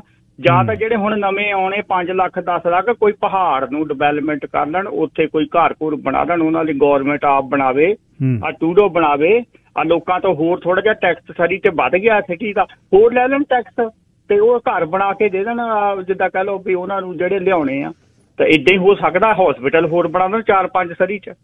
ਤਾਂ ਫੇਰ ਗੱਲ ਸੁਣੂਗਾ ਤਾਂ ਹਸਪੀਟਲ ਤਾਂ ਇੱਕੋ ਹੀ ਆ ਸਰੀ ਦੇ ਵਿੱਚ ਵੱਡਾ ਤਾਂ ਉੱਥੇ ਲੋਕ ਤੁਸੀਂ 10 10 ਲੱਖ ਆ ਰਿਹਾ ਤੇ ਹੁਣ 10 ਲੱਖ ਦਾ ਹੁਣ ਆਪਾਂ ਕਹਿੰਦੇ ਉੱਥੇ ਜੀ ਲੈਣ ਲੱਗ ਗਈ ਉਹ ਸਾਡਾ ਬਾਤ ਨਹੀਂ ਪੁੱਛਦੇ। ਲੈਣ ਤਾਂ ਆਪੇ ਹੀ ਲੱਗਣੀ ਹੈ ਜਦ ਅਨਲੀਗਲ ਉਹਨਾਂ ਦੇ ਬੱਚੇ ਵੀ ਪੜ੍ਹਦੇ ਬੇਸਮੈਂਟ ਵਾਲਿਆਂ ਦੇ ਸਾਰਾ ਕੁਝ ਸਕੂਲਾਂ 'ਚ ਲੈਣ ਅਪ ਸਾਰਾ ਕੁਝ ਇਹ ਤਾਂ ਸਾਰਾ ਸਿਸਟਮ ਅਸੀਂ ਪੰਜਾਬੀਆਂ ਨੇ ਖਰਾਬ ਕਰ ਦਿੱਤਾ ਹੈ ਜੀ। ਥੈਂਕ ਯੂ ਜੀ। Gurcharan ji line number 2 Gurcharan Singh. Hello ਹਾਂਜੀ ਸਤਿ ਸ਼੍ਰੀ ਅਕਾਲ ਭਾਜੀ। ਸਤਿ ਸ਼੍ਰੀ ਅਕਾਲ ਜੀ। ਹਾਂਜੀ ਭਾਜੀ ਪੁੱਛਣਾ ਇਹ ਵੀ ਇਹਦਾ ਓਨਰਸ਼ਿਪ ਕਿੱਦਾਂ ਫਿਰ ਇਹ ਜਿੱਦਾਂ ਜ ਫੋਰਪਲੈਕਸ ਜਣੇ ਬਣਨਗੇ ਫਿਰ ਇਹਦੀ ਓਨਰਸ਼ਿਪ ਜਿਹੜਾ ਉਹਦਾ ਜਿਹੜੇ ਬੰਦੇ ਉਹ ਚ ਰਹਿਣਗੇ ਫਿਰ ਉਹ ਓਨਰ ਅੱਡ ਅੱਡ ਹੋਣਗੇ ਇਹਨਾਂ ਨੂੰ? ਫਿਰ ਉਹਦਾ ਵੇਚਿਆ ਕਰਨਗੇ ਜਾਂ ਇੱਕੋ ਮਾਲਕ ਬੇਸਿਕਲੀ ਬੇਸਿਕਲੀ ਇਹਦਾ ਮੇਰੇ ਖਿਆਲ ਪਲਾਨਿੰਗ ਇਹੀ ਕਰਨਗੇ ਵੀ ਬੰਦਾ ਜਿਹੜਾ ਉਹਨੂੰ ਅਲਾਉ ਕਰਨ ਵੀ ਉਹ ਚਾਰ ਯੂਨਿਟ ਬਣਾਵੇ। ਚਾਰ ਰੈਂਟਲ ਵੀ ਉਹ ਸਵੀਟਸ ਹੋ ਸਕਦੀਆਂ ਨੇ ਚਾਰ ਮਾਲਕ ਤਾਂ ਹੋ ਨਹੀਂ ਸਕਦੇ। ਦੋ ਤਾਂ ਮਾਲਕ ਹੁਣ ਹੈਗੇ ਹੀ ਨੇ। ਵੈਨਕੂਵਰ ਜਿਹੜੇ ਡਿਊਪਲੈਕਸ ਬਣ ਰਹੇ ਨੇ। ਸਾਈਡ ਬਾਈ ਸਾਈਡ ਦੋ ਸਿਵਿਕ ਐਡਰੈਸ ਤਾਂ ਉਹਦੇ ਸ਼ੁਰੂ ਹੋ ਗਏ। ਸਰੀ 'ਚ ਵੀ ਹੋ ਜਾਣਗੇ। ਸ਼ੁਰੂ। ਬੇਸਿਕਲੀ ਤਾਂ ਸਰੀ। ਸਰੀ 'ਚ ਸਭ ਤੋਂ ਵੱਧ ਰਸ਼ ਹੈ ਸਰੀ ਦੇ ਲਈ। ਦੇਖਦੇ ਆ ਕਿਵੇਂ ਕਰਨਗੇ ਜੀ ਆਉਣ ਵਾਲੇ ਸਮੇਂ 'ਚ। ਠੀਕ ਹੈ ਅਨਫੋਲਡ। ਕਰਨਗੇ ਜੀ ਹਾਂ ਦੱਸਣਗੇ ਹੋਰ। ਪਰ ਸਰੀ ਦੀਆਂ ਮੁਸ਼ਕਲਾਂ ਇਹਨਾਂ ਤੋਂ ਹੱਲ ਨਹੀਂ ਹੋਣੀਆਂ। ਇਹ ਤੁਸੀਂ ਦੇਖ ਲਿਓ ਸਕੂਲਾਂ ਦਾ ਹਾਲ ਜਿਹੜਾ ਹੁਣ ਹਸਪਤਾਲ ਹੈ ਉਹ 4 ਸਾਲਾਂ ਨੂੰ ਬਣਨਾ ਹੈ। 3 ਸਾਲਾਂ ਨੂੰ ਬਣ ਜੂ ਵੱਧ ਤੋਂ ਵੱਧ ਜੇ ਚੱਲ ਵੱਧ ਜ਼ੋਰ ਲਾਉਣਗੇ ਤਾਂ ਉਹ ਬਣਨਾ ਜਾ ਕੇ 26 ਚ ਜਾਂ 25 ਚ। ਹਲੇ ਤਾਂ ਕੰਸਟਰਕਸ਼ਨ ਵੀ ਨਹੀਂ ਸ਼ੁਰੂ ਹੋਈ 2 ਸਾਲ ਤੱਕ ਕੰਸਟਰਕਸ਼ਨ ਵੀ ਲੱਗਣੇ ਜਾਂ 24 ਸ਼ੁਰੂ ਹੋਈ 25 ਤੱਕ ਬਣਨਾ ਹੈ। 2 ਸਾਲ ਜਦ ਹੋ ਗਏ, ਤਾਂ 2 ਸਾਲਾਂ ਨੂੰ ਸ਼ਹਿਰ ਕਿੱਥੇ ਖੜੂਗਾ? ਉਧਰੋਂ ਟਰੂਡੋ ਸਾਹਿਬ ਬੰਦੇ ਲਿਆਉਣ ਨੂੰ ਕਹਿੰਦਾ, ਮੈਂ 10 ਲੱਖ ਲਿਆਉਣਾ, ਉਹਦੇ ਚੋਂ 2.5 ਲੱਖ ਤਾਂ ਸਰੀ ਦੇ ਵੱਟ ਤੇ ਹੀ ਪਿਆ ਪੀਆਰ ਤੇ ਉਹਦੇ ਬਾਅਦ ਜਿਹੜੇ ਵਿਜ਼ਿਟ ਵਾਲੇ ਆਉਣੇ ਨੇ, ਵਿਦਿਆਰਥੀ ਆਉਣੇ ਨੇ ਵਰਕ ਪਰਮਿਟ ਵਾਲੇ ਆਉਣੇ ਉਹ ਵੀ ਆਉਣੇ ਨੇ। ਫਿਰ ਇਹੀ ਹੋਊਗਾ ਵੀ ਮਤਲਬ ਕੁਰਬਲ ਕੁਰਬਲ ਵਾਲੀ ਕਹਾਣੀ ਹੋਣੀ ਹੈ। ਐਡਮਿੰਟਨ ਇੱਕ ਸ਼ਹਿਰ ਆ, ਉਹ ਚ ਪੰਜ ਕੌਸਕੋ ਨੇ, ਜਿਨ੍ਹਾਂ ਨੇ ਡਿਜ਼ਾਈਨ ਕੀਤਾ ਹੋਇਆ ਸ਼ਹਿਰ। ਰਿੰਗ ਰੋਡਸ ਤਿੰਨ ਲੇਅਰਾਂ ਚ ਚੱਲਦੀ ਹੈ ਕਿਤੇ ਵੀ ਟ੍ਰੈਫਿਕ ਨਹੀਂ। ਹਰ 5 10 ਕਿਲੋਮੀਟਰ ਦੇ ਬਾਅਦ ਜਾ ਕੇ ਇੱਕ ਰੈਕ ਸੈਂਟਰ ਆ 12 ਕਿਲੋਮੀਟਰ ਦੇ ਬਾਅਦ ਰੈਕ ਸੈਂਟਰ ਹੈ ਇੱਥੇ ਤਾਂ ਪੋਲੀਟੀਕਲ ਰਾਈਵਲਰੀ ਦਾ ਰਾਈਵਲਰੀ ਦਾ ਸ- ਜਿਹੜਾ ਰਾਈਵਲਰੀ ਦਾ ਸ- ਇਹਦਾ ਹੋਣਾ ਸ਼ਿਕਾਰ ਆਪਣਾ ਸ਼ਹਿਰ ਇਹ। ਇੱਕ ਦੂਜੇ ਨਾਲ ਕਿੜਾ ਨਿਕਲਣੀਆਂ ਨੇ ਤੁਸੀਂ ਦੇਖ ਲਓ ਇੱਥੇ ਹੀ ਹੋ ਤੁਸੀਂ। ਜਾਣੀ ਕਿੱਥੇ ਆ ਗੱਲ? ਇਹ ਲੋਕ ਸਵਾਲ ਪੁੱਛਣ ਇਲੈਕਟਡ ਅਫੀਸ਼ੀਅਲ ਜ਼ਿਆਦਾ ਆਉਣ ਦਰਾਂ ਤੇ ਇਲੈਕਸ਼ਨ ਅਗਲੇ ਸਾਲ ਆ ਜਾਣੀ ਹੈ ਪੁੱਛਣ ਵੀ ਹਾਂ ਦੱਸੋ ਜੀ ਕੀ ਕੀਤਾ ਸਾਡੇ ਲਈ? ਫੇਰ ਇਹ ਗੱਲ ਸਹੀ ਆ। ਬਚਿੱਤਰ ਸਿੰਘ ਜੀ ਤੁਸੀਂ ਏਅਰ ਤੇ ਹੋ। ਅਹ ਸ਼ੇਰੇ ਪੰਜਾਬ ਦੇ ਸਾਰੇ ਸਰੋਤਿਆਂ ਨੂੰ ਦੱਸ ਲਓ ਸਤਿ ਸ਼੍ਰੀ ਅਕਾਲ। ਸਤਿ ਸ਼੍ਰੀ ਅਕਾਲ ਬਾਈ ਜੀ। ਪਹਿਲੀ ਵਾਰੀ ਪਹਿਲੀ ਵਾਰੀ ਯਾਨੀ ਕਿ ਰੇਡੀਓ ਤੇ ਪਹਿਲੀ ਵਾਰੀ ਜਿਹੜੀ ਕਾਲ ਤੇ ਆਇਆ। ਧੰਨਵਾਦ ਬਹੁਤ ਬਹੁਤ। ਤੇ ਹਾਂਜੀ ਤੇ ਬਹੁਤ ਚੰਗਾ ਲੱਗਾ ਬਹੁਤ ਪ੍ਰੋਗਰਾਮ ਸੁਣ ਕੇ। ਤੁਹਾਡਾ ਬਹੁਤ ਟਾਈਮ ਦਾ ਪ੍ਰੋਗਰਾਮ ਸੁਣਦੇ ਪਰ ਅੱਜ ਮੌਕਾ ਮਿਲਿਆ ਔਰ ਤੇ ਅੱਜ ਬਹੁਤ ਵਧੀਆ ਵਿਸ਼ਾ ਵੀ ਸੀਗਾ। ਜੀ। ਤੇ ਦੱਸ ਦੋ ਬੇਨਤੀ ਸੀਗੀ ਕਿ ਜਿਹੜੀ ਜਿੱਦਾਂ ਹੁਣ ਜਿਹੜੇ ਪੁਰਾਣੇ ਆਏ ਆ ਹੂੰ। ਤੇ ਜਿੱਦਾਂ ਉਹਨਾਂ ਨੇ ਘਰ ਲੈ ਲੈ ਕੇ ਰੈਂਟਾਂ ਤੇ ਚੜੀ ਜਾਂਦੇ ਨਾ। ਹੂੰ। ਉਹਨਾਂ ਨੂੰ ਕੁਝ ਗਵਰਨਮੈਂਟ ਨੂੰ ਕਰਨਾ ਚਾਹੀਦਾ। ਚਲੋ ਇਹ ਮੁਬਾਰਕ ਸਾਰੇ ਸਾਰੇ ਤਰੱਕੀਆਂ ਕਰਨੀ ਚਾਹੀਦੀਆਂ। ਪਰ ਨਵੇਂ ਬੰਦਿਆਂ ਬਾਰੇ ਵੀ ਸੋਚਣਾ ਚਾਹੀਦਾ ਵੀ ਬੰਦੇ ਨਵੇਂ ਆਏ ਆ। ਜਿੱਥੇ ਹੁਣ ਮੇਰਾ ਦੋਸਤ ਇੱਕ ਘਰ ਲੈਣ ਗਿਆ ਉਹ ਕਹਿੰਦਾ ਉੱਥੇ ਜ਼ਿਆਦਾ ਜਿਹੜੇ ਪੁਰਾਣੇ ਹੁੰਦੇ ਨਾ ਜਿਹੜੇ ਜਿਹੜੇ ਜਿਹਨੂੰ ਇਹ ਘਰ ਰੈਂਟ ਤੇ ਚਾੜੇ ਹੁੰਦੇ ਉਹੋ ਹੀ ਜ਼ਿਆਦਾ ਕਿਤੇ ਲੈਣਾ ਚ ਹੁੰਦੇ ਵੀ ਉਹਨਾਂ ਨੇ ਜਾਣੀ ਕਿ ਚੜਾ ਚੜਾ ਗ੍ਰੇਡ ਦੇ ਦਿੰਦੇ ਆ। ਕਿ ਉਹਨੂੰ ਕੋਈ ਗਵਰਨਮੈਂਟ ਨੂੰ ਇਦਾਂ ਦਾ ਬਣਾ ਕੇ ਰੱਖੇ ਵੀ ਜਾਣੀ ਕਿ ਜਿਹੜੇ ਕਰਨਗੇ ਜੀ ਕਰਨਗੇ ਦੇਖਿਓ ਕਰਨਗੇ ਇਹਦੇ ਚ ਬਚਿੱਤਰ ਸਿੰਘ ਜੀ ਇਹੀ ਉਹਨਾਂ ਨੇ ਕਰਨਾ ਵੀ ਘਰ ਇੱਕ ਹੀ ਹੋਊਗਾ ਰਹਿਣ ਲਈ। ਜੇ ਉਦੋਂ ਅੱਗੇ ਬਿਜ਼ਨਸ ਕਰਨਗੇ, ਤਾਂ ਬਿਜ਼ਨਸ ਤੇ ਅਗਲੇ ਘਰ ਤੇ ਫਲਿੱਪ ਤਾਂ ਟੈਕਸ ਲਾਤਾ ਜੀ ਫਲਿੱਪਿੰਗ ਲਈ ਤਾਂ ਉਹਨਾਂ ਨੇ ਟੈਕਸ ਲਾਤਾ ਹੁਣ। ਫਲਿੱਪਰ ਜਿਹੜੇ ਨੇ, ਇਹ ਇਸ ਗੱਲ ਤੋਂ ਰੁਕ ਜਾਣਾ, ਜਿਨ੍ਹਾਂ ਨੇ ਫਲਿੱਪ ਕਰਨਾ ਘਰ, ਉਹਨਾਂ ਤੇ ਟੈਕਸ ਸ਼ੁਰੂ ਕਰਤਾ। ਇਹ ਮੇਰੇ ਖਿਆਲ, ਇਹ ਵੀ ਹੋਣਾ ਚਾਹੀਦਾ ਵੀ ਪਹਿਲਾ ਜਿਹੜਾ ਖਰੀਦਦਾਰ ਆ, ਉਹਦੇ ਤੇ ਕੋਈ ਵੀ ਪ੍ਰਾਪਰਟੀ ਟਰਾਂਸਫਰ ਟੈਕਸ ਨਾ ਹੋਵੇ, ਜਿਹੜਾ ਪ੍ਰਿੰਸੀਪਲ ਰੈਜ਼ੀਡੈਂਸ ਲੈ ਰਿਹਾ। ਦੂਜੇ ਤੇ ਲਾ ਦਿਓ ਵੱਧ, ਵੀ ਉਹਨੂੰ ਉਹਨੂੰ ਪੀਨਲਾਈਜ਼ ਹੋਵੇ, ਉਹਨੂੰ ਵੱਧ ਟੈਕਸ ਲੱਗੇ, ਉਹ ਘਰ ਨਾ ਲਵੇ। ਜਿਹੜੇ ਜ਼ਰੂਰਤਮੰਦ ਫਸਟ ਟਾਈਮ ਬਾਇਰ ਨੇ ਉਹਨੂੰ ਰਿਲੈਕਸੇਸ਼ਨ ਹੋਵੇ, ਉਹਨੂੰ ਕੁਝ ਮਨੀ ਦਿੱਤੀ ਜਾਵੇ ਤੇ ਨਹੀਂ ਮਨੀ ਦਿੱਤੀ ਪ੍ਰਾਪਰਟੀ ਟਰਾਂਸਫਰ ਟੈਕਸ ਹੀ ਨਾ ਹੋਵੇ ਪਹਿਲੇ ਘਰ ਤੇ। ਇਹ ਇਹ ਇਹ ਬਹੁਤ ਜ਼ਰੂਰੀ ਹੈ। ਓਜਸ ਬਲੈਂਡ ਵਾਈਟ ਰੌਕ ਓਜਸ ਬਲੈਂਡ ਵਾਈਟ ਰੌਕ ਦੇ ਵਿੱਚ ਨਵੀਆਂ ਡਿਸ਼ਸ ਉਹਨਾਂ ਨੇ ਇੱਕ ਕੰਬੋ ਡਿਸ਼ਸ ਬਣਾਈਆਂ ਨੇ। 10 ਡਾਲਰ ਦੇ ਥੱਲੇ ਨੇ ਜਿਹਦੇ ਵਿੱਚ ਵੈਜੀਟੇਰੀਅਨ ਨਾਨ ਵੈਜੀਟੇਰੀਅਨ ਮੀਟ ਦੀਆਂ ਡਿਸ਼ਸ ਤੇ ਸਬਜ਼ੀਆਂ ਦੀਆਂ ਡਿਸ਼ਸ ਪਨੀਰ ਦੀਆਂ ਡਿਸ਼ਸ ਅਲੱਗ-ਅਲੱਗ ਕਿਸਮ ਦੀਆਂ। ਰੈਪ ਸਮੂਦੀਜ਼ ਤੇ ਖਾਸ ਉਹਨਾਂ ਦੀਆਂ ਇਹ ਜਿਹੜੀਆਂ ਨੇ ਜੂਸ ਤਾਜ਼ੇ ਕੱਢਦੇ ਨੇ ਵੀਗਨ ਵੈਜੀਟੇਰੀਅਨ ਕੇਟੋ ਤੇ ਖਾਸ ਜਿਹੜਾ ਪੱਠੀ ਵਾਲਾ ਪੀਸਾ ਜਿਹੜਾ ਉਹ ਵੀ ਬਣਾਉਂਦੇ ਆ, ਜਿਹੜੇ ਤੁਸੀਂ ਫਾਇਰਵਰਡ ਜਿਹੜੀ ਓਵਨ ਹੈ, ਜਿਵੇਂ ਪੂਰੀ ਅੱਗ ਦੇ ਨਾਲ ਉਹ ਅੱਗ ਦੇ ਨਾਲ ਇਹ ਓਵਨ ਬਣਾਈ ਹੁੰਦੀ ਹੈ, ਵਿੱਚ ਅੱਗ ਬਾਲ ਕੇ ਉਹਦੇ ਚ ਪੀਸਾ ਬਣਾਉਂਦੇ 604 502 8110 ਬਹੁਤ ਥਿਨ ਕਰਸਟ ਅਸਲ ਜਿਹੜਾ ਇਟਾਲੀਅਨ ਪੀਸਾ ਉਹੀ ਹੈ।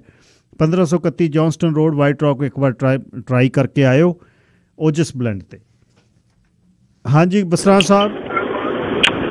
ਹਾਂਜੀ ਹਾਂਜੀ ਗਿੱਲ ਸਾਹਿਬ ਮੈਨੂੰ ਲੱਗਦਾ ਜਿਹੜਾ ਤੁਸੀਂ ਪੀਜੇ ਦੀ ਗੱਲ ਕਰ ਰਹੇ ਤਾਂ ਆਪਾਂ ਇੰਡੀਆ ਵਿੱਚ ਬਿਸਕੁਟ ਬਣਵਾਉਣ ਜਾਂਦੇ ਹਾਂ, ਉਹ। ਬਣਦੇ ਹੋਏ ਆ, ਉਹ ਚੀਜ਼ ਹੋ ਗਈ ਨਾ ਹਾਂ ਤੋ ਤੇ ਵਧੀਆ ਫੂਡ ਯਾਰ ਮੈਂ ਗਿਆ ਜੀ ਇੱਥੇ ਇਹਨਾਂ ਦੇ ਪਹਿਲਾਂ ਤਾਂ ਤੇ ਮੈਂ ਜਾ ਕੇ ਉੱਥੇ ਮੈਂਸ਼ਨ ਵੀ ਕੀਤਾ ਮੈਂ ਕਿਹਾ ਗਿੱਲ ਸਾਹਿਬ ਨੇ ਦੱਸਿਆ ਸੀਗਾ। ਥੈਂਕ ਯੂ ਤੇ ਕਾਫੀ ਹਾਂਜੀ ਹਾਂਜੀ। ਅੱਛਾ ਦੂਸਰਾ ਗਿੱਲ ਸਾਹਿਬ ਇਹ ਤਾਂ ਹਾਲੇ ਤਾਂ ਜੈਨ ਹਾਲੇ ਬੋਤਲ ਚੋਂ ਬਾਹਰ ਹਾਂ ਨਿਕਲਣਾ ਅਨਫੋਲਡ ਹੈ ਕਰਨਾ ਹਲੇ ਪੂਰਾ ਹਾਂ। ਅਨਫੋਲਡ ਹਾਲੇ ਹੋਊਗਾ।